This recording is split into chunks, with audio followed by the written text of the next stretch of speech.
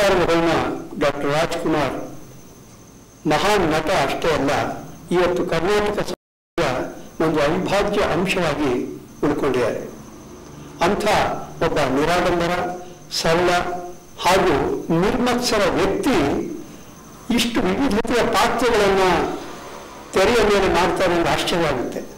ಅವರನ್ನು ವೈಯಕ್ತಿಕವಾಗಿ ಬಲ್ಲ ನಾನು, ಅವರ ಒಂದು ಸ್ನೇಹಕ್ಕೆ ಪಾತ್ರನಾದ ನಾನು ಅವರನ್ನು ಬಹಳ ಹತ್ತಿರದಿಂದ ಕೊಂಡಿದ್ದೇನೆ ಅವರ ಮಾತುಗಳನ್ನು ಗಂಟುಗಟ್ಟಲೆ ಕೇಳಿದ್ದೇನೆ ಪ್ರಾಯಶಃ ಇವತ್ತು ಕನ್ನಡ ನಾಡಿನಲ್ಲಿ ಒಂದು ರೀತಿಯ ಕನ್ನಡ, ಕರ್ನಾಟಕ ಅನ್ನುವ ಪರಂಪರೆಗೆ ಏನಾದರೂ ಒಂದು ರೀತಿಯ ಮಹತ್ವ ಬೆಲೆ ಬಂದಿದೆ ಅಂದರೆ ಗೋಕಾಕ್ ಚಳುವಳಿಯ ಕಾಲದಲ್ಲಿ ಇವರು ರಾಜ್ಕುಮಾರ್ ಅವರು ಕೊನೆ ಕೊನೆಯಲ್ಲಿ ಧುಮುಕಿದ್ದೇ ಕಾರಣ ಅನ್ಬೇಕು ಒಂದು ಹೊಸ ತಿರುವನ್ನು ಕೊಟ್ಟರು ನಾವೆಲ್ಲ ಗೋಕಾಕ್ ಚಳವಳಿಯಲ್ಲಿ ಭಾಗವಹಿಸಿದವ್ರು ಮೊದಲು ಮೊದಲು. ಆಮೇಲೆ ರಾಜ್ಕುಮಾರ್ ಅವರು ಬಂದಮೇಲೆ ಅದಕ್ಕೆ ಒಂದು ರೀತಿಯ ದೈತ್ಯ ಶಕ್ತಿ ಬಂತು. ಇವತ್ತು ಕನ್ನಡ, ನಾಡು, ನುಡಿಗಳ ಬಗ್ಗೆ ಯಾವುದಾದ್ರೂ ಒಂದು ವಿಪತ್ತು, ಧಕ್ಕೆ ಬಂದಾಗ ರಾಜ್ಕುಮಾರ್ ಅವರ ಹೆಸರು ಒಂದು ಮಂತ್ರಶಕ್ತಿಯಾಗಿ ನಮ್ಮನ್ನೆಲ್ಲ ಕಾಪಾಡ್ತಿದೆ ಅನ್ನೋದು ಇದು ಅತ್ಯುಕ್ತಿಯ ವಿಷಯ ಅಲ್ಲ. ಒಂದನೇದಾಗಿ ರಾಜ್ಕುಮಾರ್ ಅವರು ಯಾಕೆ ನನಗೆ ತುಂಬ ಮೆಚ್ಚುಗೆ ಆಗಿದ್ದಾರೆ ಅಂದರೆ, ಅವರು ಹೇಗೆ ರಾಮ ಸೀತೆಯನ್ನ ಅಲ್ಲದೆ ಇನ್ಯಾವುದೇ ಬೇರೆ ಹೆಣ್ಣಿನ ಬಗ್ಗೆ ಆಸಕ್ತಿ ತಾಳಲಿಲ್ವೋ ಏಕ ಪತ್ನಿ ವ್ರತಸ್ಥನಾಗಿದ್ನೋ ಹಾಗೆ ಕನ್ನಡಕ್ಕೆ, ಕನ್ನಡ ಚಲನಚಿತ್ರರಂಗಕ್ಕೆ ಅವರು ನಿಷ್ಠರಾಗಿದ್ದಾರೆ. ಎರಡನೇದಾಗಿ ಬಹಳ ಮುಖ್ಯವಾದ ಸಂಗತಿ ಇದು. ಅವರ ಗ್ರಾಮ್ಯ ಸಹಜ ಸರಳತೆ ಇದೆಯಲ್ಲ ಮಾತುಕತೆಗಳಲ್ಲಿ. ಆಮೇಲೆ ನಿರ್ಮತ್ಸರತೆ. ಯಾರ ಬಗ್ಗೆನೂ ಅಪ್ಪಿತಪ್ಪಿ ಅವರು ಒಂದು ಕೆಟ್ಟ ಮಾತನ್ನು ಆಡಿದ್ದು ನನ್ನ ಅನುಭವ ಬಂದೇ ಇಲ್ಲ.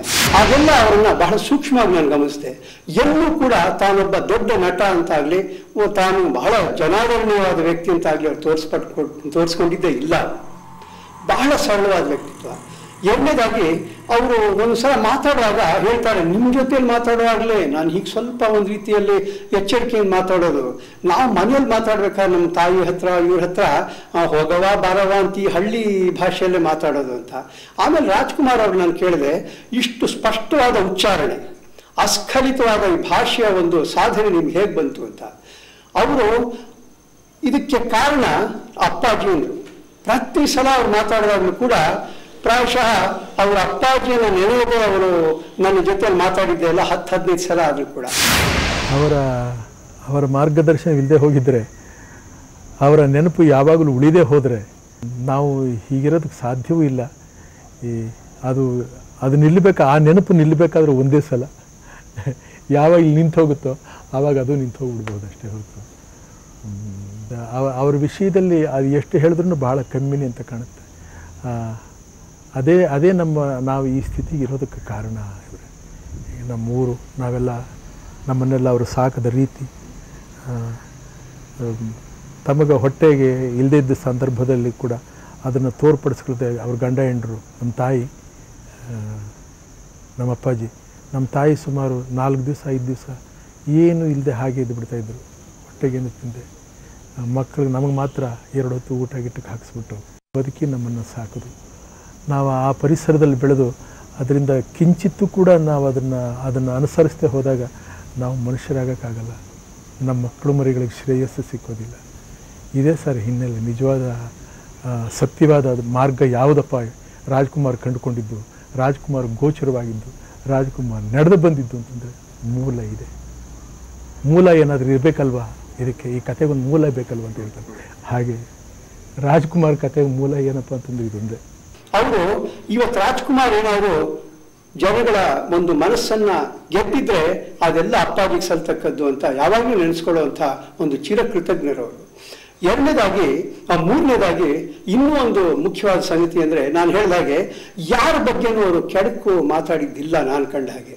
ಒಂದು ಸಲ ನಾನು ಹೀಗೆ ತಮಾಷೆಗೆ ಹೇಳಿದೆ, ಏನು ಸ್ವಾಮಿ, ನಿಮ್ಮ ಚಿತ್ರರಂಗದಲ್ಲಿ ಈಚೆಗಂತೂ ಬರೀ ಅಲ್ಪ ಪ್ರಾಣಿಗಳೇ ಸೇರ್ಕೊಂಡ್ಬಿಟ್ಟಿದ್ದಾರೆ, ಭವ್ಯ ಭಾರತ ಅಂತ ಮಾತಾಡ್ತಾರೆ, ಇದೇನು ಅಂತ? ಅವರು ಯಾವ ಪ್ರತಿಕ್ರಿಯೆಯನ್ನು ಸೂಚಿಸಲಿಲ್ಲ. ಪ್ರಾಯಶಃ ಅದು ಅವರು ಬೆಳೆದು ಬಂದ ವಾತಾವರಣ ಅಂಥದ್ದು ಅಂತ ಬಹಳ ಒಂದು ರೀತಿ ಟೇಕನ್ ಫಾರ್ ಗ್ರಾಂಟೆಡ್ ಅಂತ ಅಲ್ಲ, ಮಾಮೂಲಾಗಿ ಹೇಳಿದ್ರು. ನಾನು ಹೇಳಿದೆ, ಒಂದು ಶಿಕ್ಷಣ ಬೇಕಾಗುತ್ತೆ. ನಾನು ಟಿ ವಿ ಗಿವಿ ಎಲ್ಲ ಆಗಾಗ್ಗೆ ಕೆಲವು ಚಿತ್ರಗಳನ್ನ ನೋಡ್ತಿರ್ತೀನಿ.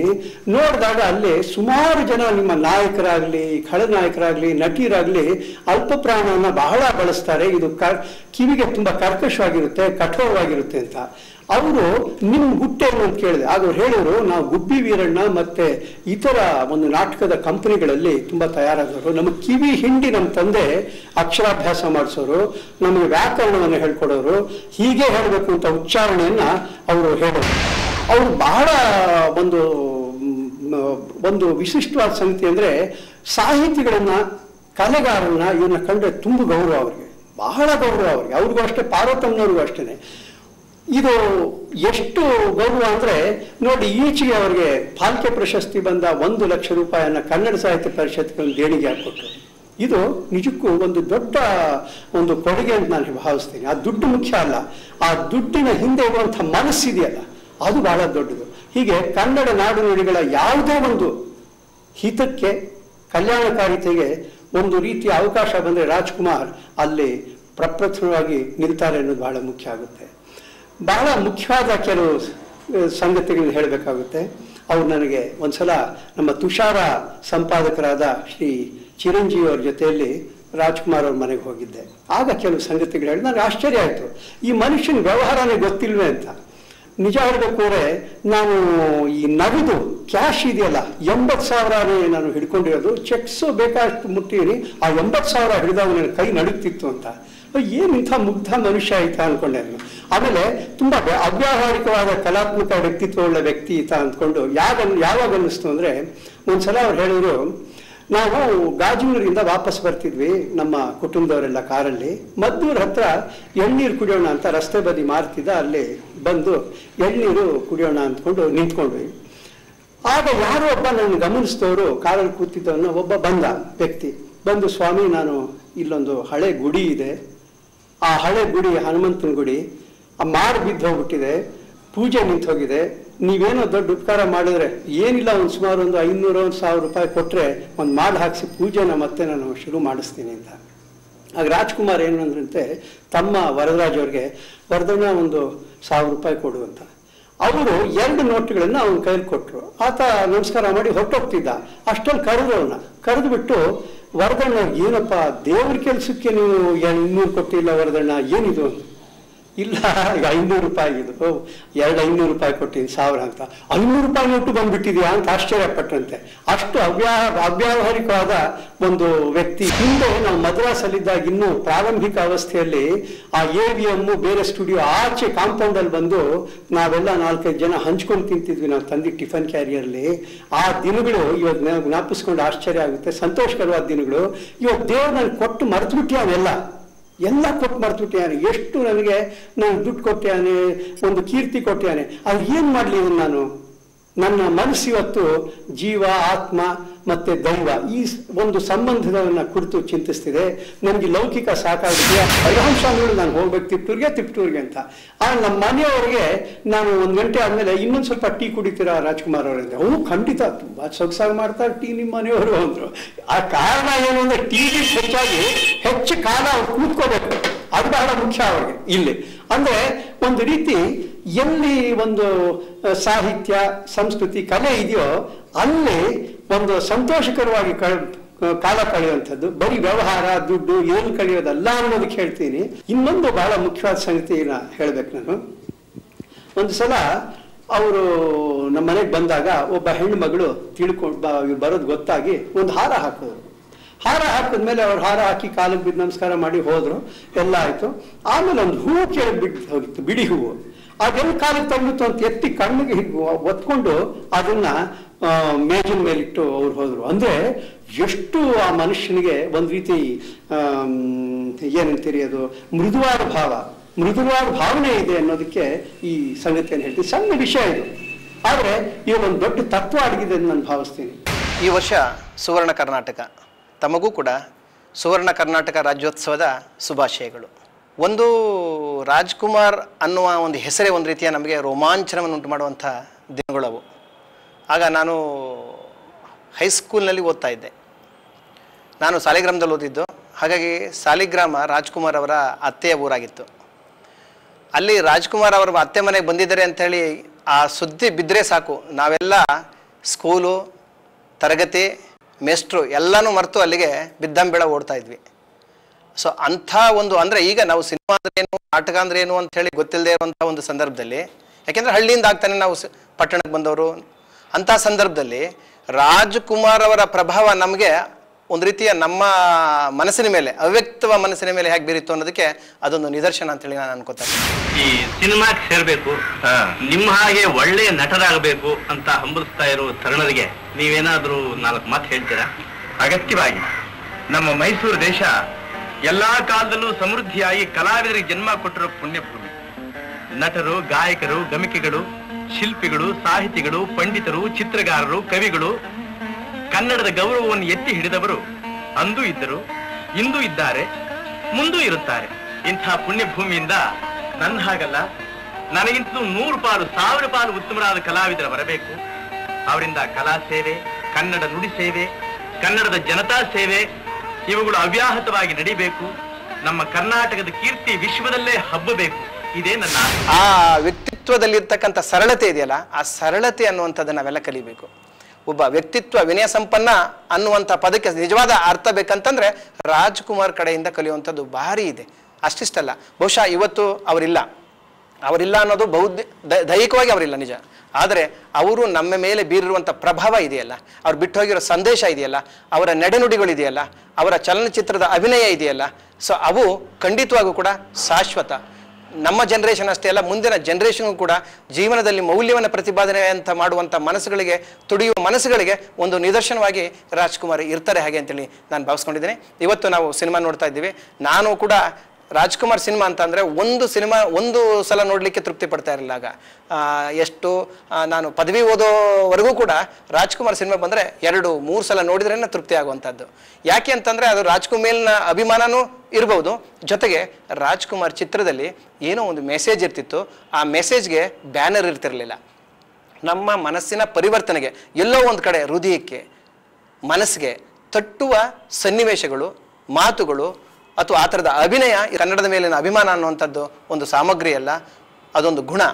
ವ್ಯಕ್ತಿಗತವಾಗಿ ಬಂದಂಥ ಒಂದು ಗುಣ ಅನ್ನುವಂಥದ್ದನ್ನು ತಮ್ಮ ನಡೆ, ತಮ್ಮ ನುಡಿ, ತಮ್ಮ ಅಭಿನಯದ ಮೂಲಕ ತೋರಿಸಿ ಇವತ್ತು ಕನ್ನಡ ನಾಡವರ ಮನೆ ಮಾತಾಗಿದ್ದಾರೆ. ಕನ್ನಡದ ಅಭಿಮಾನ, ಸಂಸ್ಕೃತಿ ಅಭಿಮಾನ, ಜಲದ ಅಭಿಮಾನ, ನಾಡಿನ ಅಭಿಮಾನ, ಈ ಅಭಿಮಾನಗಳ ಯಾವುದೇ ಒಂದು ವಿಷಯಕ್ಕೆ ಸಂಬೋಧಿಸಿ ಹೇಳುವಂಥ ಸಂದರ್ಭದಲ್ಲಿ ಆ ಅಭಿಮಾನ ಅನ್ನುವಂಥದ್ದು ನಾನು ತೋರಿಸ್ಕೊಳ್ದೇ ಇದ್ದರೆ ನನಗೆ ಸಮಾಧಾನ ಆಗೋದಿಲ್ಲ. ಅಥವಾ ಕೇಳುಗರಿಗೆ ನನ್ನ ಅಭಿಮಾನವನ್ನ ಏನು ಒಂದು ರೀತಿಯ ಅಚ್ಚೊತ್ತಿಲ್ಲ ಅಂತಂತಂದರೆ ಸಮಾಧಾನ ಆಗೋದಿಲ್ಲ. ಆ ರೀತಿಯ ಪ್ರಚಾರದ ದಿನಗಳಲ್ಲಿ ನಾವಿದ್ದೀವಿ.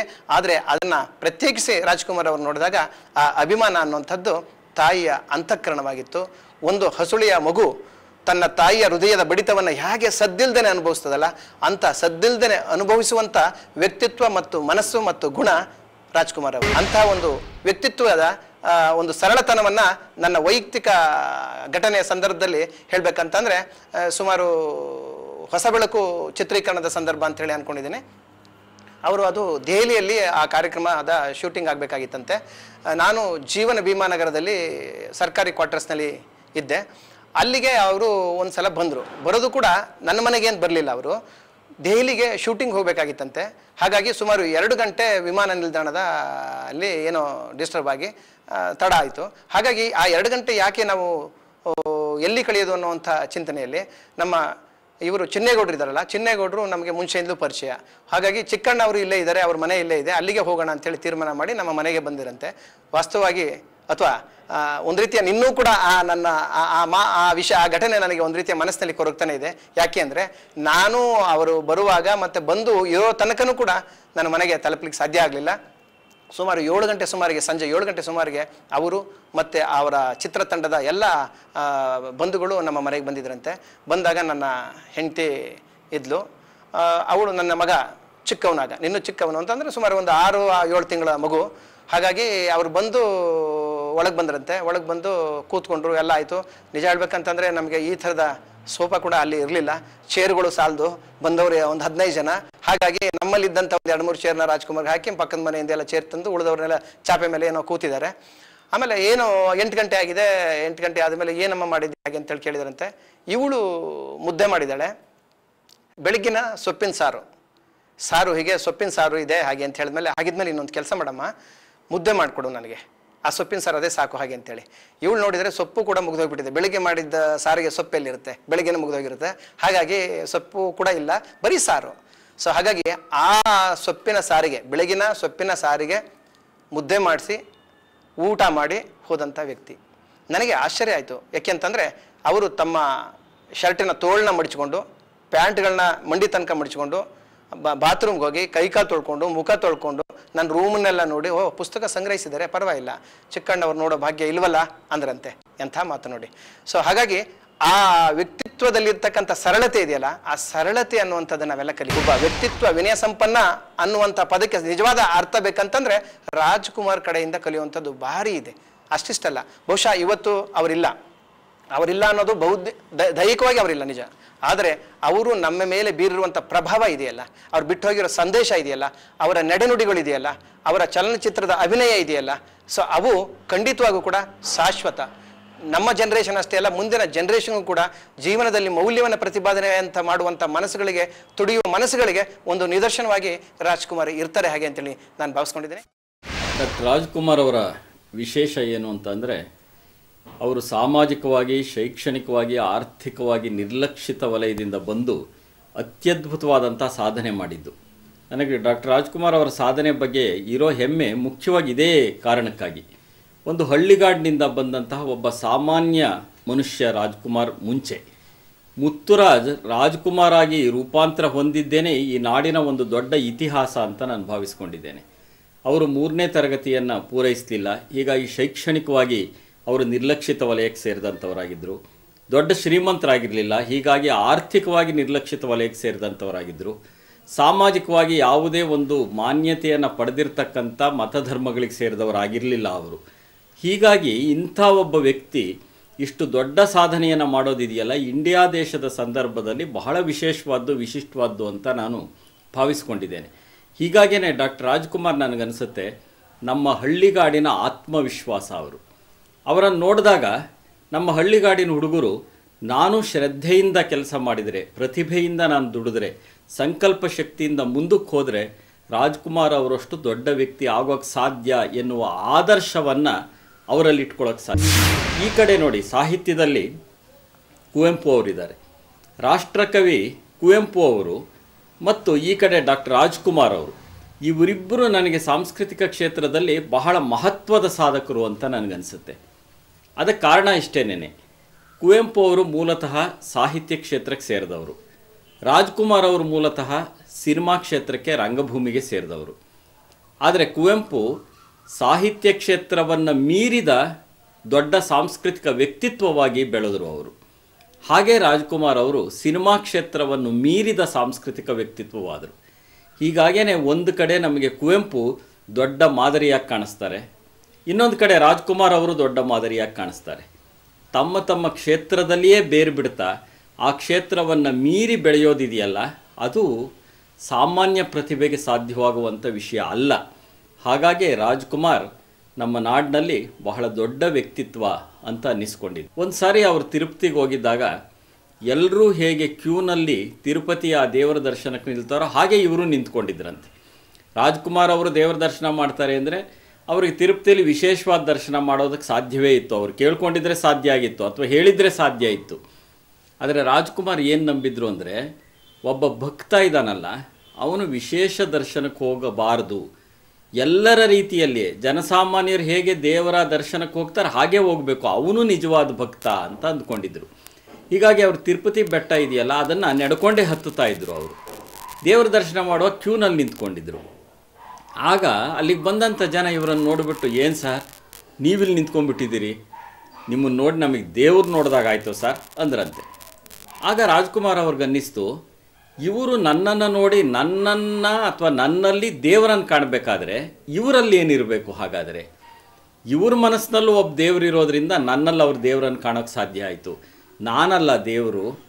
ನನ್ನಲ್ಲಿ ದೇವರನ್ನು ಕಂಡೆ ಅಂತ ಹೇಳಿದ್ರಲ್ಲ ಈ ಜನಸಾಮಾನ್ಯರು. ಇವರೇ ದೇವರು, ಇವರಲ್ಲೇ ಒಬ್ಬ ದೇವರಿದ್ದಾನೆ ಇವರಲ್ಲೊಂದು ದೇವ್ರ ಮನಸ್ಸಿದೆ ಅಂತ ಅವ್ರಿಗೆ ಅವತ್ತು ತಿರುಪತಿಯಲ್ಲಿ ಅನ್ನಿಸ್ತಂತೆ. ಹಾಗನ್ನಿಸಿದ್ದಾದ್ಮೇಲೆ ರಾಜ್ಕುಮಾರ್ ಅವರು ಮೊಟ್ಟ ಮೊದಲು ಅಭಿಮಾನಿಗಳನ್ನು ದೇವರು ಅಂತ ಸಂಬೋಧಿಸಿದ್ದು ವಿಧಾನಸೌಧದ ಎದುರುಗಡೆ ಅವರಿಗೆ ಕರ್ನಾಟಕ ರತ್ನ ಪ್ರಶಸ್ತಿ ಪ್ರದಾನ ಮಾಡಿದಂತಹ ಸಂದರ್ಭದಲ್ಲಿ. ಆಗ ಒಂದು ಸಣ್ಣ ಗಲಭೆ ನಡೀತು. ನಾನು ಅದಕ್ಕೆ ಪ್ರತ್ಯಕ್ಷ ಸಾಕ್ಷಿಯಾಗಿದ್ದೆ ನಾನು. ಪ್ರೇಕ್ಷಕರಲ್ಲಿ ಒಂದು ಗೊಂದಲ ಉಂಟಾಯಿತು. ಆಗ ರಾಜ್ಕುಮಾರ್ ಅವರು ಎದ್ದರು ಮೇಲಕ್ಕೆದ್ದು ಕೈ ಮುಗಿದು ಅಭಿಮಾನಿ ದೇವರುಗಳೇ ಅಂದರು. ಎಲ್ಲರೂ ತಣ್ಣಗಾದರು. ಎಲ್ಲರೂ ಸುಮ್ಮನೆ ಕೂತ್ಕೊಂಡ್ರು. ಇಡೀ ಸಮಾರಂಭ ಮುಗಿಯೋವರೆಗೆ ಜನ ಸ್ತಬ್ಧವಾಗಿದ್ದರು ಅವರೇ ಹೇಳಿದಾಗೆ ಮೊಟ್ಟ ಮೊದಲು ಜನರನ್ನು ಅಭಿಮಾನಿ ದೇವರುಗಳು ಅಂತ ಕರೆದಿದ್ದು ಆ ಸಮಾರಂಭದಲ್ಲಿ. ಇಲ್ಲಿರೋ ಒಂದು ವಿಶೇಷ ಏನು ಅಂತಂದರೆ, ಕುವೆಂಪು ಅವರು ನಿಸರ್ಗದಲ್ಲಿ ದೇವರನ್ನು ಕಂಡರು. ರಾಜ್ಕುಮಾರ್ ಅವರು ಅಭಿಮಾನಿಗಳಲ್ಲಿ ದೇವರನ್ನು ಕಂಡರು. ಅಂದರೆ ಗುಡಿ ಇತ್ಯಾದಿಗಳು ಏನೇನಿವೆ ಅವೆಲ್ಲ ಇದ್ದರೂ ಸಹ ನಿಜವಾದ ದೇವರು ಎಲ್ಲಿರ್ತಾನೆ ಅನ್ನೋದಕ್ಕೆ ಕುವೆಂಪು ಅವರು ಒಂದು ಪರ್ಯಾಯವನ್ನು ಹುಡುಕೊಂಡ್ರು. ಹಾಗೆ ರಾಜ್ಕುಮಾರ್ ಅವರು ಇನ್ನೊಂದು ಪರ್ಯಾಯವನ್ನು ಹುಡುಕೊಂಡ್ರು.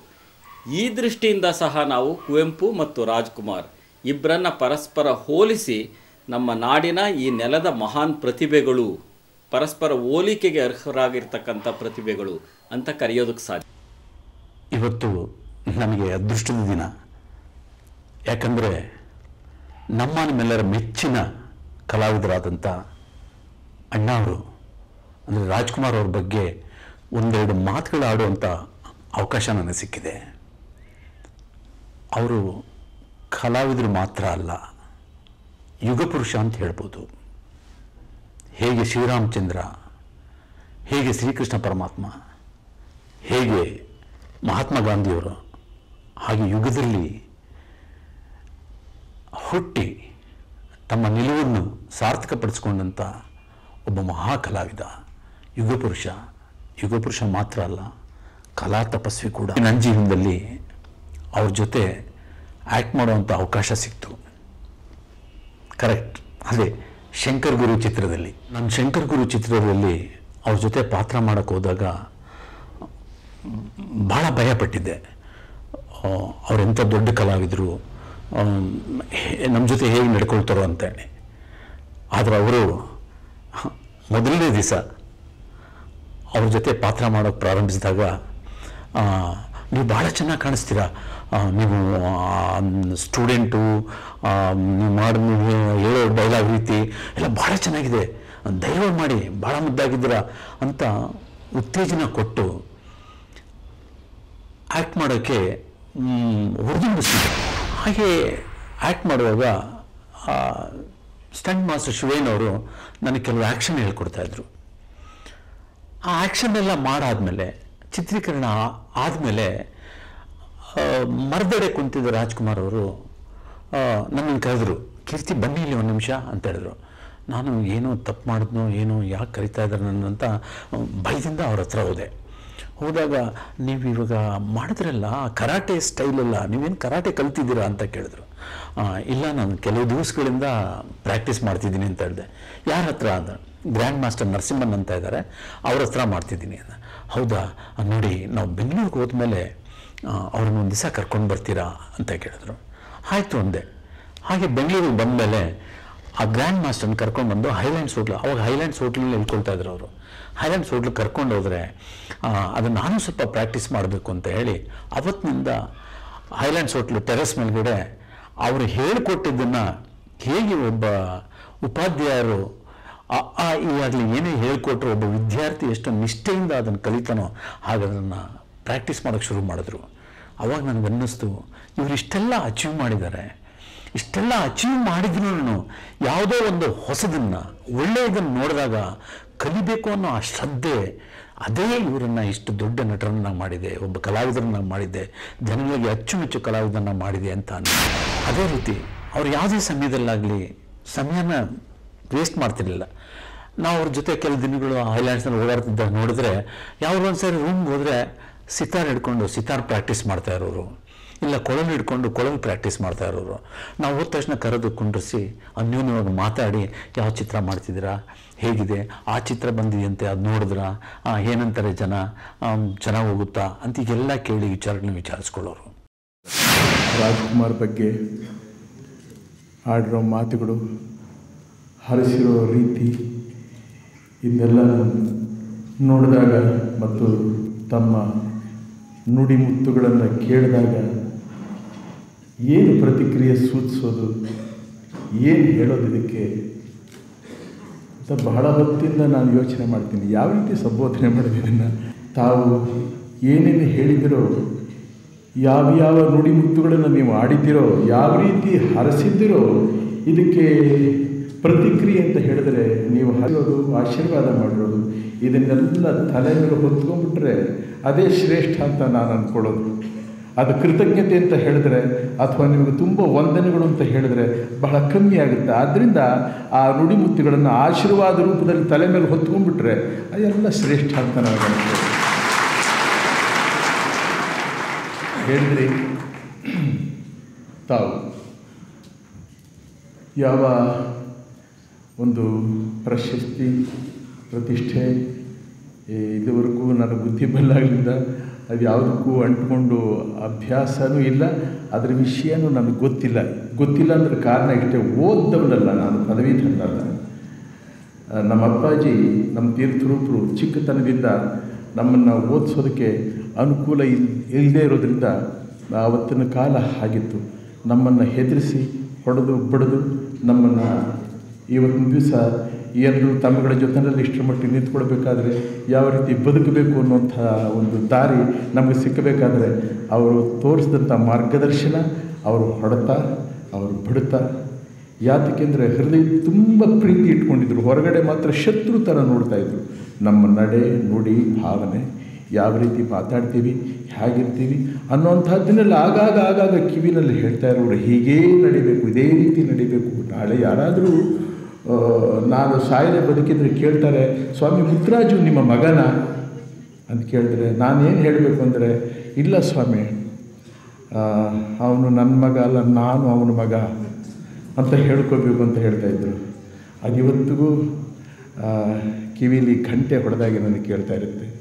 ಈ ಮೊದಲನೇ ದೇವರುಗಳು ತಾಯಿ ತಂದೆ ಅವರ ಮಾರ್ಗದರ್ಶನ ಅನಂತರ ನಾನು ಅವತ್ತು ಕರ್ನಾಟಕ ರತ್ನ ಪ್ರಶಸ್ತಿ ತಗೊಳ್ಳುವಾಗ ತಗೊ ತಗೊಳ್ಳುವಂಥ ಸಂದರ್ಭದಲ್ಲಿ ನನ್ನ ಅಭಿಮಾನಿ ದೇವರುಗಳು ಅಂತ ಸಂಬೋಧನೆ ಮಾಡಿದ್ದೆ. ಆದ್ದರಿಂದ ತಮ್ಮಗಳಿಂದ ಕಲ್ತುಕೊಂಡಿರುವಂತಹ ಬುದ್ಧಿ ಒಂದು ಒಳ್ಳೆತನ ಏನಾದರೂ ಇದೆ ಅಂತ ಹೇಳಿದ್ರೆ ನಮ್ಮಪ್ಪನ ಮಾರ್ಗದರ್ಶನ ಹಾಗೂ ತಮ್ಮೆಲ್ಲರ ಮಾರ್ಗದರ್ಶನ. ನಿಮ್ಮ ರಾಜ್ಕುಮಾರ್ ಮೊದಲೇ ಇಂಗ್ಲೀಷ್ ಬರೋದಿಲ್ಲ. ಮತ್ತು ಇವನಿಗೆ ಹೇಗೆ ಅಂದರೆ ನಾಟಕದಿಂದ ಯಾವ ನಮ್ಮ ಆಶ್ರಯದಾದರೂ ಅನ್ನದಾದರು ವೀರಣ್ಣವರ ಸಂಸ್ಥೆಯಲ್ಲಿದ್ದಂತಹ ಕಾಲದಲ್ಲಿ ಅಲ್ಲಿನ ಶಿಸ್ತು, ಸಂಯಮತೆ ಹಾಗೂ ಕಲಾವಿದ ಯಾವ ರೀತಿ ಬದುಕಬೇಕು, ಯಾವ ರೀತಿ ಬದುಕಿದ್ರೆ ಅವನ ಜನ್ಮ ಶ್ರೇಷ್ಠವಾಗುತ್ತೆ ಅನ್ನೋಂಥದ್ದನ್ನು ವೀರಣ್ಣವರ ಕಂಪನಿಯಲ್ಲಿ ಕಲಿಬೇಕಾಗಿತ್ತು. ಯಾಕಂದರೆ ಇಡೀ ಭಾರತದಲ್ಲಿ ಅಂಥ ಒಂದು ಸಂಸ್ಥೆ ಇರಲಿಲ್ಲ ಅಂತ ಹೇಳ್ಬೋದು. ಅಷ್ಟು ಚೆನ್ನಾಗಿ ಬೆಳೆದಂಥವ್ರು ಆ ಸಂಸ್ಥೆಯಲ್ಲಿ ನಮ್ಮ ತಂದೆಯವರು ನಾನು ಹಾಗೂ ನನ್ನ ತಮ್ಮ ವರದಪ್ಪ ಮತ್ತು ನನ್ನ ತಂಗಿ ಶಾರದಮ್ಮ, ನಾವೆಲ್ಲ ಅಲ್ಲಿ ಆ ಸಂಸ್ಥೆಯಲ್ಲಿ ಬದುಕಿದವರು ಇವತ್ತು ಏನಾದರೂ ನಿಮ್ಮ ರಾಜ್ಕುಮಾರ್ನಲ್ಲಿ ಒಂದು ಒಳ್ಳೆತನ, ಒಂದು ಶಿಸ್ತು, ಸಂಯಮತೆ, ಸಮಯ ಪ್ರಜ್ಞೆ ಇಂಥವುಗಳೇನಾದರೂ ಇದೆ ಅಂತ ಹೇಳಿದ್ರೆ ಆ ಸಂಸ್ಥೆಗಳಿಂದ ಬಂದಿರಬಹುದು ಅಂತ ಅನ್ನೋಂಥದ್ದನ್ನು ಘಂಟಾಘೋಷವಾಗಿ ಹೇಳೋದಕ್ಕೆ ಪ್ರಯತ್ನ ಪಡ್ತೀನಿ. ಆದ್ದರಿಂದ ತಾವು ಹರಿಸಿರೋದು, ಆಶೀರ್ವಾದ ಮಾಡಿರೋದು ಇದು ಯಾವುದು ಅಲ್ಲ ಅಂತ ಹೇಳ್ಕೊಳ್ಳೋದಕ್ಕೆ ಸಿದ್ಧವಾಗಿಲ್ಲ. ಇದು ನನಗೆ ಗೋಚರವಾಗದೇ ಇರತಕ್ಕಂಥ, ನನ್ನಲ್ಲಿರ್ತಕ್ಕಂಥ ಗುಣಗಳು ತಮ್ಮಗಳಿಗೆ ಗೋಚರವಾಗಿರಬಹುದು. ತಮಗೆ ಗೋಚರವಾಗಿ ನೀವೆಲ್ಲ ಕೊಟ್ಟ ಹೆಸರುಗಳ್ತಾರೆ ನಾನೇನಾದರೂ ನಿಮ್ಮಲ್ಲಿ ಯಾರಾದರೂ ಹೇಳಿದ ನನ್ನ ನರಸಾರ್ವಭೌಮ ಅಂತ ಕರೀರಪ್ಪ, ನನಗೆ ಡಾಕ್ಟ್ರೇಟ್ ಕೊಡಿಸ್ರಪ್ಪ, ಅಥವಾ ಈ ಭಾಗ್ಯ ಪ್ರಶಸ್ತಿ ಕೊಡಿಸ್ರಪ್ಪ ಅಂತ ಯಾರಾದರೂ ಇರಲಿಲ್ಲ ಆ ವ್ಯಾಮೋಹ ಇಲ್ಲ. ಆ ವ್ಯಾಮೋಹ ಇರೋದು ನಿಮಗೆ. ನೀವು ಸಂತೋಷ ಪಡ್ತೀರಿ. ನಿಮ್ಮ ನೋಡಿ ನಾನು ಸಂತೋಷ ಪಡ್ತೀನಿ. ಕರ್ನಾಟಕದಲ್ಲಿ ನಮ್ಮ ನಿಮ್ಮ ಸಂಬಂಧ ಬೆಳೆದು ಬಂದಿರೋದು ಹೇಗೆ. ಇದು ಎಲ್ಲಿಂದ ಬಂತು? ನಾಟಕದ ಸಂಸ್ಥೆಯಿಂದ. ನಾಟಕದಿಂದಲೇ ನಾನು ಇಲ್ಲಿವರೆಗೆ ಬಂದಿದ್ದು ಇದು ಬಂದು ನಮ್ಮನ್ನು ಎಲ್ಲಿವರೆಗೆ ಕರ್ಕೊಂಡು ಹೋಗಿದ್ದಪ್ಪ ಅಂತ ಹೇಳಿದರೆ ಒಂದು ಸಲ ಹಿಂದಿನಿಂದ ನಾವು ನಡೆದು ಬಂದ ರೀತಿ ನೀತಿಗಳನ್ನು ಅವಲೋಕಿಸಿದಾಗ ಆ, ಕಣ್ಣಪ್ಪ ನೀವು ನೋಡಿದ್ರಲ್ಲ ಆ ಸ್ಥಿತಿ ಹೇಗಿದೆ ಅಂತ ಹೇಳಿ. ಅದೇ ಥರ ಸ್ಥಿತಿ ನಮ್ಮದು ಚಿತ್ರರಂಗಕ್ಕೆ ಬಂದಾಗ. ಅಂದರೆ ವಿಧಿ ಇಲ್ಲ ಬುದ್ಧಿ ಇಲ್ಲ ವಿಧಿ ಇಲ್ಲ, ಬುದ್ಧಿ ಇಲ್ಲ ಶಾರದಮ್ಮನವರು ದುಡ್ಡಿಲ್ಲ, ಕಾಸಿಲ್ಲ, ಸಂಪತ್ತೇ ಅನ್ನೋದು ಒಂದು ವಿಷಯ ಹೇಳಿದೆ ನೋಡಿ, ಹಾಗೆ. ಈ ರಾಜಕುಮಾರ ಹಾಗೆ ಆ ಬೇಡಿಕಣ್ಣಪ್ಪ ಬೇಡ ಕಣ್ಣಪ್ಪ ಒಬ್ಬ ಮಹಾಪಂಡಿತನಾಗಿ ಅವನ ಭಕ್ತಿ ಜೊತೆಯಲ್ಲಿ ಬಿದ್ದು ಬಂದು ಇವೆಲ್ಲ ಇದ್ದಿದ್ರೆ ಆ ಅವನು ಕಣ್ಣು ಕೊಡ್ತಾ ಇರಲಿಲ್ಲ. ಅವನು ಕಣ್ಣು ಕೊಟ್ಬಿಟ್ಟ ದೇವರಿಗೆ. ಹಾಗೆಯೇ ಈ ರಾಜ್ಕುಮಾರ್ನ ಪರಿಸ್ಥಿತಿ ಕೂಡ ಹಾಗೆ ಇತ್ತು ಏನಾದರೂ ನಮ್ಮ ಸಿಂಹ ನಿರ್ದೇಶಕರು, ಅಯ್ಯೋ, ಹೋದ್ರೆ ಹೋಗಿ ಒಂದು ಕಣ್ಣು ಕಿತ್ತು ಹೇಳೋಣ ಅಂತ ಬಿಡ್ತಾ ಏನೋ ಅಂಥ ಒಂದು ಪರಿಸ್ಥಿತಿ ಹೀಗಿರುವಾಗ ಆವತ್ತಿಂದ ಇವತ್ತವರೆಗೂ ನಾವು ನಡೆದು ಬಂದ ದಾರಿನ ಅವಲೋಕಿಸಬೇಕಾದ್ರೆ ಮಾರ್ಗದರ್ಶನ ಹೆಚ್ಚಾಗಿ ಬಂತು ನನಗೆ. ಎಲ್ಲ ಇಲ್ಲಿವರೆಗೂ ನನ್ನ ಸಹಪಾಠಿಗಳು, ಸಹೋದ್ಯೋಗಿಗಳು ಹಾಗೂ ನಿರ್ಮಾಪಕರು, ನಿರ್ದೇಶಕರು ಹಾಗೂ ಅಭಿಮಾನಿ ದೇವರು ದೇವರು ಇವರೆಲ್ಲ ಬೆನ್ನು ತಟ್ಟಿದ್ರು ನನ್ನ ಅದು ಚೆನ್ನಾಗಿರಲಿ ಚೆನ್ನಾಗಿರಲಿ ಬೆನ್ನು ತಟ್ಟಿ ಬೆನ್ನು ತಟ್ಟಿ ಏರಿಸ್ಬಿಟ್ರು. ಹೊಗಳಿ ಹೊಗಳಿ, ಹೊನ್ನ ಶೂರಕ್ಕೆ ಏರಿಸಿದರು ಅಂತ ಬಸವಣ್ಣವರು ಹೇಳಿದಾರಲ್ಲ ಹಾಗೆ ಎಲ್ಲ ಹೊಗಳಿ ಹೊಗಳಿ ಎಲ್ಲೋ ತಗೊಂಡು ಕೂರಿಸಿದ್ರು. ಅದಕ್ಕೆ ರಾಜ್ಕುಮಾರ್ ಇನ್ನೇನು ಹೇಳೋದಕ್ಕೆ ಶಕ್ತಿ, ಶಕ್ತಿವಂತನಲ್ಲ, ಶಕ್ತಿ ಇಲ್ಲ. ಅಥವಾ ವಿದ್ವಂತನ ಪದ ಇಲ್ಲ, ಅದಕ್ಕೆ ಏನಾದರೂ ಒಳ್ಳೆ ಪದಗಳನ್ನ ಜೋಡಿಸಿ ನಿಮಗೆ ಹೇಳಿರೋದು ಅದಕ್ಕೆ ರಾಜ್ಕುಮಾರ್ನ ನಿಮಗೆ ಒಪ್ಪಿಸ್ಕೊಂಡ್ಬಿಟ್ರೆ ರಾಜ್ಕುಮಾರ್ ಪ್ರಶಸ್ತಿಗಳನ್ನೆಲ್ಲ ನಿಮಗೆ ಸೇರಿಸ್ಬಿಟ್ರೆ ಕೆರೆಯ ನೀರನ್ನು ಕೆರೆಗೆ ಚೆಲ್ಲಿ ವರದವ, ವರವ ಪಡೆದವರಂತೆ ಕಾಣಿರುವಂಥ ಗುರುದಾಸ ಅಂತಾರಲ್ಲ, ಹಾಗೆ ಆ ಭಾರನ ನಿಮ್ಮ ಮೇಲೆ ಹಾಕೋದು ನಾನು ಸುಲಭವಾಗಿ ಬಿಡೋದು ಮೇಲು ಅಂತ ನನಗನ್ಸುತ್ತೆ ರಾಜ್ಕುಮಾರ್ ಒಬ್ಬ ನಕ್ಷತ್ರ. ಇಲ್ಲ. ಆಕಾಶದಲ್ಲಿ ಸಾವಿರಾರು ನಕ್ಷತ್ರಗಳಿರುತ್ತೆ. ಆದರೆ ಸೂರ್ಯ ಒಂದೇ. ನಮ್ಮ ರಾಜ್ಕುಮಾರ್ ಸೂರ್ಯ ಇದ್ದಕ್ಕೆ ಆ ಸೂರ್ಯನಲ್ಲೂ ಕೂಡ ಅವನ ಕಿರಣ ಬಿದ್ದಾಗ ಮೈಗೆ ಬಿಸಿಯಾಗುತ್ತೆ ತಾಪ ಬರ್ತದೆ. ಆದರೆ ನಮ್ಮ ಸೂರ್ಯನ ಹತ್ರ ಹೋದಾಗ ಇಂಪು, ತಂಪು, ಸೊಂಪು ಸಿಗುತ್ತೆ. ಆಗಿನ ಕಾಲದ ನಟರು ತಮ್ಮ ವೃತ್ತಿಯನ್ನು ಒಂದು ತಪಸ್ಸು ಅಂತ ತಿಳ್ಕೊಂಡಿದ್ರು. ಹಾಗೆ ಬಂದವರು ನಾವು. ನನ್ನ ಗೆಳೆಯ ರಾಜ್ಕುಮಾರ್ ಬಹಳ ಕಷ್ಟಪಟ್ಟು ಸಿದ್ಧಿ ಮಾಡಿಕೊಂಡು ಪರಕಾಯ ಪ್ರವೇಶ ಮಾಡೋದಕ್ಕೆ ತಯಾರಾಗಿದ್ದರು ಹಾಗೆ ಅವರು ಪ್ರ, ಪರಕಾಯ ಪ್ರವೇಶ ಮಾಡಿದ ಚಿತ್ರಗಳು ಮಹಿಷಾಸುರ ಮರ್ದಿನಿ, ರಣಧೀರ ಕಂಠೀರವ, ಭಕ್ತ ತುಕಾರ ಗೋರಕುಂಭಾರ ಹೀಗೆ ಹಲವಾರು ಚಿತ್ರಗಳು. ಅದರಲ್ಲಿ ಅವರ ಪಾತ್ರ ಮಾಡಲಿಲ್ಲ. ಆ ಪಾತ್ರವೇ ತಾವಾಗಿದ್ದರು ಅಂದರೆ ಪರಕಾಯ ಪ್ರವೇಶ ಮಾಡ್ತಿದ್ರು. ಒಬ್ಬ ಟಿಪ್ಪು, ಇಂದು ಒಬ್ಬ ರಾಜ್ಕುಮಾರ್. ಕನ್ನಡ ಜನತೆಗೆ ಮೈಸೂರಲ್ಲಿ ಟಿಪ್ಪು ಅಂದರೆ ಒಂದು ಹೇಳ್ಕೊಳ್ಳೋದಕ್ಕೆ ಒಂದು ಹೆಮ್ಮೆ ಪಡ್ತಾಯಿದ್ರು ಹಾಗೆ ಕಲೆಯ ಹುಲಿಯಾದ ನಮ್ಮ ರಾಜ್ಕುಮಾರ್ ಅವರ ಬಗ್ಗೆ ಒಂದು ಪ್ರತಿ ಮಗು, ಚಿಕ್ಕ ಮಗು ಕೂಡ ಗೊತ್ತಿದೆ. ಆ ಮುಗ್ಧತೆ, ಆ ಸರಳತೆ, ಆ ನಗು ಎಲ್ಲ ಮಗು ನೋಡಿದಾಗ ಸಾವಿರದ ಒಂಬೈನೂರ ಐವತ್ನಾಲ್ಕರಲ್ಲಿ ಅವರ ಬೇಡರ ಗಣಪದ ಮೂಲಕ ಚಿತ್ರರಂಗಕ್ಕೆ ಬಂದರು. ಅದೇ ಐವತ್ನಾಲ್ಕರಲ್ಲಿ ನಾನು ನಟಶೇಖರದ ಮೂಲಕ ಬಂದೆ. ನಾವಿಬ್ಬರು ನಟರು. ಹೇಗಿದ್ವಿ ಅಂದರೆ ಅಣ್ಣ ತಮ್ಮದ್ರದ್ದಾಗಿದ್ವಿ. ಅದಾದ ಮೇಲೆ ಓಹಿಲೇಶ್ವರದಲ್ಲಿ ಅವರು ನಾಯಕನ ಪಾತ್ರ ಮಾಡಿದ್ರು. ನಾನು ಅವ್ರ ಹೆಣ್ಣು ಕೊಟ್ಟು ಮಾವನಾಗಿ ಮುದುಕನ ವೇಷ ಮಾಡಿದೆ. ಅವರು ಬಿಟ್ರ, ಭೂದಾನದಲ್ಲಿ ನನಗೆ ಉದಯ್ ಕುಮಾರ್ ಲೀಲಾವತಿಗೆ ಅಪ್ಪನ ಪಾತ್ರ ಮಾಡಿದ್ರು. ಪಾತ್ರಗಳ ಬಗ್ಗೆ ನಾವು ವಿಶಿಷ್ಟತೆ ಕೊಡದೆ ನಾವೆಲ್ಲ ಜೊತೆಲಿರ್ತೀವಿ, ನಾವೆಲ್ಲ ಸ್ನೇಹಿತರು, ನಾವು ಯಾವ ಪಾತ್ರ ಮಾಡೋದು ಸರಿ ಅಂತ ಹೇಳ್ಬಿಟ್ಟು ಒಂದು ವಿಶ್ವಾಸದಿಂದ ವ್ಯಾಪಾರ ದೃಷ್ಟಿ ಇಲ್ಲದೆ, ಒಂದು ಸ್ಟಾರ್ ವ್ಯಾಲ್ಯೂ ಇಲ್ಲದೆ ನಾವುಗಳಿದ್ದೀವಿ. ರಾಜ್ಕುಮಾರ್, ಒಂದು ತುಂಬಿದ ಕೊಡ. ಅವರು ಕನ್ನಡ ಜನತೆಯ ಹೃದಯ ಮಂದಿರದಲ್ಲಿ ಪ್ರತಿಷ್ಠಿತರಾಗಿದ್ದಾರೆ. ಅವರನ್ನು ಅಭಿಮಾನ ಅನ್ನೋ ದೀಪ ಹಚ್ತಾ ಇದ್ದಾರೆ. ಪ್ರೀತಿಯನ್ನು ಹೂಗಳಿಂದ ಪೂಜಿಸ್ತಾ ಇದ್ದಾರೆ. ಆನಂದದಿಂದ ಆರತಿ ಎತ್ತಾ ಇದ್ದಾರೆ. ಅಂಥ ಮಹಾನ್ ಕಲಾವಿದನ ಜೊತೆಯಲ್ಲಿ ನಾನು ಇರೋದು ನಾನು ಬಹಳ ಹೆಮ್ಮೆ ಪಡ್ತೀನಿ. ಎಲ್ಲ ನಾವೆಲ್ಲ ನಮ್ಮದೆಲ್ಲ ಒಂದು ಜಾತಿ, ಕಲಾವಿದ್ರ ಜಾತಿ. ಎಲ್ಲ ನಾವೆಲ್ಲ ಅಣ್ತಮ್ಮಂದರು ಅವರೆಷ್ಟು ಮೇಲಕ್ಕೆ ಹೋದರೆ ಅಷ್ಟು ಆನಂದ ನನಗೆ ಯಾಕೆಂದರೆ ಏನಾದರೂ ನೀವು ಚೆನ್ನಾಗಿದ್ದೀರಿ ಅಂತ ಕೆಲವರೆಲ್ಲ ಬಂದು ನಮ್ಮ ಅಭಿಮಾನಿಗಳೆಲ್ಲ ಕೇಳಿದಾಗ, ಇಲ್ಲ, ದೇವರು ನಿಮಗೆ ಚೆನ್ನಾಗಿಟ್ಟಿರಲಿಲ್ಲ ಅವನ ಅನುಗ್ರಹ ಅಂತ ನಾವು ಅಂತೀವಿ. ಹಾಗೆ ಅವರುಗಳೆಲ್ಲ ಆ ಎತ್ತರಕ್ಕೆ ಬೆಳಿಬೇಕು ಅನ್ನೋ ಇಚ್ಛೆ ನನಗೆ. ಯಾಕಂದರೆ ನಾನು ಹಿಂದಿಲಿಂದಲೂ ಒಬ್ಬ ಅಭಿಮಾನಿಯೂ ಕೂಡ ನನಗೆ. ನಾನು ಅಭಿಮಾನಿ ಆದ್ದರಿಂದ ನಾನು ನೋಡಿ ಸಂತೋಷ ಪಡಬೇಡ್ವೆ. ನನ್ನ ನೋಡಿ ಎಲ್ಲ ಸಂತೋಷ ಪಡಿ. ನಾನು ನನಗೆ ಬೇಡವಾಗಿದ್ರೆ ಅದು. ತಾವು ಯಾವುದರ ಅಭಿಮಾನಿ ಸರ್? ತಾವು ಯಾವುದರ ಅಭಿಮಾನಿ ಇದು- ಕಲೆ ಅಭಿಮಾನಿ. ಕಲೆ ಅಭಿಮಾನಿ. ನಾನು ಎಷ್ಟೋ ಜನ ಕಲಾವಿದರು ಬಹಳ ಜನ ಕಲಾವಿದರುಗಳಿದ್ದಾರೆ. ಎಲ್ಲ ಭಾಷೆಗಳ ಕಲಾವಿದರುಗಳು ಇದ್ದಾರೆ ನನಗೆ. ಒಬ್ಬರು ಇಬ್ಬರಲ್ಲ ಹೌದು. ಎಲ್ಲರೂ ತಮ್ಮಗ ಚಿತ್ರಗಳನ್ನು ನಿರ್ದೇಶಿಸುವಲ್ಲಿ ತಮಗಿಂತ ಕಿರಿಯ ಕಲಾವಿದರು ಉದಾಹರಣೆಗೆ ಶಂಕರ್ ನಾಗಿ. ಉದಾಹರಣೆಗೆ ನಾಗಭರಣ.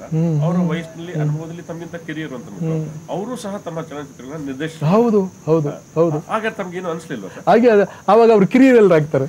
ಹಾಗನ್ಸಿದ್ರೆ ಅವ್ರು ಕಿರಿಯರ್ ಆಗ್ತಾನೆ ಇಲ್ಲ. ಹಿರಿಯರಾದ್ರಿಂದಲೇ ಆ ಜಾಗ ಬಂದಿತ್ತು. ಸೂತ್ರಧಾರ ಅಲ್ವಾ ಅವನು? ನಿರ್ದೇಶಕ ಅನ್ನೋನು ಎಲ್ಲ ಪ್ರತಿಯೊಂದು ಸೂತ್ರ ಅವನ ಕೈನಲ್ಲೇ ತಾನೇ ಇರೋದು. ಇವತ್ತಿಗೂ ನಮಗೆ ಈ- ನಾಟಕದ ಕಂಪ್ನಿಯಲ್ಲಿದ್ದ ಅಭ್ಯಾಸ ಆದ್ದರಿಂದ ಒಬ್ಬ ಯಜಮಾನಾದವನಿಗೆ ನಾವೇನು ಸ್ಥಾನ ಕೊಟ್ಟಿದ್ದೀವೋ, ಇವತ್ತು ನಮಗೆ ಎಷ್ಟೋ ಜನ ಪಿಕ್ಚರ್ಗಳನ್ನ ತೆಗೆದು ಭಾಳ ಕಮ್ಮಿಲಿದ್ದು ಯಾವುದು ಬ- ಕಷ್ಟ ಸ್ಥಿತಿನಲ್ಲಿದ್ದವರೆಲ್ಲ ನಾವು ನಿರ್ಮಾಪಕರಾಗಿದ್ದಾರೆ. ನಿರ್ಮಾಪಕರಾಗಿ ನಮಗೆ ಅನ್ನ ಹಾಕಿದ್ದಾರೆ. ಆದ್ದರಿಂದ ನಮಗೆ ಏನೇ ಮಾಡಿದ್ರು ಕೂಡ ಯಜಮಾನ ಅನ್ನೋದು ಮಾತ್ರ ಒಳಗಡೆಯಿಂದ ಅಳಿಸೋಕ್ಕಾಗ್ತಾ ಇಲ್ಲ. ಅವ ನಮ್ಮ ಧಣಿ ನಮಗೆ ಅನ್ನ ಕೊಟ್ಟ ಧಣಿ ಇದು ಚಿಕ್ಕದ್ರಿಂದ ಬಂದಿರೋದು ನಮಗೆ ಅಭ್ಯಾಸ. ಹಾಗೆ ಒಂಥರ ಸಂಬಂಧ ಹೀಗೆ ಬೆಳ್ಕೊಂಬಂದ್ಬಿಡ್ತು ಅಂದರೆ ಇದನ್ನೆಲ್ಲ ಹೇಳಿಕೊಂಡು ನಾನು ಭಾಳ ಉತ್ತಮವಾದವನು ಉತ್ತಮವಾದನ ಇದನ್ನು ಬೆಳೆಸ್ಕೊಂಡಿದ್ದೀನಿ ಅನ್ನೋದಕ್ಕಿಂತಲೂ ಅಭ್ಯಾಸ ಅಷ್ಟೇ. ಅಭ್ಯಾಸ. ಸಾಧನೆ. ಸಾಯವರೆಗೂ ಸಾಧನೆ ಮಾಡ್ತಾ ಇರ್ಬೋದಲ್ವ? ನಾವು ಎಷ್ಟು ದೂರ ಮುಂದಕ್ಕೆ ಹೋದ್ರೆ ಕರ್ಕೊಂಡು ಹೋಗ್ತಾನೆ ಇರ್ತದೆ. ಇದಿಷ್ಟೇ ಅಲ್ಲ ಕಣ, ಮಂಕೆ. ಇದಕ್ಕೆ ಭಾರಿ ಅಂತ ತಿಳ್ಕೊಬೇಡ. ಇನ್ನೂ ಇದೆ ಬಾ. ಬಾ ಅಂತ ಯಾವುದೋ ಒಂದು ಶಕ್ತಿ ಕೈ ಹಾಕೊಂಡು ಇಲ್ಲಿವರೆಗೂ ಹಾಗೇ ನಡೀತಿರೋದು ಜೀವನ ಪರ್ಯಂತ ನಮಸ್ಕಾರ. ನಮಸ್ಕಾರ ಅಪ್ಪಾಜಿಯವರ ನಿಮ್ಮ ಒಡನಾಟ ಎಷ್ಟು ವರ್ಷಗಳಿಂದ? ಆಯಿತು ಒಂದು ಮೂವತ್ತು ವರ್ಷ ಆಗಿದೆ ರೀ. ಮೂವತ್ತು ವರ್ಷದಿಂದ ನನಗೆ ಅವರ ಒಂದು ಸಂಪ ಅಂದರೆ ಅವ್ರ ಜೊತೇಲಿ ಇದ್ದ ಇರೋಂಥ ಒಂದು ಅವಕಾಶ ಸಿಕ್ಕಿದ್ದಂಗೆ ಹೆಚ್ಚು ಕಮ್ಮಿ ಮೂವತ್ತು ವರ್ಷ ಆಗಿದೆ. ಮೂವತ್ತು ವರ್ಷದಿಂದ ಅವ್ರ ಜೊತೇಲಿ ಇದ್ದೀನಿ ನಾನು. ಈ ಮೂವತ್ತು ವರ್ಷ ಕಲಾ ಜಗತ್ತಿನ ಪಯಣದಲ್ಲಿ ಆದಂಥ ಅನುಭವ, ಅವ್ರ ಜೊತೆಲಿ ಆದಂಥ ಅನುಭವಗಳನ್ನ ನಮ್ಮ ವೀಕ್ಷಕರ ಜೊತೆ ಎಲ್ಲ ಅನುಭವ ಬೇಕಾದಷ್ಟಿದೆ ಬಿಡಿ. ಅದ್ರ ಬಗ್ಗೆ ನಾವು ಅವ್ರ ಜೊತೆ ಸೇರಿದ ಮೇಲೆ ಜೀವನ, ಜೀವನದ ಒಂದು ಶೈಲಿ ಏನಿದೆಯೋ ಅದನ್ನು ರೂಢಿಸ್ಕೊಂಡ್ವಿ ಅಂದರೆ ತಪ್ಪೇನಿಲ್ಲ. ಅವರಲ್ಲಿ ಕಲ್ತ್ಕೊಂಡಿದ್ದು ಬೇಕಾದಷ್ಟಿದೆ ಯಾವ ವಿಷಯದಲ್ಲೇ ಆದರೂ ಅಷ್ಟೇ. ಪ್ರತಿಯೊಂದು ಜೀವನದಲ್ಲಿ ಬೇಕಾದ ವಿಷಯಗಳಿಗೆ ಅವ್ರ ಹತ್ರ ಅವ್ರನ್ನ ನೋಡಿ ಕಲ್ತಿದ್ದು ತುಂಬ ಇದೆ ನಮಗೆ. ಮುಖ್ಯವಾಗಿ ದೊಡ್ಡವರು, ಚಿಕ್ಕವರು, ಅವ್ರಿಗೆ ಯಾವ ಥರ ಅವ್ರಿಗೆ ಮರ್ಯಾದೆ ಕೊಡಬೇಕು, ಅವ್ರಿಗೆ ಅವ್ರನ್ನ ಯಾವ ಥರ ನಾವು ನಡೆಸ್ಕೊಳ್ಬೇಕು ಅನ್ನೋದ್ರ ಬಗ್ಗೆ ಅವ್ರ ಹತ್ರ ತುಂಬ ನಾವು ಅವ್ರು ನೋಡಿ ನಾವು ಕಲ್ತಿದ್ದೀವಿ. ದೇವರ ಪೂಜೆ ಆಗ್ಬೋದು. ಯಾವ ವಿಷಯದಲ್ಲಾದರೂ ಅಷ್ಟೇ ಮನುಷ್ಯನಿಗೆ ಒಂದು ಒಳ್ಳೆಯ ಗುಣಗಳು ಏನೇನು ಬರಬೇಕು ಅಂತಿದೆಯೋ ಅದೆಲ್ಲ ಜಾಸ್ತಿ ನಾವು ಅವ್ರ ಹತ್ರ ಬಂದ ಮೇಲೇ ನಾವು ಪ್ರತಿಯೊಂದನ್ನು ನಾವು ರೂಢಿಸ್ಕೊಂಡು ಅವ್ರು ನೋಡಿ ಅವ್ರು ನಡ್ಕೊಳ್ತಿದ್ದ ರೀತಿ, ಅವರು ಜನಗಳ ಹತ್ರ ಇದ್ದಿದ್ದ ರೀತಿ, ಯಾರ ಹತ್ರನೇ ಆಗಲಿ, ಏನೇ ಆಗಲಿ ಅವರು ಯಾವ ಥರ ಮಾತಾಡ್ತಿದ್ರು, ಅವರು ದೊಡ್ಡವರಾಗಲಿ, ಚಿಕ್ಕವರಾಗಲಿ, ಯಾವತ್ತೂ ಅವರು ಭೇದ ಮಾಡಿದವರೇ ಅಲ್ಲ. ನನ್ನ ನನ್ನ ಒಂದು ಅವ್ರ ಜೊತೆ ಇದ್ದ ಒಂದು ಎಕ್ಸ್ಪೀರಿಯನ್ಸ್ ಹೇಳ್ತಾ ಇದ್ದೀನಿ. ಒಂದು ಒಂದು ದಿವಸನೂ ಒಬ್ಬರನ್ನು ಏಕವಚನದಲ್ಲಿ ಅವ್ರು ಮಾತಾಡಿಸಿದ್ದೇ ನಾನು ಕಿವಿಲಿ ನಾನು ಕೇಳೇ ಇಲ್ಲ ನನ್ನ ಇಷ್ಟು ದಿವಸ ಎಕ್ಸ್ಪೀರಿಯೆನ್ಸ್ನಲ್ಲಿ ಕೇಳೇ ಇಲ್ಲ ನಾನು. ಒಬ್ಬರು ಮನಸ್ಸು ನೋಯಿಸಿ ಮಾತಾಡಿದಂತೂ ಇಲ್ಲವೇ ಇಲ್ಲ. ಯಾರೇ ಬರಲಿ, ಎಂಥವರೇ ಬರಲಿ, ಅವರನ್ನ ನಗುಮುಖದಲ್ಲೇ ಅವ್ರನ್ನ ಸ್ವಾಗತ ಮಾಡ್ತಾಯಿದ್ರು ನಗುಮುಖದಲ್ಲೇ ಅವ್ರ ಹತ್ರ ಮಾತಾಡ್ತಾಯಿದ್ರು ನಿಮಗೇನು ಬೇಕು? ಹೌದಾ? ಅಕಸ್ಮಾತ್ ಯಾರೋ ಒಬ್ರು ಪರಿಚಯ ಇಲ್ಲದೇ ಇದ್ರೂ ಪರವಾಗಿಲ್ಲ. ಈಗ ಬಂದು ಯಾರೋ ಒಂದು ಕೇಳಿದ್ರು ಅಂದ್ಕೊಳ್ಳಿ ಹಾಂ ಅಣ್ಣ, ನಿಮ್ಮ ಮತ್ತೆ ನೋಡಿದ್ನಲ್ಲ ನಿಮಗೆ ಹಾಂ ಕರೆಕ್ಟ್ ರೀ, ನೋಡಿದ್ದೆ. ನೀವು ಚೆನ್ನಾಗಿದ್ದೀರಾ? ಹೇಗಿದ್ದೀರಾ? ಅಂತ ಇದೇ ಥರ ಮಾತಾಡಿಸೋರು. ಎಷ್ಟೋ ಸರಿ ಅವ್ರು ಆಚೆ ಹೋದ್ಮೇಲೆ ನಮ್ಮನ್ನು ಕೇಳೋರು ಇವು ಎಲ್ಲ ಮರ್ತು ಬಿಟ್ಟಿದ್ದೀನಿ ಕಣೆ, ಇವನ್ನೆಲ್ಲ ನೋಡಿದ್ನಾ? ಅಂದರೆ ಅವರಿಗೆ ಒಬ್ಬ ಅವ್ರ ಮನ್ಸಿಗೆ ನೋವು ಮಾಡೋಕೆ ಅವ್ರಿಗೆ ಇಷ್ಟ ಇಲ್ಲ. ಯಾರೇ ಬರಲಿ. ಆ ಥರ ಒಂದು ಅವ್ರನ್ನ ನೋಡಿ ನಾವು ತುಂಬ ಒಂದು ಒಳ್ಳೆತನನ ಕಲ್ತ್ಕೊಂಡಿದ್ವಿ ಅವ್ರ ಹತ್ರ. ನಾವು ಅವ್ರ ಜೊತೆಲಿ ಇದ್ವಿ ಎಲ್ಲ ನಮ್ಮ ಚಿತ್ರಗಳು, ಕೆಲಸಗಳು ಮಾಡ್ತಾ ಇರ್ತಕ್ಕಂಥ ಟೈಮ್ ಸಮಯದಲ್ಲಿ ಅವರ ಒಂದು ಪ್ರೋತ್ಸಾಹ ತುಂಬ ಇತ್ತು ನಮಗೆ.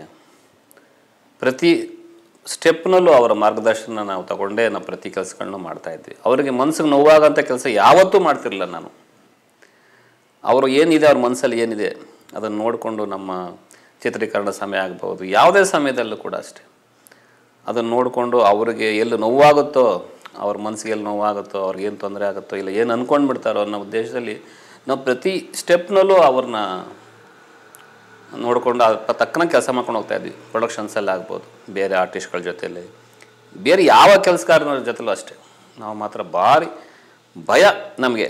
ಎಲ್ಲಿ ಏನು ನೊಂದ್ಕೊಂಡು ಬಿಡ್ತಾರೋ ನಮ್ಮ ಯಜಮಾನರು. ಆ ನೊಂದ್ಕೊಳ್ಳೋ ಕೆಲಸ ಭಗವಂತ ನಮ್ಗೆ ಆ ಥರ ಮನಸ್ಸು ಕೊಡಬೇಡಪ್ಪ ನಮಗೆ. ಅವ್ರಿಗೆ ಮನಸ್ಸು ಖುಷಿ ಪಡಿಸ್ಬೇಕು. ಅವ್ರನ್ನ ಅವರು ನೋಡಿ ನಮ್ಮ ಕೆಲಸ ನೋಡಿ ಖುಷಿ ಆಗಬೇಕು. ಅವ್ರಿಗೆ ಅನ್ನೋದೇ ನಮಗೆ ಮುಖ್ಯ ಒಂದು ಮನಸ್ಸಲ್ಲಿದ್ದಂಥ ಒಂದು ವಿಷಯ ಅದು. ನಾನು ನನ್ನ ಒಂದು ಕಾರ್ಯ, ಚಿತ್ರರಂಗದ ಕ ನನ್ನ ನನಗೆ ಫುಲ್ ನಮ್ಮ ಮನೆಯಲ್ಲಿ ಚಿತ್ರಗಳು ನನಗೆ ವಹಿಸ್ಕೊಟ್ಬಿಟ್ಟಿದ್ರು ನಮ್ಮ ಅಕ್ಕವರು. ಯಾವತ್ತೂ ನೀನು ಏನು ಮಾಡ್ತೀಯ, ಯಾಕೆ ಮಾಡ್ತೀನಿ ಯಾವತ್ತೂ ನನ್ನ ಕೇಳಿದವರಲ್ಲ. ಪ್ರತಿ ಪ್ರತಿ ಸ್ಟೆಪ್ಪು ಎಲ್ಲ ನಂದೇ. ಎಲ್ಲ ನಮಗೆ, ನೀ ಏನು ಬೇಕು ಮಾಡಪ್ಪ. ಅವರು ಕೊಟ್ಟ ಕೆಲಸನ ಕರೆಕ್ಟಾಗಿ ನಿರ್ವಹಿಸಬೇಕು ಅನ್ನೋದೇ ನನಗೆ ಒಂದು ಉದ್ದೇಶ. ಅವರು ನಮ್ಮ ಯಜಮಾನರು ಶೂಟಿಂಗ್ ಬಂದರೆ ಫಸ್ಟು ಏನಪ್ಪ, ಏನು ಟಿಫನ್ ತಂದಿದ್ರಿ? ಎಲ್ಲರೂ ಟಿಫನ್ ಮಾಡಿದ್ರಾ? ಸುಮಾರು ಆದರೂ ಒಂದೊಂದ್ಸರಿ ನಮ್ಮ ಮೇಲೆ ಅವ್ರಿಗೆ ಡೌಟ್ ಆಗ್ತಿತ್ತು ಏನೋ ಪಕ್ಕದ ಕೇಳೋರು, ಒಬ್ಬ ಪ್ರೊಡಕ್ಷನ್ ಬಾಯಿಂದ ಹಿಡಿದು, ಒಬ್ಬ ಲೈಟ್ ಯಾರೇ ಆಗಲಿ, ಟಿಫನ್ ಮಾಡಿದ್ರೇನ್ರಿ?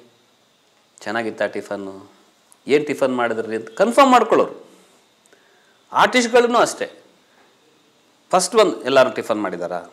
ಕರೆಕ್ಟಾಗಿ ಕೊಟ್ಟಿದ್ದೀರಾ ಅವ್ರು ಕುಡಿಯೋಕ್ಕೆ ಏನು ಕೊಟ್ರಿ? ಈ ಥರ. ವಿಚಾರಿಸ್ಕೊಳ್ಳೋದು ಅಂತಂದರೆ ಸರ್ ಅಯ್ಯೋ ಅಯ್ಯೋ ಅದನ್ನು ನಾವು ನಮ್ಗೊಂದೊಂದ್ಸರಿ ಅದೆಲ್ಲ ನೋಡ್ತಾ ಇದ್ರೆ, ಏನಪ್ಪ ಎಲ್ಲಿ ಯಾರು ಕಮ್ಮಿ ಮಾಡಿಬಿಟ್ಟಿದ್ದೀವೋ ಏನೋ ಪ್ರೊಡಕ್ಷನ್ ಹುಡುಗ ಹುಡುಗನಲ್ಲ ಕರೆದು ನಾವು ಕೇಳೋದು, ಏನಪ್ಪ ಕೊಟ್ಟಿದ್ದೀರಾ? ಅವ್ರು ಕೇಳೋಕ್ಕಿಂತ ಮುಂಚೆ ನಾವು ವಿಚಾರಿಸ್ಕೊಂಡ್ಬಿಡ್ತಾ ಇದ್ವಿ. ಏನಂದರೆ, ಅವ್ರು ಬಂದು ಕೇಳಿ, ಯಾರೋ ಒಬ್ಬರು ಇಲ್ಲ, ಅದನ್ನು ಕೊಟ್ಟಿಲ್ಲ ಅಂದ್ಬಿಟ್ರೆ, ಅದು ಅವ್ರು ಮ, ತುಂಬ ನೊಂದ್ಕೊಂಬಿಡೋದು, ಅಷ್ಟು ಹತ್ರ ಆಗಿದೆ. ಏನೋ ಕಾರಣಾಂತರದಿಂದ ಅವ್ರಿಗೆ ಸರಿಯಾದ ಟೈಮಿಗೆ ಅವ್ರಿಗೆ ನಾವು ಅವ್ರಿಗೆ ನಾವು ಟಿಫನ್ ಆಗ್ಬೋದು, ಊಟ ಆಗ್ಬೋದು, ಇಲ್ಲ ಕಾಫಿ ಆಗ್ಬೋದು, ಟೀ ಆಗ್ಬೋದು ಏನಾಗ್ಬೋದು ಏನಪ್ಪ ಏನು ಮಿಸ್ ಆಗಿ ಇಲ್ಲ ನಾನು ಕುಡ್ದಿಲ್ಲ, ಇಲ್ಲ ನಾನು ತಿಂದಿಲ್ಲ ಅಂದ್ಬಿಟ್ರೆ ತುಂಬ ಹೊಂದ್ಕೊಂಬಿಡೋರು ಇಮ್ಮಿಡಿಯೇಟ್ಲಿ ಕರೆಸೋರು ನಮ್ಮನ್ನು. ಯಾಕೆ ಈ ಥರ ಆಯಿತು? ಹಿಂಗೆ ಆಗಬಾರ್ದು. ಈ ಥರ ಆಗಬಾರ್ದು. ನೀವು ನನಗೆ ನನಗೆ ಕೊಡೋದು ಫಸ್ಟ್ ಅಲ್ಲ, ಮುಖ್ಯ ಅಲ್ಲ. ಇವ್ರನ್ನೆಲ್ಲ ಫಸ್ಟ್ ನೀವು ಗಮನಿಸ್ಕೊಂಡು ಆಮೇಲೆ ನನ್ನ ಹತ್ರಕ್ಕೆ ಬರಬೇಕು ನೀವು. ಅವ್ರ ಪಕ್ಕದಲ್ಲೇ ನಿಂತು, ಪಕ್ಕದಲ್ಲೇ ಹೋಗಿ, ಅವ್ರ ಜೊತೆಲಿ ಯಾವಾಗಲೂ ಮಾತುಕತೆ ಆಡ್ಕೊಳ್ಳೋಷ್ಟು ನಮಗೆ ಒಂದು ಇದು ಸಿಕ್ ಟೈಮು ಸಿಗ್ತಿಲ್ಲ. ಜೊತೆಯಲ್ಲಿ ನಮಗೂ ಅವ್ರ ಬಗ್ಗೆ ಏನೋ ಒಂದು ತುಂಬ ಪ್ರೀತಿ, ಅಷ್ಟೇ ಭಯ. ಏನಂದ್ರೆ ನಾವು ಹೋಗಿ ಅವ್ರನ್ನ ಹತ್ರ ಯಾವಾಗಲೂ ಎದುರಾಗಿ ನಿಂತ್ಕೊಂಡು ಮಾತಾಡ್ಸೋಷ್ಟು ನಮಗೆ ಅವ್ರನ್ನ ಅಂದರೆ ಅವ್ರು ಜಾಲಾಗಿರ್ತಿದ್ರು ಯಾವಾಗಲೂ ಜಾಲೆ ಕರೆಯೋರು, ಮಾತಾಡ್ಸೋರು, ಎಲ್ಲ ಮಾತಾಡೋರು. ಸಾಯಂಕಾಲ ಸಾಯಂಕಾಲ ಹೊಟ್ಟಿನಲ್ಲಿ ಒಂದು ಶೂಟಿಂಗ್ ಒನ್ ಅವರ್ ಬ್ರೇಕ್ ಇರುತ್ತಲ್ಲ ಈವ್ನಿಂಗ್ ಹಾಫ್ ಆನ್ ಅವರು ಜೊತೆಲಿ ಕರ್ಕೊಂಡು ಹೋಗೋರು ಸುಮ್ಮನೆ ವಾಕ್ ಮಾಡ್ಕೊಂಡು ಮಾತು ಏನು. ಹೇಳ್ಕೊ, ಅಂದರೆ ವಿಷಯಗಳೇನಿಲ್ಲ, ಇದೇ ವಿಷಯ. ಏನಪ್ಪ, ಏನು ಹೆಂಗೆ ನಡೀತಾ ಇದೆ, ಕೆಲಸ ಅಂಶ ನಡೀತಾ ಇದೆ ಅಲ್ಪ. ಡೈರೆಕ್ಟ್ ಕೆಲಸ ಕೆಲಸ ಮಾಡ್ತಾ ಇದ್ದಾರಾ? ಆಮೇಲೆ ಯಾವ ಥರ ನನಗೆ ನಾಳೆಗೆ ಏನು ಸರಿಯಾಗಿ ಮಾಡ್ಕೋಬೇಕು, ಚೆನ್ನಾಗಿ ವ್ಯವಹಾರಗಳೆಲ್ಲ ನೋಡ್ಕೊಳ್ಳಿ, ಮಾಡ್ಕೊಳ್ಳಿ. ಅವ್ರಿಗೆ ನೋಡಿ, ಕೊಡೋರ್ಗೆಲ್ಲ ಕರೆಕ್ಟಾಗಿ ಕೊಡಿ. ಒಂದು ಆರ್ಟಿಸ್ಟ್ಗಳಿಗಾಗಲಿ, ಟೆಕ್ನಿಷಿಯನ್ಸ್ ಕರೆಕ್ಟಾಗಿ ಪೇಮೆಂಟ್ ಕೊಡ್ತಾ ಇದೆ ಕೊಡಿಯಪ್ಪ. ಯಾವ್ರಿಗೆ ಇದು ಮಾಡಬೇಡಿ, ಯಾವುದಕ್ಕೂ ನೀವು ಹಿಂದಕ್ಕೆ ಹೋಗಬೇಡಿ. ಕೊಡೋ ವಿಷಯದಲ್ಲಿ ಮಾತ್ರ ಕರೆಕ್ಟಾಗಿ ಮಾತಾಡಿದ್ದೆ ಏನೇ ಮಾತಾಡೋದು ಕರೆಕ್ಟಾಗಿ ಕೊಡಿ ಅವ್ರಿಗೆ ದುಡ್ಡುಗಳು. ಅಂದರೆ ಏನಾದ್ರು ಒಂದು ವ್ಯವಹಾರದ ಬಗ್ಗೆ ಸಾಯಂಕಾಲದ ಕೇಳ್ಕೊಂಡು ಹೋಗೋರು. ನಾವೇನು ಸಾಧಿಸಿದ್ದೀವಿ, ಏನು ಸಾಧನೆ ಮಾಡಿದ್ದೀವಿ, ಮುಂದೆ ಏನು ಸಾಧಿಸಬೇಕು? ಅನ್ನುವಂಥದ್ದು ಇನ್ನೂ ಪ್ರಶ್ನೆಯಾಗಿ ಉಳಿದಿದೆ. ಇದು ಯಾಕೆಂದರೆ ಈ ಒಂದು ಕಲಾರಂಗಕ್ಕೆ ಇದೇ ಮೊದಲು, ಇದೇ ಕೊನೆ ಅನ್ನುವಂಥದ್ದು ಏನಿಲ್ಲ. ನಾವು ಯಾವುದನ್ನು ಪ್ರಾರಂಭ ಮಾಡ್ತೀವೋ ಅದು ಮೊದಲಾಗಿರುತ್ತೆ. ಇದಕ್ಕೆ ಕೊನೆ ಅಂತ ಅನ್ನುವಂಥದ್ದಕ್ಕೆ ದಾರಿನೇ ಇಲ್ಲ. ನಾವಿನ್ನೂ ಸಾಕಷ್ಟು ಬೆಳಿಬೇಕಾಗಿದೆ. ಇನ್ನೂ ಬಹಳ ಚಿಕ್ಕತನದಲ್ಲೇ ಇದ್ದೀವಿ. ಮಕ್ಕಳಾಗಿ ಬದುಕ್ತಾ ಇದ್ದೀವಿ. ಸಾಲದು, ಮುಂದೆ ಹೋಗಬೇಕು. ವಿಶಾಲ ಕರ್ನಾಟಕ. ಆ ಕರ್ನಾಟಕದಲ್ಲಿ ಕಲಾರಂಗ ಬಹಳ ವಿಶಾಲವಾಗಿದೆ. ಏನು ಕಾರಣವೋ ಗೊತ್ತಾಗ್ತಾ ಇಲ್ಲ, ಮುಂದೆ ನುಗ್ಗೋದಕ್ಕೆ ಅವಕಾಶ ಆಗ್ತಾ ಇಲ್ಲ.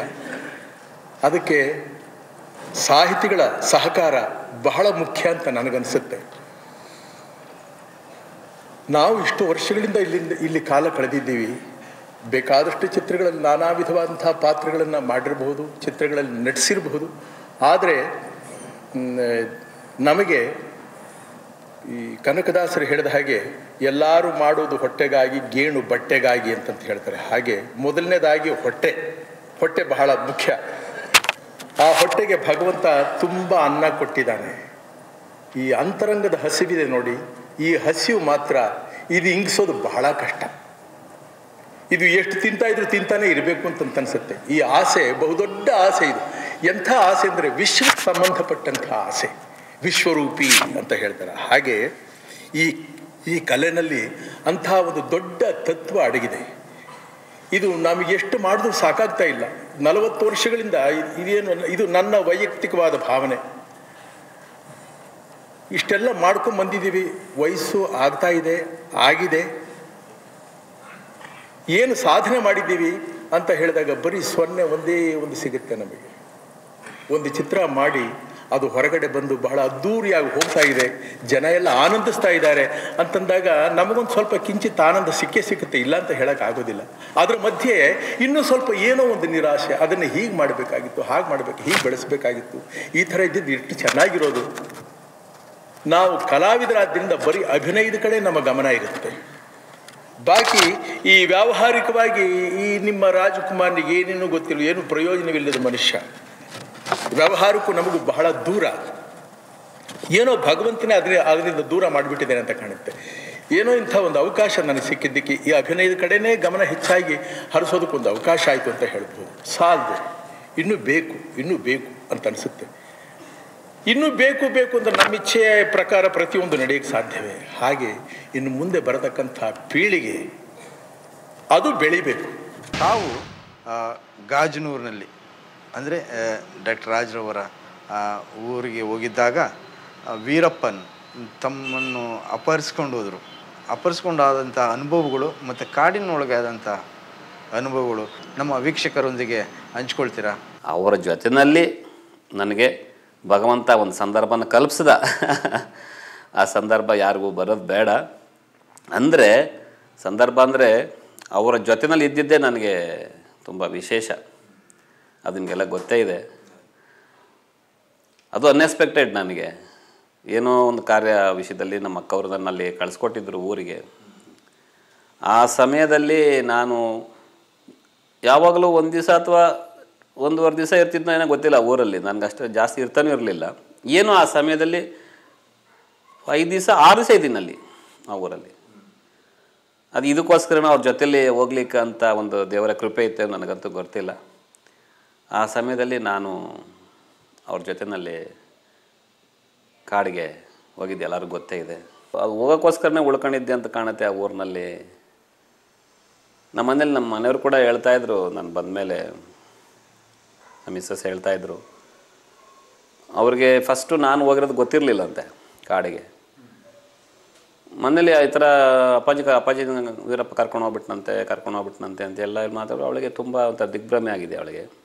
ಸರಿ, ಇದಕ್ಕಿದ್ದಂಗೆ ನಯ್ಯೋ ಹೆಂಗೋ ಅಪ್ಪಾಜಿ ಒಬ್ಬರು ಒಬ್ಬರಲ್ಲಪ್ಪ ಅಂತ ಆಮೇಲೆ ನನ್ನ ಜೊತೆ ಒಬ್ಬ ರವಿ ಅಂತ ಒಬ್ಬ ನಮ್ಮ ಡ್ರೈವರ್ ಬಂದಿದ್ದರು ಅವರು ಅವತ್ತು ಅವ್ರನ್ನ ವಾಪಸ್ ಕಳಿಸ್ಕೊಟ್ಬಿಟ್ಟ ಅವನು ಬ, ಅಮ್ಮಂಗೆ ಅಮ್ಮವ್ರಿಗೆ ಗಾಡಿ ಓಡಿಸ್ಬೇಕಾದ್ರೆ ನೀನು ಹೊಟ್ಟೋಗು ಅಂತೇಳಿ ಅವನು, ಅವ್ನು ಅವನ್ನ ಕೇಳಿದ, ಅವ್ನು ಹೇಳಿದ, ಇಲ್ಲೆಲ್ಲ, ಗೋವಿಂದಣ್ಣವರು ಹೋಗಿದ್ದಾರೆ.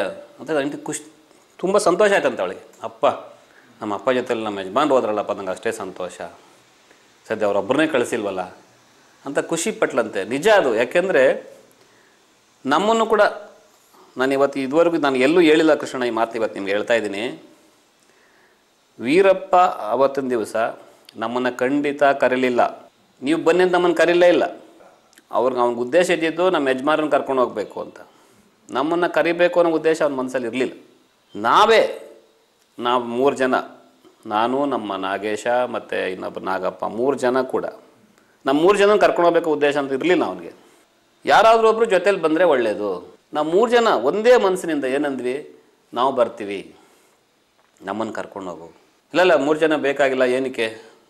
ಇಲ್ಲ ಇಲ್ಲ ನಾವು ಬರಬೇಕು ಜೊತೇಲಿ. ಅಲ್ಲಿ ಆ ಸಮಯ ಹೆಂಗಿತ್ತು ಅಂದರೆ ಅವನಿಗೆ ಭಾರಿ ಅರ್ಜೆಂಟ್ ಅವ್ನಿಗೆ ಏನಾಗ್ಬಿಡುತ್ತೆ ಬೈಕೆ ಸರಿ ಸರಿ ಸರಿ, ನಡೀರಿ, ಹೋಗೋಣ ಹೋಗೋಣ. ಅಂತೇಳಿ ನಾವೇ ವಾಲಂಟಿಯರ್ ಆಗಿ ನಾವು ನಮ್ಮ ಯಜಮಾನ ಜೊತೆಯಲ್ಲಿ ನಾವು ಆಟ ಸಮಯದಲ್ಲಿ ಹೋದ್ವಿ. ನಮ್ಮನ್ನು ಯಾರು ಹಿಂಸೆ ಮಾಡಿರಲಿಲ್ಲ, ವೀರಪ್ಪ. ಬಾ ನೀನು ಬರಬೇಕು, ನಮ್ಮನ್ನು ಕರ್ಕೊಂಡು ಹೋಗ್ಬೇಕು ಅನ್ನೋ ಹಿಂಸೆ ಅವನು. ಆ ಮಾತು ಆಡಲೇ ಇಲ್ಲ ಅಲ್ಲಿ. ಆಮೇಲೆ ಈ ಮಾತು ನನ್ನಲ್ಲಿ ಕೇಳ್ದ ಅವ್ನು ನನಗೆ. ಹೋಗಿ ಒಂದು ತ್ರೀ ಫೋರ್ ಡೇಸ್ ಆದಮೇಲೆ ನನ್ನ ಕೇಳಿದ್ರು. ಏನು ನೀವು ಜ, ನಾವು ಬೇ, ಕರಲೇ ಇಲ್ವಲ್ಲ ನಿಮ್ಮನ್ನು, ನೀವೇ ಬಂದ್ಬಿಡ್, ಬಂದ್ಬಿಟ್ಟಲ್ಲ, ನಮ್ಮ ಮೇಲೆ ಅಷ್ಟೊಂದು ಗ್ಯಾರಂಟಿನ ನಿಮಗೆ ಅಂತ. ಯೋ ನಿನ್ನ ಮೇಲಲ್ಲಪ್ಪ ನಮ್ಮ ಗ್ಯಾರಂಟಿ, ನಮ್ಮ ಯಜಮಾನ್ರ ಗ್ಯಾರಂಟಿ ನಮಗೆ. ನಮ್ಮ ಯಜಮಾನ್ರ ಜೊತೆಲ್ಲ ನಾವು ಬಂದಿದ್ದೀವಿ ನಿನ್ನ ಜೊತೆಲಿ ನಾವು ಬಂದಿಲ್ಲ. ಅವನಿಗೆ ಒಂಥರ ಅವನಿಗೆ ಇದಾಯಿತು. ಅದೇ ಏನಪ್ಪ, ನಿಮ್ಗೆ ಇಷ್ಟೊಂದು ಅವ್ರ ಮೇಲೆ ನಿಮಗೆಲ್ಲ ಪ್ರೀತಿನ, ಹೌದು. ನಾವಿರೋದೇ ಅವರಿಂದ. ಅವ್ರಿಗೋಸ್ಕರ ನಾವಿರೋದು ಇರೋದು ಅವರಿಂದ. ಅದರಿಂದ ನಾವು, ನಾವಾಗ ಬಂದಿದ್ದೇವೆ ಹೊರತು ಅವತ್ತಿನ ಸನ್ನಿವೇಶ. ಯಾಕಂದರೆ ಅಲ್ಲಿಂದ ನಮ್ಮ ಅವರ ಒಂದು ಒಡನಾಟ. ಒಡನಾಟ ಅಂದರೆ ಇಪ್ಪತ್ನಾಲ್ಕು ಗಂಟೆ ಅವ್ರ ಪಕ್ಕದಲ್ಲೇ ಇರ್ತಾ ಇದ್ದೆ. ಅವ್ರ ಜೊತೆಲೇ ಇರ್ತಾ ಇದ್ದೆ. ಅವ್ರಿಗೇನು ಬೇಕು? ಅವ್ರಿಗೆ ಪ್ರತಿಯೊಂದು ಕೆಲಸಕ್ಕೂ ನನ್ನೇ ಇದ್ದರು ಆಮೇಲೆ ನಾನು ಇದ್ದಷ್ಟು ದಿವಸಗಳು ನಾನು ಎಷ್ಟು ದಿವಸ ಇದ್ದು ಅಷ್ಟು ದಿವಸಗಳನ್ನು ಕೂಡ ಅವರ ಪಕ್ಕದಲ್ಲೇ ಮಲ್ಕೋತಾ ಇದ್ದೆ ನಾನು. ಅದೊಂದು ಭಾಗ್ಯ ನನಗೆ ಅವ್ರ ಜೊತೆಯಲ್ಲಿ ಇದ್ದಂಥ ಒಂದು ಅದು ಒಂದು ನಿಜ. ಒಂದು ಅವಕಾಶ ನನಗೆ ಸಿಗ್ತಲ್ಲ ಅಂತೇಳಿ ಒಂದು ವಿಶೇಷವಾದ ಒಂದು ದಿವಸಗಳಲ್ಲಿ ನನಗೆ ಅವ್ರ ಜೊತೆಲಿ ಇರ್ತಕ್ಕಂಥ ಒಂದು ಭಾಗ್ಯ ನನಗೆ ಸಿಕ್ಕಿತ್ತು ಸರ್ ಕಾಡಿನಲ್ಲಿ ತಾವು ಒಂದೇ ಕಡೆ ಇರ್ತಾ ಇದ್ರಾ? ಅಥವಾ ಜಾಗಗಳನ್ನ ಚೇಂಜ್ ಮಾಡ್ತಾ ಇದ್ರಾ? ಅಂದರೆ ಒಂದೊಂದ್ಸರಿ ಒಂದು ಮೂರು ಕಿಲೋಮೀಟ್ರಲ್ಲೂ ಮುಗಿಸ್ತಾ ಇದ್ದ. ಒಂದ್ಸರಿ ಮೂವತ್ತು ಕಿಲೋಮೀಟ್ರಿಗೂ ಮುಗಿಸ್ತಾ ಇದ್ದ. ಒಂದೊಂದ್ಸರಿ ತ್ರೀ ಫೋರ್ ಡೇಸ್ ಒಂದೇ ಕಡೆನೂ ಇರ್ತಾ ಇದ್ವಿ. ಒಂದೇ ಕಡೆ ಇರ್ತಾ ಇದ್ವಿ. ಅಂದರೆ ಅವನು ನಮಗೆ ನಾವು ಈಗ ನಮ್ಮ ತ, ನಾ, ನಾವು ಹೇಳ್ದಂಗೆ ಕೇಳಂಗಿಲ್ಲಲ್ಲ ಅಲ್ಲಿ. ಅವನು ಹೇಳ್ದಂಗೆ ತಾನೇ ನಾವು ಕೇಳಬೇಕು. ಹೊರಡಬೇಕು ಅಂದರೆ ಹೊರಡಬೇಕು.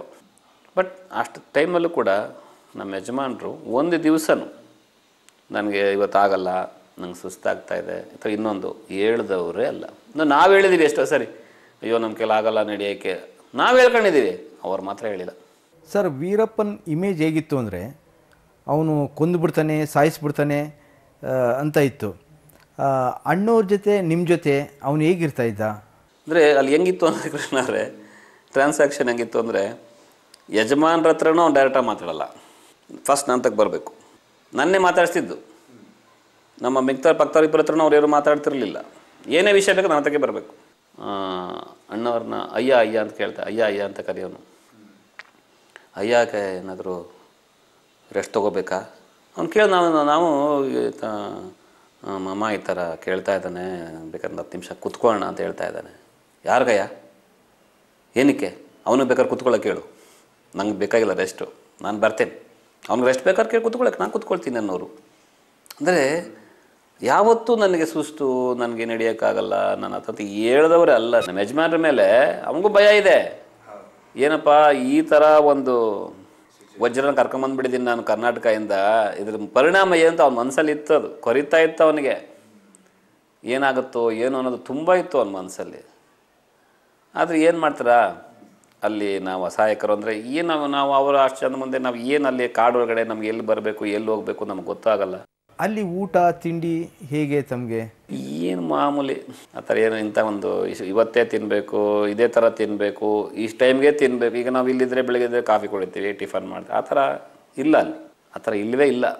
ಯಾವಾಗ ಏನು ಸಿಕ್ಕುತ್ತೆ ಅದನ್ನೇ ನಾವು ತಗೊಳ್ಬೇಕು, ಅದನ್ನೇ ನಾವು ತಿನ್ನಬೇಕು ಅದು ಕೊಡು ಇದು ಕೊಡೋದು ಕೇಳೋಕ್ಕೂ ಆಗಲ್ಲಲ್ಲ? ಬಟ್ ಅದಕ್ಕಿಂತ ಹೆಚ್ಚಾಗಿ ನಮ್ಮ ಯಜಮಾನರಂತೂ ಬಟ್ ಅವರ ಒಂದು ನಿತ್ಯ ರೂಢಿ ಏನಿತ್ತೋ ಅದನ್ನು ಮತ್ತೆ ಚಾತ್ ತಪ್ಪದೆ ಮಾಡೋರು. ಬೆಳಗ್ಗೆ ಎದ್ರೆ ಯೋಗಾಸನ ಮಾಡ್ತಾಯಿದ್ರು ಯೋಗಾಸನ ಎಲ್ಲ ಮಾಡಿದ ಮೇಲೇ ಅವ್ನು ಏನು ಕುಡಿಯೋಕೆ ಕೊಟ್ಟು ಅದೊಂಚೂರು ಕುಡಿತಿದ್ರು. ಇಲ್ಲಾಂದರೆ ಬೇಕಾಗಿಲ್ಲ. ಏನು ಕೊಟ್ಟರು ಅದನ್ನು ಕಣ್ಣು ಒತ್ಕೊಂಡು ತಿಂತಾಯಿದ್ರು ನಮಗೂ ಹೇಳೋರು, ತಿನ್ರಪ್ಪ, ಏನು ಸಿಕ್ಕತ್ತೆ? ಯಾಕೆಂದರೆ ನಮಗೆ ಹೊಟ್ಟೆಗೆ ನಾವು ತಿನ್ನಲೇಬೇಕಲ್ವಾ ಎಲ್ಲದಕ್ಕಿಂತ ಹೆಚ್ಚಾಗಿ ನಡಿಬೇಕಲ್ವಾ? ನಡಿಬೇಕಂತ ಶಕ್ತಿ ಬೇಕಲ್ವಾ? ಶಕ್ತಿ ಬೇಕಾದ್ರೆ ಏನು ಮಾಡಬೇಕು? ಏನಾದ್ರು ತಿನ್ನಬೇಕು ಇಲ್ಲಾಂದ್ರೆ ಏನು ಮಾಡೋಕ್ಕಾಗತ್ತೆ? ಅವ್ರು ನಮ್ಗೆ ಹೇಳೋರು. ಅದೇ ಥರ ನಾವು ಅವರು, ಯಾಕೆಂದರೆ ನಾವು ತಿಂದೆ ಫೀಲ್ ಮಾಡಿದ್ರೆ, ಇಲ್ಲ ನಮಗೆ ಅಯ್ಯೋ ಕಷ್ಟ ಅಂದ್ರೆ, ಅವ್ರ ಮನ್ಸಿಗೆ ನೋವಾಗುತ್ತಲ್ವಾ? ಅಂತ ಆಯಿತು ಅಂತೇಳಿ ನಾವು ಕಣ್ಣು ಹೊತ್ಕೊಂಡು ನಾವು ತಿಂತಾಯಿದ್ವಿ ಭಾರಿ ವಿಶೇಷವಾದ ಒಂದು ದಿವಸಗಳವು. ಅವ್ರ ಜೊತೆಲೇ ಇದ್ದುಕೊಂಡು ಬೆಳಗ್ಗೆ, ಸಾಯಂಕಾಲ, ಮಧ್ಯಾಹ್ನ, ರಾತ್ರಿ, ಇದ್ದು ಪಕ್ಕದಲ್ಲೇ ಇದ್ದಂಥ ಒಂದು ದಿವಸಗಳು ನೆನೆಸ್ಕೊಳ್ತಾ ಇದ್ದಾರೆ ಇವತ್ತು ನನಗೆ. ಇವತ್ತಂತೂ ತುಂಬಾ ಮನಸ್ಸಿಗೆ ನೋವಾಗ್ತಾಯಿದೆ ಏನು ಮಾಡೋಕ್ಕಾಗಲ್ಲ. ಇವತ್ತು ಅವ್ರನ್ನೆಲ್ಲ ನಾವು ಕಳ್ಕೊಂಡು ಕೂತಿದ್ದೀವಿ. ಏನೋ ದೇವರು ಇಷ್ಟು ಬೇಗ ಅವ್ರನ್ನ ನಮ್ಮನ್ನೆಲ್ಲ ಬಿಟ್ಟು ಕರ್ಕೊಂತ ಅಂದ್ಕೊಂಡಿರಲಿಲ್ಲ ಅದೇನು ನಮ್ಮ ದುರಾದೃಷ್ಟನೋ ಏನೋ ನಮ್ಗೆ ಅವ್ರನ್ನ ಉಳಿಸ್ಕೊಳ್ಳೋ ಒಂದು ಅವಕಾಶ ಭಾಗವಂತ ನಮಗೆ ಕಲ್ಪಿಸ್ಕೊಟ್ಟಿಲ್ಲ. ಆದರೂ ಇದ್ದಾರೆ ಅಂತಲೇ ನಾವು ಅಂದ್ಕೊಂಡಿದ್ದೆ ಹೊರತು ಇಲ್ಲ ಅಂತ ಯಾವ ಕಾರಣಕ್ಕೆ ಅಂದ್ಕೊಳಕ್ಕೆ ಆಗ್ತಾ ಇಲ್ಲ. ನಮಸ್ಕಾರ. ಇದು ನಿಮ್ಮ ರಾಜ್ಕುಮಾರಿಗೆ ದಾದಾ ಪಾಲ್ಕೆ ಪ್ರಶಸ್ತಿ ಕೊಡಬೇಕು ಅಂತ ಹೇಳಿ ಕೇಂದ್ರ ಸರ್ಕಾರದಿಂದ ಒಂದು ಆದೇಶ ಬಂದಿರೋದು ತಮಗೆಲ್ಲ ಗೊತ್ತಿದೆ. ನನ್ನ ಅಭಿಮಾನಿ ಬಂಧುಗಳೇ, ನೀವೆಲ್ಲ ಭಾಳ ಆಸೆಯಿಂದ, ಆಸಕ್ತಿಯಿಂದ ಈ ಪ್ರಶಸ್ತಿಗೋಸ್ಕರ ನನಗಿಂತ ಹೆಚ್ಚಾಗಿ ನೀವುಗಳು ಕಾಯ್ತಾ ಇದ್ದಿರಿ. ನಿಮ್ಮ ಆಸೆ ನೆರವೇರಿದೆ. ನಿಮ್ಮ ಆಸೆ ನೆರವೇರಿ, ನೀವೆಲ್ಲ ಆನಂದ ಪಡ್ತಾ ಇದ್ದೀರಿ. ನಿಮ್ಮ ಆನಂದದಲ್ಲಿ ನಾನು ಭಾಗಿಯಾಗಿದ್ದೀನಿ. ನಮ್ಮವರುಗಳು ಇವತ್ತಿನ ದಿವಸ ಬೆಳಗ್ಗೆಯಿಂದ ಇದುವರೆಗೂ ಬಂದು ಬಂದು ಶುಭಾಶಯಗಳನ್ನ ಹೇಳ್ತಾ ಇದ್ದಾರೆ. ಒಂದು ರೀತಿ ಇದು ಹಬ್ಬದ ವಾತಾವರಣ ಅಂತ ನನಗನ್ಸುತ್ತೆ. ಈ ಮಕ್ಕಳಿಗೆ ಹುಟ್ಟದಬ್ಬ ಅಂತ ಮಾಡಿ ತಂದೆ ತಾಯಿಗಳು ಮನೇಲಿ ಬಂಧು ಬಳಗ ಎಲ್ಲ ಸೇರಿಕೊಂಡು, ಆ ಒಂದು ಹಬ್ಬದಲ್ಲಿ ಭಾಗಿಗಳಾಗಿರ್ತಾರೆ. ಹಾಗೆ ನಿಮ್ಮ ರಾಜ್ಕುಮಾರ್ಗೆ ಈ ಪ್ರಶಸ್ತಿ ಬಂದ ಈ ಸಂದರ್ಭದಲ್ಲಿ ನೀವುಗಳೆಲ್ಲ ಅದರಲ್ಲಿ ಭಾಗಿಗಳಾಗಿದ್ದೀರಿ. ನಿಮ್ಮ ಆನಂದವೇ ನನ್ನ ಆನಂದ. ನಿಮ್ಮ ರಾಜ್ಕುಮಾರ್ ಎಷ್ಟು ಎಷ್ಟು ಮುಂದಕ್ಕೆ ಹೋದ್ರೂ ಇನ್ನೂ ಹೋಗಲಿ ಹೋಗಲಿ ಹೋಗಲಿ ಅಂತ ನೀವೆಲ್ಲ ಹಾರೈಸ್ತಾ ಇದ್ದೀರಿ. ಅದಕ್ಕೆ ನಾನು ಏನು ಹೇಳೋದಕ್ಕೆ ಸಾಧ್ಯ? ನನ್ನ ಒಂದು ಒಂದು ಕೃತಜ್ಞತೆ, ಅಂದರೆ ಅದು ಬಹಳ ಕಮ್ಮಿ ಆಗುತ್ತೆ. ಅದೆಲ್ಲದಕ್ಕಿಂತ ನಿಮ್ಮ ರಾಜಕುಮಾರ ಅಂತ ಹೇಳಿಬಿಟ್ರೆ ತೊಂದರೆ ಇರೋದಿಲ್ಲ ತಾಪತ್ರಯವಿರೋದಿಲ್ಲ ಕೆಲಸದ ವಿಷಯದಲ್ಲಿ ಸೆಟ್ಟಲ್ಲಿ, ಅದು ಶೂಟಿಂಗ್ನಲ್ಲಿ ಮುಖ್ಯವಾಗಿ ಏನಾಗ್ತಿತ್ತು ಅಂದರೆ ನಮ್ಮಿಬ್ಬರಲ್ಲಿ ಒಂದು ಪೋಟಿ. ಯಾವ ಥರ ಅಂದರೆ ಒಂಬತ್ತು ಗಂಟೆಗೆ ಶೂಟಿಂಗ್ ಅಂದರೆ ನನ್ನ ಸರೋಜದೇವರಿಗಿಂತಲೂ ಅವರು ಮುಂದೆ ಬರಬೇಕು ಅಂತ ಅವರು ಎಲ್ಲರ ಹತ್ರ ಹೇಳೋರಂತೆ, ಸರೋಜದೇವ್ರು ಬಂದುಬಿಟ್ರಾ ಸೆಟ್ಗೆ ನಾನು ಅವ್ರಿಗಿಂತಲೂ ಮೊದಲು ಹೋಗಬೇಕು ಅನ್ನೋರು. ನಾನು ಪ್ರೊಡಕ್ಷನ್ ಮ್ಯಾನೇಜರ್ ಕೇಳ್ತೀನಿ, ರಾಜ್ಕುಮಾರ್ ಅವ್ರು ಬಂದುಬಿಟ್ರಾ, ನಾನು ಅವ್ರಿಗಿಂತಲೂ ಮೊದಲು ಸೆಟ್ಗೆ ಹೋಗಬೇಕು ಅಂತ. ಈ ರೀತಿ ನಮ್ಮ, ನಮ್ಮಿಬ್ಬರಲ್ಲಿ ಒಂದು ಪೋಟಿ ಇತ್ತು. ಸೆಟ್ಟಲ್ಲಿ ಹೋಗ್ಬಿಟ್ಟು ಬಾಗಿಲಿಂದ ಬಚ್ಚಿಟ್ಕೊಂಡಿರೋರು. ನಾನು ಇನ್ನೂ ರಾಜ್ಕುಮಾರ್ ಅವ್ರು ಬರಲಿಲ್ಲ ಅಂತ ಒಳಗಡೆ ಕಾಲಿಟ್ಟ ತಕ್ಷಣ ಸರ್ವೇದೇವರೇ ನಮಸ್ಕಾರ ಅಂತ ಕೂಗ್ಬಿಡೋರು. ಏನಪ್ಪ ಇವತ್ತು ನೀವು ಮುಂದೆ ಹೇಳ್ಬಿಟ್ರಲ್ಲ ಸರಿ, ನಾಳೆ ಖಂಡಿತ ನಾನು ಮೊದಲು ಹೇಳ್ತೀನಿ ನಿಮಗೆ ನಮಸ್ಕಾರ ಅಂತ. ಅಂದರೆ ಈ ವಿಷಯದಲ್ಲಿ ಎಷ್ಟು ನೋಡಿ ಒಂದು ಒಂದು ಹೆಲ್ತಿ ಪೋಟಿ ಅಂತಾರಲ್ಲ, ಆ ಥರ ಒಂದು ನಮ್ಮಿಬ್ಬರಲ್ಲಿ ಅದೇ ರೀತಿ ಒಂದು ಆ್ಯಕ್ಟ್ ಮಾಡಬೇಕಾದ್ರೂ ಅಷ್ಟೇ. ಒಂದು ಡ್ರೆಸ್ಸು ಅಷ್ಟೇ, ನೀವು ಯಾವ ಡ್ರೆಸ್ ಹಾಕೊಂಬರ್ತೀರಿ ಅಂತ ನಾನು ಕೇಳ್ಕೊಳ್ತಿದ್ದೆ. ಅವರು ನೀವು ಯಾವ ಡ್ರೆಸ್ ಅಂತ ಕೇಳ್ಕೊಳ್ಳೋರು. ಇಲ್ಲಿವರೆಗೆ ಅವ್ಯಾಹತವಾಗಿ ನಾನೇ ಅಂದುಕೊಂಡಿರಲಿಲ್ಲ. ಈ ಥರ ಚಿತ್ರಗಳಲ್ಲೇ ಮಾಡಬೇಕು, ಈ ಥರ ಪಾತ್ರಗಳನ್ನೇ ಮಾಡಬೇಕು, ಹೀಗೆ ಮಾಡಬೇಕು ಅನ್ನತಕ್ಕಂಥ ಒಂದು ಗೊತ್ತು, ಗುರಿ ಇಲ್ಲದೆ ಬಂದಂಥವನು ನಾನು ಈ ಚಿತ್ರರಂಗಕ್ಕೆ. ಇದು ನಮ್ಮ ತೀರ್ಥರೂಪರು, ನಮ್ಮ ತಂದೆಯವರು ಬದುಕಿದ್ದಂತಹ ಕಾಲದಲ್ಲಿ ಅವರ ಒಂದು ಕನಸು. ಹೀಗಾಗತ್ತೆ ಹೀಗಾಗತ್ತೆ ಅಂತ ಹೇಳ್ತಾ ಇದ್ರು. ನಾನು ಈ, ಈ- ರಂಗಕ್ಕೆ ಬಂದಾಗ ಅವರು ಇರಲಿಲ್ಲ. ಬೇಡ್ರ ಕಣ್ಣಪ್ಪನಿಂದ ಇಲ್ಲಿವರೆಗೂ ಸುಮಾರು ಚಿತ್ರಗಳಲ್ಲಿ ಅಭಿನಯಿಸಿ ಎಲ್ಲ ನನ್ನ ಕನ್ನಡ ಬಂಧುಗಳು ರಾಜ್ಕುಮಾರು ಕನ್ನಡಕ್ಕೋಸ್ಕರವೇ ಮೀಸಲಾಗಿರುವಂಥ ವ್ಯಕ್ತಿ ಅನ್ನೋದನ್ನು ನಮ್ಮ ಪ್ರೇಕ್ಷಕ ವೃಂದನೇ ನಿರ್ಧಾರ ಮಾಡಿಬಿಡ್ತು. ಅಂತ ಹೇಳಿದಾಗ ಅಂದಮೇಲೆ ಅವರ ಆಸೆಗೆ ನಾವ್ಯಾಕೆ ಇಲ್ಲ ಅಂತ ಹೇಳೋಕ್ಕಾಗುತ್ತೆ? ಅದು ಹಾಗೇ ನಡ್ಕೊಂಡು ಹೋಗಲಿ ಅಂತ ಹೇಳಿ ಬಹು ಪ್ರಯತ್ನದಿಂದ ಇದನ್ನು ಹೀಗೆ ಸಾಧನೆ ಮಾಡ್ಕೊಂಬಂದೆ ಅಂತ ಹೇಳೋಕ್ಕಿಂತಲೂ ಅವರ ಅಭಿಮಾನದಿಂದ ಇದನ್ನು ಸಾಧನೆ ಈ ಸಾಧನೆ ಮಾಡೋಕ್ಕೆ ಅವಕಾಶ ಆಯಿತು ಅಂತ ನನ್ನ ಅಭಿಪ್ರಾಯ. ನಿಮಗೆ ಸಿಕ್ಕಿದಂತ ಫ್ಯಾನ್ ಫಾಲೋಯಿಂಗ್. ಯಾರಿಗೂ ಇಲ್ಲ. ಅದನ್ನ ಸೀಕ್ರೆಟ್ ಏನು? ಗುಟ್ಟು ಏನು? ಅದು ಅವರುಗಳಿಗೆ ಗೊತ್ತು. ಯಾರಿಗೆ ಅಂದರೆ? ಯಾರಿಗೆ ಇಲ್ಲ ಇಲ್ಲ ನಾನು ಇದು ಇದುವರೆಗೂ ನನಗೆ ಸಿಕ್ಕಿಲ್ಲ. ನನ್ನನ್ನು ನಾನೇ ವಿಚಿತ್ರವಾಗಿ ನೋಡ್ಕೋತಾ ಇರ್ತೀನಿ. ಹೌದು. ಇದು ಹೇಗೆ ಈ ಮನುಷ್ಯ ಈ ಥರ ಬಂದ? ನಾನು ಒಬ್ಬ ಮನುಷ್ಯನಾದ್ರೂ ನನ್ನಲ್ಲಿರ್ತಕ್ಕಂಥ ಇನ್ನೊಬ್ಬ ಮನುಷ್ಯ ಕೇಳ್ತೇನೆ. ಹೇಗೆ ಬಂದ ಇವನು ಯಾಕೆ ನಡೀತಿದೆಯಲ್ಲ ಪ್ರತಿಯೊಂದು ಈ ವಿಚಿತ್ರಗಳು? ಯಾಕೆಂದರೆ ಓದ್ದವನಲ್ಲ ಮೊದಲನೇದಾಗಿ ನನಗೆ. ನನಗೆ ವಿದ್ಯೆ ಇಲ್ಲ. ವಿದ್ಯೆ ಇಲ್ಲದೆ ಇರೋ ಮನುಷ್ಯನಿಗೆ ಮೈಸೂರು ವಿಶ್ವವಿದ್ಯಾನಿಲಯ ಕರೆದು ಡಾಕ್ಟ್ರೇಟ್ ಕೊಡ್ತು. ಅಲ್ಲಿ ಹೇಳಿದೆ, ನಾನು ನಾನು ಓದ್ದವನ್ನೆಲ್ಲ ಸ್ವಾಮಿ, ಚಿಕ್ಕಂದಿನಲ್ಲಿ ನಮ್ಮ ಅಪ್ಪಾಜಿಯವರು ನಾವೆಲ್ಲ ಇದ್ದಾಗ ಊರಿನಲ್ಲಿ ಎಮ್ಮೆ ಕಾಯ್ತಾ ಇದ್ದೆ. ಎಂ ಎ ಪದವೀಧರನಾಗಿರಬೇಕು. ಏನಾದರೂ ಒಂದು ಗಳಿಸಿರ್ಬೇಕಲ್ವಾ? ಅದೇ ಆ ಯೋಗ್ಯತೆ? ಅದೇ ಅದಕ್ಕೆ ಹೊಗಳಿ ಹೊಗಳಿ ಹೊನ್ನ ಶೂಲಕ್ಕೆ ಏರಿಸಿದ್ರು ಅಂತ ಹೇಳಿ ಬಸವಣ್ಣವ್ರು ಹೇಳ್ತಾರೆ. ಹಾಗೆ ನಮ್ಮವ್ರುಗಳೆಲ್ಲ ಹೊಗಳಿ ಹೊಗಳಿ ಕರ್ಕೊಂಡೋಗಿ ಎಲ್ಲೋ ಕೂರಿಸ್ಬಿಟ್ರು. ಅದಕ್ಕೆ ರಾಜ್ಕುಮಾರ ರಾಜ್ಕುಮಾರ್ ಸ್ವಂತ ಪ್ರಯತ್ನದಿಂದ ಇದನ್ನೆಲ್ಲ ಗಳಿಸಿದ್ದಾನೆ ಅಂತ ಅನ್ನೋದಕ್ಕಿಂತಲೂ ಅವರ ಅಭಿಮಾನದಿಂದ ಗಳಿಸೋದಕ್ಕೆ ಅವಕಾಶ ಆಯಿತು ಅನ್ನೋಂಥ ನಂಬಿಕೆನೇ ಇವತ್ತುವರೆಗೂ ನನಗೆ ಉಳಿದಿರೋದು. ಅದಕ್ಕೋಸ್ಕರವೇ ಯಾವಾಗಲೂ ನಾನು ಅವ್ರನ್ನ ತೋರಿಸ್ತೀನಿ ಹೊರತು ಇವ್ರನ್ನ ತೋರಿಸೋದಕ್ಕೆ ಅವಕಾಶ ಆಗಿಲ್ಲ. ನಾವು ಕಸ್ತೂರ್ ನಿವಾಸ ಪಿಕ್ಚರ್ನಲ್ಲಿ ಪಾಠ ಮಾಡ್ತಾ ಇದ್ದು, ಅದರಲ್ಲಿ ರಾಜ್ಕುಮಾರ್ ಅವ್ರ ಕ್ಯಾರೆಕ್ಟರ್ ಯಾವಾಗಲೂ ಎಲ್ರಿಗೂ ಕೊಟ್ಟು ಕೊಟ್ಟು ಅಭ್ಯಾಸವನ್ನು ವಿನಃ ತಗೊಂಡ ಅಭ್ಯಾಸ ಇಲ್ಲ. ಹಾಗಾಗಿ ಕೊಟ್ಟು ಕೊಟ್ಟು ಅವರು ಏನು ಇಲ್ದಂಗೆ ಆಗ್ಬಿಟ್ಟು ಒಂದು ಗುಡಿಸ್ಲಲ್ಲಿ ಇರ್ತಾರೆ ಅದೇ ಅವಾಗ ನನ್ನ ಮಗಳು ಜ್ವರ ಬಂದು ಬಿದ್ಕೊಂಡು ಅಮ್ಮ ಪಾರಿವಾಳ ಬೇಕು ಪಾರಿವಾಳ ಬೇಕು ಅಂತ ಕೇಳ್ತಾಳೆ. ಇವಳು ಹ್ಯಾಕ್ ಕೇಳೋದಪ್ಪ, ಇನ್ನು ಮಗಳಿಗೋಸ್ಕರ ಕೇಳಲೇಬೇಕಲ್ಲ? ಒಂದು ಸಂಕೋಚದಿಂದ ಆ ಮನೆಗೆ ಹೋಗ್ತಾಳೆ. ಅವರು ತುಂಬ ನನ್ನ ನೋಡಿ ಖುಷಿ ಆಗುತ್ತೆ. ಬಾ, ಕೂತ್ಕೋ, ಬಾ ಅಂತಂತ ವಿಚಾರಿಸ್ತಾರೆ. ಆ ಸನ್ನಿವೇಶ ಇದೆ ನೋಡಿ. ನಿಜವಾಗ್ಲೂ ಇವತ್ತಿಗೂ ನನ್ನ ಕಣ್ಣು ಕಟ್ಟದಾಗಿದೆ ಯಾಕೆಂತಂದ್ರೆ ಆ, ಅದನ್ನ ನನ್ನ ಕೈಲಿ ಮರೆಯೋಕೆ ಆಗೋದಿಲ್ಲ. ನಾನು ಆ ರಾಜ್ ನಾನು ಡಿಸ್ಕಸ್ ಮಾಡುವಾಗ ರಾಜ್ ಈ ಡೈಲಾಗ್ ನಾನು ಹೀಗೆ ಹೇಳಿದ್ರೆ ಚೆನ್ನಾಗಿರುತ್ತಾ ಹಾಗೆ ಹೇಳಿದ್ರೆ ಚೆನ್ನಾಗಿರುತ್ತಾ ಅಂತ ಹೇಳುವಾಗ ಅವರು ಹೌದು ಜಯಂತಿ ಅವರೇ ನೋಡಿ ನಾನು ಈ ಎಕ್ಸ್ಪ್ರೆಷನ್ ಕೊಡ್ತೀನಿ ಇದು ಕೌಂಟರ್ ನೀವು ಕೊಟ್ಕೊಳ್ಳಿ ತುಂಬಾ ಚೆನ್ನಾಗಿ ಬರುತ್ತೆ ಅಂತ ನಮ್ಮನ್ನ ಎನ್ಕರೇಜ್ ಮಾಡ್ತಾ ಇದ್ರು. ಒಂದು ಅಂಡರ್ಸ್ಟ್ಯಾಂಡಿಂಗ್ ಇತ್ತು. ಯಾಕೆಂದ್ರೆ ನಾನೇನ್ ಮಾಡ್ತೀನಿ ಅವ್ರೇನ್ ಮಾಡ್ತಾರೆ ಅನ್ನೋದು ಗೊತ್ತಿತ್ತು. ಗೊತ್ತಿದ್ದು ಆವಾಗ ಅಷ್ಟು ಒಂದು ಇದರಿಂದ ಮಾಡೋವಾಗ ಸೀನ್ ಚೆನ್ನಾಗಿರುತ್ತೆ. ಪಿಕ್ಚರ್ ಚೆನ್ನಾಗಿರುತ್ತೆ ಪಿಕ್ಚರು ಚೆನ್ನಾಗಿ ಹೋಗುತ್ತೆ. ಕರ್ನಾಟಕ ಬೆಂಗಳೂರು ಮಹಾನಗರ ಅಂತ ಹೇಳಿದ್ರೆ ಎಲ್ಲ ಭಾಷೆಗಳಿಗೂ ತವರು ಮನೆಯಾಗಿದೆ ಇದು. ಎಲ್ಲ ಭಾಷೆಗಳಿಗೂ ತವರು ಮನೆಯಾಗಿರೋದ್ರ ಜೊತೆಯಲ್ಲಿ ನಮ್ಮ ಸ್ವಂತಿಕೆ, ನಮ್ಮ ಸ್ವಂತ ಭಾಷೆ ಅನ್ನೋದನ್ನ ನಾವೇನಾದ್ರು ಕೈ ಬಿಟ್ಬಿಡ್ತಾ ಇದ್ದೀವೋ ಅಂತ ಅನ್ನೋ ಭಯನೂ ಕೂಡ ಒಂದೊಂದ್ಸಲ ಆಗುತ್ತೆ ಅಂದರೆ ಆ ಭಾಷೆಗಳಿಂದ ನಮಗೆ ತೊಂದರೆ ಅಂತ ಅನ್ನುವಂಥದ್ದಲ್ಲ ಹಿಂದಿಲಿಂದ ಹಾಗೆ ಬೆಳೆದು ಬಂದಿರೋದು ಇದು. ಅದಕ್ಕೇನು ಬೇರೆ ಮಾರ್ಗ ಇಲ್ಲ. ಮಾರ್ಗ ಇಲ್ಲ ಅಂತ ಸುಮ್ಮನೆ ಕೂತ್ಕೊಳ್ಳೋದಕ್ಕೂ ಆಗಲ್ಲ. ಪ್ರಯತ್ನ ಅಂತೂ ನಾವು ಪಡಲೇಬೇಕಾಗಿ ಬರುತ್ತೆ. ಸ್ವಲ್ಪ ಸುಧಾರಿಸ್ಕೋಬೇಕು ನಾವು. ಇವತ್ತಿನ ದಿವಸ ಚಿತ್ರರಂಗ ಬಹಳ ವಿಶಾಲವಾಗಿ ಬೆಳೆದಿದೆ. ನಮ್ಮ ಕನ್ನಡ ಚಿತ್ರರಂಗ ಕೂಡ ಬಹಳ ವಿಶಾಲವಾಗಿ ಬೆಳೆದಿದೆ. ಎಲ್ಲ ಭಾಷೆಗಳ ಚಿತ್ರಗಳು ಬರುತ್ತೆ. ಸಾಧ ಅದರ ಜೊತೆಯಲ್ಲಿ ಈ ಈ ವಿಡಿಯೋ, ಈ ಟೆಲಿವಿಷನ್ನು ಟೆಲಿವಿಷನ್, ಇವುಗಳೆಲ್ಲ ಸಾಕಷ್ಟು ಪ್ರಭಾವ ಬೀರಿದೆ. ಇದರಿಂದ ಬಹಳಷ್ಟು ತೊಂದರೆ ಆಗಿದೆ ಚಿತ್ರರಂಗಕ್ಕೆ ಅಂತ ಹೇಳಿ, ಹೇಳ್ತಾರೆ. ಹಾಗೆ ಹಾಗದಕ್ಕೆ ಆಗೋದಕ್ಕೆ ಸಾಧ್ಯ ಇಲ್ಲ. ಇವತ್ತು ಎಷ್ಟೋ ಚಿತ್ರ, ಅನೇಕ ಚಿತ್ರಗಳು ಬಹಳ ಚೆನ್ನಾಗಿ ಓಡೇ ಓಡ್ತವೆ.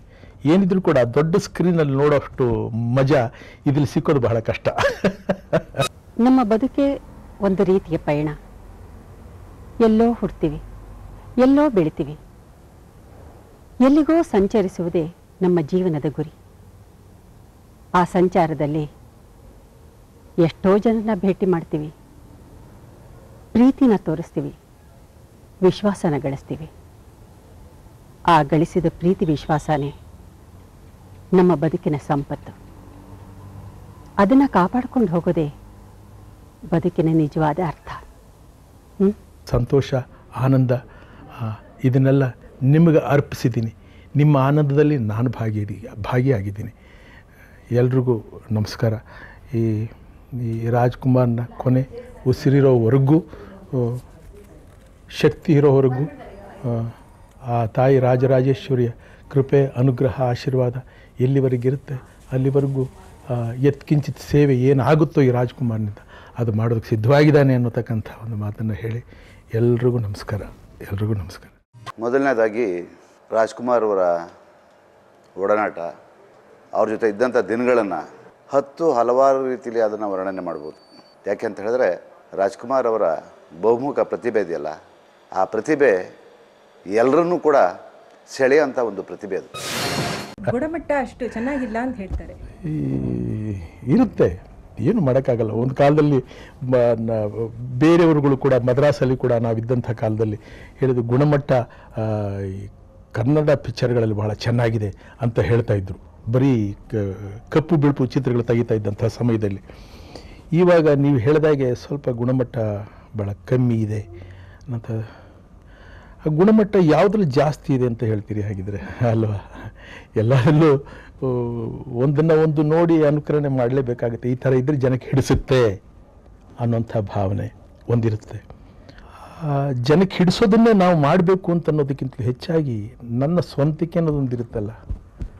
ನನ್ನ ಸ್ವಂತ ಅಭಿರುಚಿ ಅನ್ನೋದೊಂದಿರುತ್ತಲ್ಲ, ನನಗೇನು ಬೇಕು ಅನ್ನುವಂಥದ್ದು ಮೊದಲು ನಮಗೆ ಬಂದರೆ ಒಂದರೆ ಒಂದು ರೀತಿ ಈ ಚಿತ್ರರಂಗ ಪ್ರಯೋಜನಕಾರಿಯಾಗಿರುತ್ತೆ ಅಂತ ನನ್ನ ಇತ್ತೀಚಿನ ಅನಿಸಿಕೆ. ಅನೇಕ ಜನ ಕರ್ನಾಟಕದಲ್ಲಿ ಅವ್ರನ್ನ ನೋಡಿದ್ರೆ ಸಾಕು, ಅವ್ರನ್ನ ಮುಟ್ಟಿದ್ರೆ ಸಾಕು, ಅವ್ರ ಹತ್ರ ಎರಡು ನಿಮಿಷ ಮಾತಾಡಿದ್ರೆ ಸಾಕು ಅನ್ನೋ ಅನೇಕ ಅಭಿಮಾನಿಗಳು, ಅನೇಕ ಜನ, ಕೋಟ್ಯಾಂತರ ಜನ ಇದ್ದಾರೆ. ಆದರೆ ನಾನೊಬ್ಬ ಗ್ರಾಮಾಂತರ ಪ್ರದೇಶದಿಂದ ಬಂದಂಥವನು, ಅವ್ರ ಜೊತೆಲೇ ಇರುವಂಥ ಸಂದರ್ಭಗಳು ಒದಗಿ ಬಂದಿದ್ದು ನನ್ನ ಸೌಭಾಗ್ಯ. ಇವತ್ತೇನಾದರೂ ಕರ್ನಾಟಕದಲ್ಲಿ ಒಂದು ಒಳ್ಳೆಯ ಹೆಸರನ್ನು ಮಾಡಿದರೆ ಅದಕ್ಕೆ ಮೂಲತಃ ಪ್ರೇರಣೆ ಡಾಕ್ಟರ್ ರಾಜ್ಕುಮಾರ್ ಅವರು. ಜೊತೆ ಇರೋಂಥ ಸಂದರ್ಭದಲ್ಲಿ ಅನೇಕ ಅನುಭವಗಳನ್ನು ನಾನು ಪಡ್ಕೊಂಡಿದ್ದೀನಿ ಅನೇಕ ವಿಚಾರಗಳನ್ನು ನಾನು ತಿಳ್ಕೊಂಡಿದ್ದೀನಿ ಅಂದರೆ ಹಿರಿಯರಿಗೆ ಕೊಡ್ತಾ ಇದ್ದಂಥ ಗೌರವ, ಯಾವುದೋ ಒಬ್ಬ ಅಭಿಮಾನಿ ದೂರದಿಂದ ಬಂದಂತ ಬಂದರೆ ಅವರಿಗೆ ಕೊಡ್ತಾ ಇದ್ದಂಥ ಪ್ರೀತಿ, ವಿಶ್ವಾಸ, ಇವನ್ನೆಲ್ಲ ನೋಡಿದಾಗ ರಾಜ್ಕುಮಾರ್ ಅವರು ಒಬ್ಬ ವ್ಯಕ್ತಿ ಅಲ್ಲ, ಅದು ಒಂದು ಮಹಾನ್ ಪರ್ವತ ಅಂತ ಹೇಳ್ಬಿಟ್ಟು ನಾನು ಅಂದ್ಕೊಂಡೆ ಯಾಕಂತ ಹೇಳಿದ್ರೆ, ನನ್ನ ಜೀವಮಾನದಲ್ಲಿ ಸುಮಾರು ಇಪ್ಪತ್ತೈದು ವರ್ಷಗಳ ಅವರ ಜೊತೆ ಅನುಭವದಲ್ಲಿ ಒಂದೇ ಒಂದು ದಿನ ಒಬ್ಬ ವ್ಯಕ್ತಿಯ ಬಗ್ಗೆ ಮಾತನಾಡಲಿಲ್ಲ. ಒಬ್ಬ ವ್ಯಕ್ತಿಯ ಬಗ್ಗೆ ಕೆಡಕನ್ನು ಬಯಸಲಿಲ್ಲ. ಎಲ್ಲರನ್ನೂ ಕೂಡ ಬಹಳ ಪ್ರೀತಿಯಿಂದ, ಗೌರವದಿಂದ ಕಾಣ್ತಾ ಇದ್ದಂಥವ್ರು ಡಾಕ್ಟರ್ ರಾಜ್ಕುಮಾರ್ ಅವರು. ಸ್ವಲ್ಪ ಶ್ರಮ ಪಡಬೇಕು. ಶ್ರಮ ಪಡಬೇಕು, ದೈಹಿಕವಾಗಿ ಶ್ರಮ ಏನು ಬೇಕಾಗಿಲ್ಲ. ಮಾನಸಿಕವಾಗಿ, ಮನಸ್ಸಿಗೆ, ಮತ್ತು ಬುದ್ಧಿಗೆ ಸ್ವಲ್ಪ ಕೆಲಸ ಕೊಡಬೇಕಾಗುತ್ತೇನೋ ಅಂತ ನನಗೆ ಅಂದರೆ ಇಲ್ಲಿ ಈಗ ಕೆಲಸ ಮಾಡ್ತಾ ಇರೋಲ್ಲ ಬುದ್ಧಿ ಇಲ್ಲದೇ ಇರೋವರ ಅನ್ನೋಂಥ ಒಂದು ಪ್ರಶ್ನೆ ಬರಬಹುದು. ಅದು ನಾನು ಅನ್ನೋ ಸಲಕ್ಕೆ ನಿನ್ನ ಬುದ್ಧಿ ಇರಲಿಲ್ವಾ? ಹಿಂದೆಲ್ಲ ಈ ಥರ ಚಿತ್ರಗಳೆಲ್ಲ ಮಾಡಿದೆಯಲ್ಲ? ಅನ್ನೋದನ್ನು ನನ್ನ ಮನಸ್ಸು ಕೂಡ ಒಂದು ಕಡೆ ನನಗೆ ಹೇಳ್ಕೊಡುತ್ತಲ್ಲ. ಹಾಗೆ ಯಾಕಂದ್ರೆ ನಮ್ಮದೇ ನಮ್ಮ ಭಾಷೆ ಅನ್ನೋದು, ನಮ್ಮ ತಾಯಿ ಭಾಷೆ ಅನ್ನೋದು ಒಂದು ಅಭಿನ, ಅಭಿಮಾನ, ಪ್ರ- ಪ್ರೇಮ ನಮಗಿರೋದು ಸಹಜ ತಾನೆ. ಆದ್ದರಿಂದ ಸ್ವಲ್ಪ ಶ್ರಮ ವಹಿಸಿದ್ರೆ ಚೆನ್ನಾಗಿರುತ್ತೆ. ಕೃತಿ, ಕಥೆ ಕಣ್ಣು ಅಂತ ಹೇಳ್ತಾರೆ. ಆ, ಕಣ್ಣು ಸ್ವಲ್ಪ ಊನವಾದರೂ ಕೂಡ ಮುಖದಲ್ಲಿ ಸೌಂದರ್ಯ ಚೆನ್ನಾಗಿರಲ್ಲ. ಯಾಕಂದರೆ ಮನಸ್ಸಿನಲ್ಲಿರ್ತಕ್ಕಂಥ ಭಾವನೆಗಳನ್ನೆಲ್ಲ ಪ್ರತಿಬಿಂಬಿಸೋದು ಯಾವುದು? ಕಣ್ಣುಗಳು. ಆ ಕಣ್ಣುಗಳಿಂದ ಪ್ರತಿ ಅವನ ವ್ಯಕ್ತಿತ್ವ ಏನು ಅಂತ ಅನ್ನೋದು ಬಹು ಸುಲಭವಾಗಿ ಅರ್ಥವಾಗುವಂಥದ್ದು. ಪಂಚೇಂದ್ರಿಯಗಳಲ್ಲಿ ಬಹುಮುಖ್ಯವಾದಂಥ ಅಂಗಗಳು, ಕಣ್ಣುಗಳು. ಹಾಗೆ ಈ ಈ ಕಣ್ಣು, ಮನಸ್ಸು ಎರಡೂ ಒಂದಾಗಬೇಕು ಅಂತ ಹೇಳ್ತಾರೆ. ಆ- ರೀತಿ ಸ್ವಲ್ಪ ಇದರ ಬಗ್ಗೆ ಯೋಚನೆ ಮಾಡಿ. ಇವತ್ತು ತಾಂತ್ರಿಕ ದೃಷ್ಟಿಯಿಂದ ಮತ್ತು, ಫಾಸ್ಟ್ ಫಿಲಿಮು ಹೆಚ್ಚಿನ ಲೈಟ್ಸ್ಗಳನ್ನ ಉಪಯೋಗಿಸಬೇಕಾದಂಥ ಅವಶ್ಯಕತೆ ಇಲ್ಲದೆ ಬಹಳ ಕಮ್ಮಿ ಲೈಟ್ಗಳಲ್ಲಿ ಒಳ್ಳೆ ಉತ್ತಮವಾದ ರೀತಿಯಲ್ಲಿ ಚಿತ್ರಗಳನ್ನ ಕೊಡೋದಕ್ಕೆ ಸಾಧ್ಯ ಅನ್ನೋಂಥ ಕಾಲದಲ್ಲಿ ನಾವು ಸ್ವಲ್ಪ ಬುದ್ಧಿಶಕ್ತಿಗಳನ್ನ ಖರ್ಚು ಮಾಡಿದ್ರೆ ಚೆನ್ನಾಗಿರುತ್ತೆ. ಯಾಕಂದರೆ ಬುದ್ಧಿ ಶಕ್ತಿಯನ್ನು ಖರ್ಚು ಮಾಡಿ ಇಂತಿಂಥ ಎಕ್ವಿಪ್ಮೆಂಟ್ಸ್ ಎಲ್ಲ ನಾವು ಸಾಕಷ್ಟು ಅನುಕೂಲಕರವಾಗಿ ಬಂದಿರಬೇಕಾದ್ರೆ ನಾವ್ಯಾಕೆ ಮಾಡ್ಕೋಬೋದು ಅದನ್ನು? ಅವರೆಷ್ಟೇ ಎತ್ತಕ್ಕೆ ಬೆಳೆದಿದ್ದು ಕೂಡ ಅವ್ರು ಆಗಾಗ ಹೇಳೋರು, ಇನ್ನೊಬ್ಬ ರಾಜ್ಕುಮಾರ್ ಬರಬೇಕು, ನಾನು ನೋಡಬೇಕು ಅದನ್ನು ನನ್ನ ಕಣ್ಣಲ್ಲಿ ಅದನ್ನು ನಾನು ನೋಡಬೇಕು, ಅದು ನನ್ನ ಆಸೆ. ಅವರು ಒಂದೊಂದು ರೀತಿ, ಒಂದೊಂದು ಸಲ ಯಾವ ರೀತಿ ಮುಗ್ಧತೆಯಿಂದ ಮಾತಾಡೋರು ಅಂತ ಹೇಳ್ಬಿಟ್ಟು ಹೇಳಿದ್ರೆ, ಕಲಾವಿದನಾಗಿ ನಾನೇನೂ ಇನ್ನು ಕಲ್ತಿಲ್ಲ. ಇನ್ನು ಕಲಿಬೇಕಾದಷ್ಟು ಬಹಳಷ್ಟಿದೆ. ಅನೇಕ ಜನ ಸಹ ಕಲಾವಿದರೆಲ್ಲ ರಾಜ್ಕುಮಾರ್ ಅವ್ರನ್ನ ನೋಡಿ ನಾವೆಲ್ಲ ಕಲಿಬೇಕು ಅಂತ ಹೇಳ್ತಿದ್ರು ಕೂಡ ಅವರಲ್ಲಿ ಆ ಭಾವನೆ ಇರಲಿಲ್ಲ. ನಾನು ಇನ್ನೂ ವಿದ್ಯಾರ್ಥಿ, ಇನ್ನೂ ಈ ಕಲಾ ಸೇವೆಯಲ್ಲಿ ಇನ್ನೂ ಹಲವಾರು ಹಲವು ವಿಶೇಷಗಳನ್ನು ನಾನು ನೋಡಬೇಕು ಅನ್ನೋ ಆತರ ಅವ್ರದ್ದು. ಅಂಥ ಒಬ್ಬ ವ್ಯಕ್ತಿ ಡಾಕ್ಟರ್ ರಾಜ್ಕುಮಾರ್ ಅವರು, ಅವರ ಒಂದು ಏನು ಗುಣ ಇದೆಯೋ, ಯಾವತ್ತೂ ಹೇಳಲೇಬೇಕಾಗುತ್ತೆ, ಗುಣಕ್ಕೆ ಯಾವತ್ತೂ ನಾವು ಮತ್ಸರ ಪಡಬಾರ್ದು ಅಂಥ ಮೇರು ನಟ ಡಾಕ್ಟರ್ ರಾಜ್ಕುಮಾರ್ ಅವರು. ಇನ್ನೂ ಸಾಕಷ್ಟು ಸಾಧನೆ ಮಾಡಬೇಕಾಗಿತ್ತು ನಾವು ಮಾಡಬೇಕಾದಿದೆ ಅಂತ ನನಗನ್ಸುತ್ತೆ. ಇದು ನನಗಿಂತ ಹೆಚ್ಚಾಗಿ ನಮ್ಮ ಒಂದು ಅಭಿಮಾನಿ ಬಳಗ ಇದೆ ನೋಡಿ, ಬಂಧುಗಳು.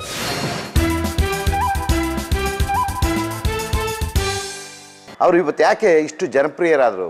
ಯಾಕೆ ಇಷ್ಟೊಂದು ಜನ ಅವರನ್ನು ಪ್ರೀತಿಸಿದ್ರು ಅಂತ ಹೇಳ್ಬಿಟ್ಟು ಹೇಳಿದ್ರೆ, ಅವರು ತಮ್ಮ ಸಂಪೂರ್ಣ ಜೀವನವನ್ನು ಕಲಾ ಸೇವೆಗೆ ಮುಡುಪಾಗಿಟ್ಟರೆ ವಿನಃ ಬೇರೆ ಯಾವುದಕ್ಕೂ ತೊಡಸ್ಕೊಳ್ಳಿಲ್ಲ. ಉದಾಹರಣೆಗೆ, ಅವರೇನಾದರೂ ಮುಖ್ಯಮಂತ್ರಿ ಆಗಬೇಕು ಅಂತ ಹೇಳಿದರೆ, ಈ ರಾಜ್ಯದಲ್ಲಿ ಸುಮಾರು ಮೂರು ಬಾರಿ ಮುಖ್ಯಮಂತ್ರಿ ಆಗ್ಬೋದಾಗಿತ್ತು ಅಂಥ ಸಂದರ್ಭಗಳು ಬಂದಿತ್ತು ಆದರೆ, ನನಗೆ ರಾಜಕೀಯ ಕ್ಷೇತ್ರ ಮುಖ್ಯ ಅಲ್ಲ, ನನಗೆ ಕಲಾ ಸೇವೆನೇ ಮುಖ್ಯ ಅಂತ ಹೇಳ್ಕೊಂಡು ಬಂದಂಥ ವ್ಯಕ್ತಿ ಡಾಕ್ಟರ್ ರಾಜ್ಕುಮಾರ್ ಅವರು. ಅದಕ್ಕೆ ಜನ ಅವ್ರನ್ನ ಅಷ್ಟೊಂದು ಪ್ರೀತಿಸೋದು. ತಾನಾಗೆ ಬಂದ ಒಂದು ಫಲ ಅಂತ ಹೇಳಬಹುದು ಇದನ್ನು. ಹೌದು, ನನ್ನ ಪ್ರಯತ್ನಕ್ಕಿಂತಲೂ ನನ್ನ ಪ್ರಯತ್ನ ಭಾಳ ಕಮ್ಮಿ. ಇದರಲ್ಲಿ ಭಗವಂತನ ಯತ್ನ ಜಾಸ್ತಿ ಅಂತ ನನಗನ್ಸುತ್ತೆ. ಈ ಭಗವಂತನ ಎಲ್ಲಿ ನೋಡೋದಕ್ಕೆ ಸಾಧ್ಯ? ಅದಕ್ಕೆ ನಾನು ಒಂದು ಸಮಾರಂಭದಲ್ಲಿ ಹೇಳಿದ್ದು ಇದರಲ್ಲಿ ಹಿಂದೆ ಈ ಕರ್ನಾಟಕ ರತ್ನ ಪ್ರಶಸ್ತಿ ಕೊಟ್ಟ ಸಂದರ್ಭದಲ್ಲಿ ಹೇಳಿದೆ. ಈ ಸುಮಾರು ಲಕ್ಷಾಂತರ ಜನ ನೆರೆದಿದ್ದಾಗ ಈ ನಿಮ್ಮ ರಾಜ್ಕುಮಾರ ದೇವರು ನೋಡಿದಾನೆ ನಂಬ್ತೀರಾ ಅಂತ ಹೇಳಿದಾಗ ಅವ್ರುಗಳೆಲ್ಲ ಆಶ್ಚರ್ಯ ಆಯಿತು. ಏನೋ ನೋಡಿರ್ಬೋದು ಏನೋ ಅಣ್ಣವರು ಅಂತ ಅವರೆಲ್ಲ ಅವ್ರಿಗೊಂಥರ ಆಶ್ಚರ್ಯ. ಆವಾಗ ಹೇಳಿದೆ ನೋಡಿ ಇಲ್ಲಿದೆ ನನ್ನ ನನ್ನ ದೇವರುಗಳೆಲ್ಲ. ಬರೀ ಒಬ್ಬ ವ್ಯಕ್ತಿನ ನೋಡೋದಕ್ಕೆ ಎಷ್ಟೊಂದು ದೃಷ್ಟಿಗಳು ನೋಡ್ತಾ ಇದೆ ಮತ್ತು ಇವೆಲ್ಲ ದೇವರುಗಳಿಲ್ಲದೆ ಬೇರೆ ಯಾ, ಏನಾಗೋದಕ್ಕೆ ಸಾಧ್ಯ? ದೇವರುಗಳಿಲ್ಲದೆ ನೀವು ಸಂತೋಷ ಪಡೋಕ್ಕಾಗುತ್ತಾ? ಅಥವಾ ನಾನು ನಿಮ್ಮನ್ನು ನೋಡೋಕ್ಕಾಗುತ್ತಾ? ಅವನಿರೋದೇ ಎಲ್ಲೂ ಬೇರೆ ಇನ್ನೆಲ್ಲೂ ಇಲ್ಲ, ನಮ್ಮ ಒಳಗಡೆ ಇದ್ದಾನೆ ಅನ್ನೋಂಥದ್ದನ್ನು ನನಗೆ ಗೊತ್ತಿಲ್ಲದೆ ಬಂದಂಥ ಮಾತು ಆಗುತ್ತೆ ಹಾಗೆ ಎಲ್ಲೋ ಒಂದು ಒಂದು ಕಾಣದ ಕೈ ನಮ್ಮನ್ನು ಈ ಥರ ಎಲ್ಲ ಆಟ ಆಡಿಸ್ತಾ ಇದೆ ಅಷ್ಟೇ. ಇದು ಇದು ನಮ್ಮಿಂದ ನಾನು ಮಾಡಿದೆ, ಇದೆಲ್ಲ ಒಂದು ಸುಮ್ಮನೆ ನಾಲಿಗೆ ಚಪಲ ಅಷ್ಟೇ. ಹೀಗೆ ಚಿತ್ರರಂಗದಲ್ಲಿ ನಮ್ಮನ್ನು ನಾವು ತೊಡಸ್ಕೊಳ್ತಾ ಇರುವಂಥ ಅನೇಕ ಸಂದರ್ಭಗಳು ಬಂದು ಅವರ ನೂರನೇ ಚಿತ್ರ ಸಮಾರಂಭ ಆಗುವಂಥ ಸಂದರ್ಭಗಳನ್ನು ನಾವು ನೋಡಬೇಕಾಗಿತ್ತು. ಅಂದರೆ ಅವರಲ್ಲಿ ಇದ್ದಂಥ ಒಂದು ಸಮಾನತೆ. ಅಂದರೆ ನನ್ನಿಂದ ಹಿಡಿದು ಒಬ್ಬ ಕಾಫಿ, ಟೀ ಕೊಡೋಂಥ ಹುಡುಗನಿಗೂ ಕೂಡ ಅದೇ ಸ್ಥಾನ, ಅದೇ ಗೌರವ ಸಿಗಬೇಕು ಅಂತ ಹೇಳಿದ್ದು ಹೇಳಿದ್ದು ಚಿತ್ರರಂಗದಲ್ಲಿ ಪ್ರಪ್ರಥಮವಾಗಿ ಡಾಕ್ಟರ್ ರಾಜ್ಕುಮಾರ್ ಅವರು. ಇಡೀ ಏನು ಆ ಒಂದು ಚಿತ್ರೀಕರಣದಲ್ಲಿ ಸುಮಾರು ಅರವತ್ತು, ಎಪ್ಪತ್ತು ಜನ ಕೆಲಸ ಮಾಡ್ತಾರೋ ಪ್ರತಿಯೊಬ್ಬರಿಗೂ ಹನ್ನೊಂದು ಗಂಟೆ ಆದ ತಕ್ಷಣ ಬಿಸಿಲಲ್ಲಿ ಕೆಲಸ ಮಾಡ್ತಾರೆ. ಅವರಿಗೆ ಬಿಸಿಲಲ್ಲಿ ಕೆಲಸ ಮಾಡೋದಕ್ಕೆ ಕಷ್ಟ ಆಗುತ್ತೆ. ದಯವಿಟ್ಟು ಎಲ್ರಿಗೂ ಕೂಡ ಮಧ್ಯಾಹ್ನದೊತ್ತು ಯಾವುದಾದ್ರು ತಂಪು ಪಾನೀಯ, ಅಂದರೆ ಎಳ್ನೀರು ಅಂತದನ್ನು ಕೊಡಿ ಅವರಿಗೆ ಸ್ವಲ್ಪ ಶಕ್ತಿ ಬರುತ್ತೆ. ಕೆಲಸ ಮಾಡೋದಕ್ಕೆ ಹುಮ್ಮಸ್ ಬರುತ್ತೆ. ದಯವಿಟ್ಟು ಕಾಫಿ, ಟೀ ಕೊಟ್ಬಿಟ್ಟು ಅವ್ರನ್ನ ಬಿಸಿಲು ನಿಲ್ಲಿಸ್ಬೇಡಿ. ಈ ಕಲಾವಿದರಿಗೆ ಏನು ಕೊಡ್ತೀರೋ ಅದನ್ನು ಕೂಡ ಅವ್ರಿಗೆ ಕೊಡಿ ಅಂತ ಹೇಳಿದಂಥ ವ್ಯಕ್ತಿ ಡಾಕ್ಟರ್ ರಾಜ್ಕುಮಾರ್ ಅವರಂದ ಮೇಲೆ. ಇನ್ನು ಅವ್ರ ಬಗ್ಗೆ ಎಷ್ಟು ವಿಚಾರಗಳನ್ನು ನಾವು ಮಾತಾಡಲಿಕ್ಕೆ ಸಾಧ್ಯ ಅನ್ನೋದನ್ನು ಇಲ್ಲಿ ಆಲೋಚನೆ ಮಾಡಬೇಕಾಗುತ್ತೆ. ನಿಟ್ಟಿನಲ್ಲಿ ನಾನು ಸಮಾನತೆಯನ್ನು ಪ್ರತಿಯೊಬ್ಬರಿಗೂ ಹಿರಿಯರಿಗೂ, ಕಿರಿಯರಿಗೂ ಗೌರವವನ್ನು ಕೊಡಬೇಕು ಅನ್ನೋದನ್ನು ಕಲ್ತಿದ್ದು ಅವರಿಂದ. ಇಡೀ ಕರ್ನಾಟಕದ ದರ್ಶನ ಡಾಕ್ಟರ್ ರಾಜ್ಕುಮಾರ್ ಒಬ್ಬರಿಂದ ಸಾಧ್ಯ ನೋಡಲಿಕ್ಕೆ. ಹೇಗೆ ಅಂತ ನೀವು ಕೇಳ್ಬೋದು. ನಾವು ಮಯೂರನ್ನಾಗಲಿ ಕೃಷ್ಣದೇವರಾಯನಾಗಲಿ ಅಥವಾ ರಣವೀರ ಕಂಠೀರವನ್ನಾಗಲಿ ಸತ್ಯ ಹರಿಶ್ಚಂದ್ರನಾಗಲಿ ನಾವ್ಯಾರೂ ಕೂಡ ನೋಡಿಲ್ಲ, ಮಾಡಿಲ್ಲ, ಯಾರೂ ಇಲ್ಲ, ಏನೂ ಇಲ್ಲ ಆದರೆ ಆ ಒಂದು ಏನು ಪೌರಾಣಿಕ ಬರೆಯುವಂಥ ಸಂದರ್ಭದಲ್ಲಿ ಆ ಪೌರಾಣಿಕದಲ್ಲಿದ್ದಂಥ ಪಾತ್ರಗಳಿಗೆ ಜೀವ ತುಂಬಿ, ಮಯೂರ ಇವನು ಕೃಷ್ಣದೇವ ಇವನು ಅಂತ ಹೇಳಿದ್ರೆ ಇಡೀ ಕರ್ನಾಟಕ ದರ್ಶನ ಮಾಡಿದಂಥ ಮಹಾನ್ ಕಲಾವಿದ ಡಾಕ್ಟರ್ ರಾಜ್ಕುಮಾರ್. ಒಬ್ಬ ಕಲಾವಿದನ ಮೇಲೆ ಸುಮಾರು ಒಂಬತ್ತು ಸಾವಿರ ಸಂಘಟನೆಗಳನ್ನು ಮಾಡಿದ್ದು ಪ್ರಪ್ರಥಮವಾಗಿ ನಾನು ಅಂತ ಹೇಳ್ಕೊಳ್ಳೋದಕ್ಕೆ ಹೆಮ್ಮೆ ಪಡ್ತೀನಿ. ನಾನು ಅಂದರೆ ನನ್ನ ಪರಿವಾರ, ಅಂದರೆ ಸಿ ವಿ ಎಲ್ ಶಾಸ್ತ್ರಿಯವರಾಗಿರ್ಬೋದು, ವೆಂಕಟೇಶ್ ಅವರಾಗಿರ್ಬೋದು, ಮತ್ತು ಶಿವಶಂಕರ್ ಆಗಿರ್ಬೋದು, ಮೃತ್ಯುಂಜಯ, ಇವರೆಲ್ಲರೂ ಕೂಡ ಎಷ್ಟು ಕಷ್ಟಪಟ್ಟು ಒಂಬತ್ತು ಸಾವಿರ ಸಂಘಟನೆಗಳನ್ನು ನಾವು ಕರ್ನಾಟಕದಾದ್ಯಂತ ಮಾಡಿದೋ. ಈ ಹಣ ಅನುಕೂಲ ಅಂತ ಹೇಳ್ತಾರಲ್ಲ ಹಾಗೆ, ಆ ಪರಿಸರದಲ್ಲಿ ಹುಟ್ಟಿದವನಲ್ಲ ನಾನು. ಬಡತನ ಅಂತ ಹೇಳ್ತಾರೆ ಇವತ್ತು. ಆ, ಬಡತನ ಬಡತನನ ನೆನೆಸ್ಕೊಂಡಾಗ ಅದು ಬಡತನ ಅಲ್ಲ ಸಿರಿತನ. ಅದಕ್ಕೋಸ್ಕರ ಅದನ್ನು ಅಷ್ಟು ನಿರರ್ಗಳವಾಗಿ ನಾನು ಅದ್ರ ಬಗ್ಗೆ ನಾನು ಮಾತನಾಡಬೇಕಾಗಿ ಬರುತ್ತೆ. ಅದೇ ಸಿರಿತನ ಇದ್ದಿದ್ದರೆ ನೀವು ಕೇಳಿದ ಪ್ರಶ್ನೆಗಳಿಗೆ ಅದಕ್ಕೆ ಏನು ಉತ್ತರನೇ ಹೇಳೋಕೆ ಆಗ್ತಾ ಇರಲಿಲ್ಲ ನಾನು. ಅದ್ರ ಬಗ್ಗೆ ವರ್ಣನೆಗಳು ಜಾಸ್ತಿ ಆಗ್ತಾ ಇತ್ತು. ಈ ಈಗ ಈ ವರ್ಣನೆ ಇದೆಯಲ್ಲ ಇದು ಯಾವುದೋ ಕಾಲದಲ್ಲಿ ನಡೆದಂಥದ್ದನ್ನು ಜ್ಞಾಪಿಸ್ಕೊಡೋದಿದೆ ನೋಡಿ. ಇದು ಬಹು ಅತಿಶಯವಾದದ್ದು. ಅದು ನಾವಿದ್ದ ಪರಿಸರ ನಾಟಕ ನಾಟಕ ರಂಗಭೂಮಿನಲ್ಲಿ. ಆ, ದಿನಲ್ಲಿ ನಮ್ಮ ಅಪ್ಪಾಜಿಯವರು ಹಾಗೂ ನನ್ನ ತಮ್ಮ ವರದಪ್ಪ ನನ್ನ ತಂಗಿ ಶಾರದಮ್ಮ ನಾವು ಅವರ ವೀರಣ್ಣವರ ಸಂಸ್ಥೆಯಲ್ಲಿ ಇದ್ದಿದ್ದು. ಆವತ್ತಿಂದ ನನಗೇನಪ್ಪ ಅಂತಂದರೆ ಈ ನಾಟಕಗಳನ್ನ ನೋಡೋದೇ ಒಂದು ಹುಚ್ಚು. ಪಾರ್ಟ್ ಮಾಡಬೇಕು ಅನ್ನೋ ಹುಚ್ಚಲ್ಲ. ನೋಡೋ ನೋಡೋ ಹುಚ್ಚು. ಈ ನಾಟಕಕ್ಕೆ ಹೋದರೆ ನಾಟಕದಲ್ಲಿ ಹೋಗಿ ವೇಷ ಹಾಕ್ಕೊಂಡು ನಿಂತ್ಕೊಂಡ್ರೆ ಒಂಥರ ನಡುಕ ಶುರುವಾಗ್ತಿತ್ತು ನನಗೆ. ಆದ್ದರಿಂದ ಇವತ್ತಿಗೂ ಕೂಡ ಆವತ್ತಿನ ಆ ನಾಟಕಗಳು ಮತ್ತು ಆ ಕಲಾವಿದರುಗಳು ಇವರ ಬಗ್ಗೆ ಹೇಳ್ಕೋಬೇಕು ಅಂತಂದರೆ ಹೃದಯ ನನಗೆ ಅಷ್ಟಾಗುತ್ತೆ. ತಂದೆ, ತಾಯಿ, ಮಾರ್ಗದರ್ಶನ ಮಾಡಿದವರು ಇಬ್ಬರು ಕಡೆ ತಮ್ಮ, ತಂಗಿ, ಹೊರಗಡೆ ಇನ್ಯಾವ ವಿಧವಂಥ ಸಂಪರ್ಕ, ಸಂಬಂಧಗಳು ನಮಗಿರಲಿಲ್ಲ. ಅದು ಒಂದು ಅದನ್ನ ಹೇಳ್ಕೊಳ್ಳೋದಕ್ಕೆ ನಾ ಹೇಳೋದಕ್ಕೆ ನನಗೆ ಗೊತ್ತಾಗ, ಒಂಥರ ಅವರ್ಣನೀಯವಾದ ಆನಂದನ ಅನುಭವಿಸ್ತಾ ಇದ್ದೀವಿ ಇವತ್ತಿಗೂ ಅದು ಹಸಿಯಾಗಿಯೇ ಇದೆ. ಒಣಗಿಲ್ಲ ಅದು. ಆ ಸ್ಥಳ ಬಿಟ್ಟು ಹೊರಗಡೆ ಎಲ್ಲೂ ಹೋಗೋದಕ್ಕೂ ಅವಕಾಶ ಇರಲಿಲ್ಲ. ನಮ್ಮ ಅಪ್ಪಾಜಿನೂ ಕೂಡ ನಮ್ಮನ್ನು ಎಲ್ಲೂ ಹೊರಗಡೆ ಕಳಿಸ್ತಾ ಇರಲಿಲ್ಲ. ಅಲ್ಲೇ ಸಾಕಿದ್ರು ನಮ್ಮನ್ನು. ಈ ಒಂದು ಹೆಣ್ಣು ಕೋಳಿ ಮೊಟ್ಟೆ ಹಾಕ್ಬಿಟ್ಟು ಮರಿ ಹೊಡೆದು ಆ ಮರಿಗಳನ್ನೆಲ್ಲ ರಕ್ಕೆ ಒಳಗೆ ಸೇರಿಸ್ಕೊಂಡು ಇರುತ್ತೆ ನೋಡಿ. ಹಾಗೆ ನಮ್ಮ ಅಪ್ಪಾಜಿ ನಮ್ಮನ್ನು ಆ ರೀತಿ ಸಾಕಿದ್ರು. ಒಂದು ಸಾರಿ ಅಕ್ಕವರು ಚಿತ್ರೀಕರಣ ಮೈಸೂರಲ್ಲಿ ನಡೀತಾ ಇತ್ತು. ಅಕ್ಕವರು ಅವತ್ತು ಬರೋಕ್ಕಾಗಲಿಲ್ಲ, ಯಾವುದೋ ಇನ್ಕಮ್ ಟ್ಯಾಕ್ಸ್ದು ಅಲ್ಲಿ ಕೆಲಸ ಇರೋದ್ರಿಂದ ರಾಜ್ಕುಮಾರ್ ಅವ್ರನ್ನ ರಾತ್ರಿ ಮಡ್ರಾಸ್ನಿಂದ ಫ್ಲೈಟಲ್ಲಿ ಇಲ್ಲಿ ಕಳಿಸಿದ್ರು. ಇಲ್ಲಿ ಕಳಿಸಿದಾಗ ನಾವೇ ಅವ್ರನ್ನ ಕರ್ಕೊಂಡು ಹೋಗ್ಬೇಕಾಯ್ತು. ನಾನು ಜೊತೆಲಿದ್ದೆ ಫ್ಲೈಟಲ್ಲಿ ಬಂದರು, ಅವತ್ತು ಲೇಟು ಫ್ಲೈಟು ಹನ್ನೆರಡುವರೆಗೆ ಬಂತು. ಅಲ್ಲಿಂದ ನೇರವಾಗಿ ಮೈಸೂರು ಸುಜಾತ ಹೋಟ್ಲು. ಯಾವತ್ತೂ ಅವ್ರು ಇಳ್ಕೊಳ್ತಾ ಇದ್ದಿದ್ದು ಸಾಮಾನ್ಯ ಹೋಟ್ಲಲ್ಲಿ. ಅವ್ರು ಕೇಳಿದರೆ ಯಾವ ಹೋಟ್ಲ್ ಬೇಕಾದರೂ ಕೊಡ್ತಾಯಿದ್ರು ಆದರೆ ಸಾಮಾನ್ಯವಾದಂಥ ಹೋಟ್ಲಲ್ಲಿ ಅದು ಯಾವ ಮೈಸೂರಲ್ಲಿ ಸುಜಾತ ಹೋಟ್ಲು ಬೆಂಗಳೂರಲ್ಲಿ ವುಡ್ಲ್ಯಾಂಡ್ಸ್ ಹೈಲ್ಯಾಂಡ್ಸ್ ಹೋಟ್ಲು. ಇವು ಬಿಟ್ಟರೆ ಇನ್ನೆಲ್ಲೂ ಹೋಗ್ತಾ ಇರಲಿಲ್ಲ. ಅವತ್ತು ಮೈಸೂರು ಹೊರಟು ಮೈಸೂರು ಹೊರಟಿಗೆ ಪ್ರಥಮ ನಾನು ಜೊತೆ ಹೋಗ್ತಾ ಇದ್ದೀನಿ. ನನಗೆ ಅಷ್ಟೊಂದು ಅನುಭವ ಇಲ್ಲ ಆವಾಗ ಅವ್ರ ಜೊತೆ. ಸೊ ಸ್ವಲ್ಪ ಸ್ವ- ಸ್ವಲ್ಪ ತಿಳ್ಕೊಳ್ತಾ ಇದ್ದೀನಿ. ಮೈಸೂರಿಗೆ ಹೋದ, ಮೈಸೂರಿಗೆ ಹೋದಂಥ ಸಂದರ್ಭದಲ್ಲಿ ನಾವು ಮೈಸೂರಿಗೆ ಹೋಗೋರು ಈ ಹೋಟೆಲ್ ಕಡೆ ತಿರುಗಿಸಪ್ಪ ಅಂತ ಹೇಳ್ಬಿಟ್ಟು ಹೇಳಿದ್ರೆ, ಇಲ್ಲೆಲ್ಲ ನೇರವಾಗಿ ಹೋಗಿ ಅಂತ ಹೇಳಿದ್ರು. ಯಾಕೆ ನೇರವಾಗಿ ಹೋಗಿ ಅಂತ ಹೇಳ್ತಾ ಇದ್ರೆ ಅಂತ ಹೇಳಿದ್ರೆ, ನೇರವಾಗಿ ಆ ಸರ್ಕಲ್ ಸುತ್ತಕೊಂಡು ರೈಟ್ಗೆ ಹೋದರೆ, ನೇರವಾಗಿ ಆ ರೋಡಲ್ಲಿ ಹೋಗುತ್ತೆ ಅಂದರೆ ಸ್ಮಶಾನಕ್ಕೆ ಹೋಗುತ್ತೆ. ಏನಪ್ಪ ಇಷ್ಟೊತ್ತಿನಲ್ಲಿ ಸ್ಮಶಾನಕ್ಕೆ ಹೋಗ್ತಾರಲ್ಲ ಅಂತ ಹೇಳ್ಬಿಟ್ಟು ಹೋದು ಗಾಡಿ ನಿಲ್ಲಿಸಿದ್ರು ಇಳಿದ್ರು, ಸೀದಾ ಸ್ಮಶಾನಕ್ಕೆ ಹೋದ್ರು. ನಮಗೆ ಇನ್ನು ಆಗ ಚಿಕ್ಕ ವಯಸ್ಸು.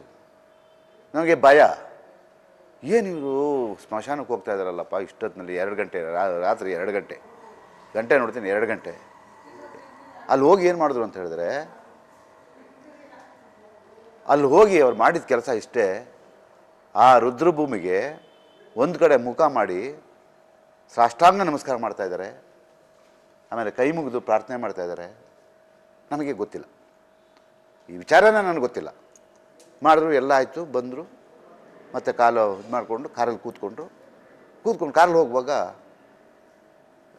ನಿಮಗೆ ಏನಾದರೂ ಭಯ ಆಯಿತಾ ಇಲ್ಲಿ ಅಂತ ಹೇಳಿದ್ರು, ಇಲ್ಲ ನಾನು ನೀವಿದ್ದೀರಲ್ಲ ಅಂದ್ಬಿಟ್ಟೆ. ನೀವಿರುವಾಗ ನಮಗೇನು ಭಯ ಅಂತ ಹೇಳಿಬಿಟ್ಟೆ. ಇಲ್ಲ ನಮ್ಮ ತಂದೆ, ನಾ ಇಲ್ಲೇ ನಾವು ಮಣ್ಣು ಮಾಡಿದ್ದು. ಅದಕ್ಕೆ ನಾನು ಪ್ರತಿ ಸಾರ ಇಲ್ಲಿಗೆ ಬಂದರೆ ಯಾರು ಇಲ್ಲದೆ ಇರೋಂಥ ಸಮಯದಲ್ಲಿ ಏನಾದ್ರು ಮೈಸೂರಿಗೆ ಬಂದರೆ ನಾನು ಅಲ್ಲಿ ನಮಸ್ಕಾರ ಮಾಡ್ಕೊಂಡು ಹೋಗೋದು, ಇದು ಅಭ್ಯಾಸ ಯಾವಾಗಲೂ ಅಂತ ಹೇಳ್ಬಿಟ್ಟು ಹೇಳಿದ್ರು. ನನಗೆ ರೋಮಾಂಚನ ಆಯಿತು. ಹೆತ್ತ ತಂದೆ ತಾಯಿಗಳ ಮೇಲೆ ಇರೋಂಥ ಗೌರವ. ಆ ಪೂಜ್ಯ ಭಾವನೆಯನ್ನು ನೋಡಿದಾಗ, ಅಯ್ಯೋ, ನನಗೆ ಅವತ್ತು ಒಂದು ರೀತಿಯ ಏನಪ್ಪ ಅಂತ ಹೇಳ್ಬಿಟ್ಟು ಹೇಳಿದ್ರೆ, ಏನು ನಾನು ಏನಾಗಿದ್ದೀನಿ ಅಂತಲೇ ನನಗೆ ಆಲೋಚನೆ ಮಾಡೋಕ್ಕಾಗಲಿಲ್ಲ. ವಿದ್ಯಕ್ಕೆ ಬಹಳ ಪ್ರಾಧಾನ್ಯತೆ ಇರುವಂಥ ಒಂದು ಕಾಲ.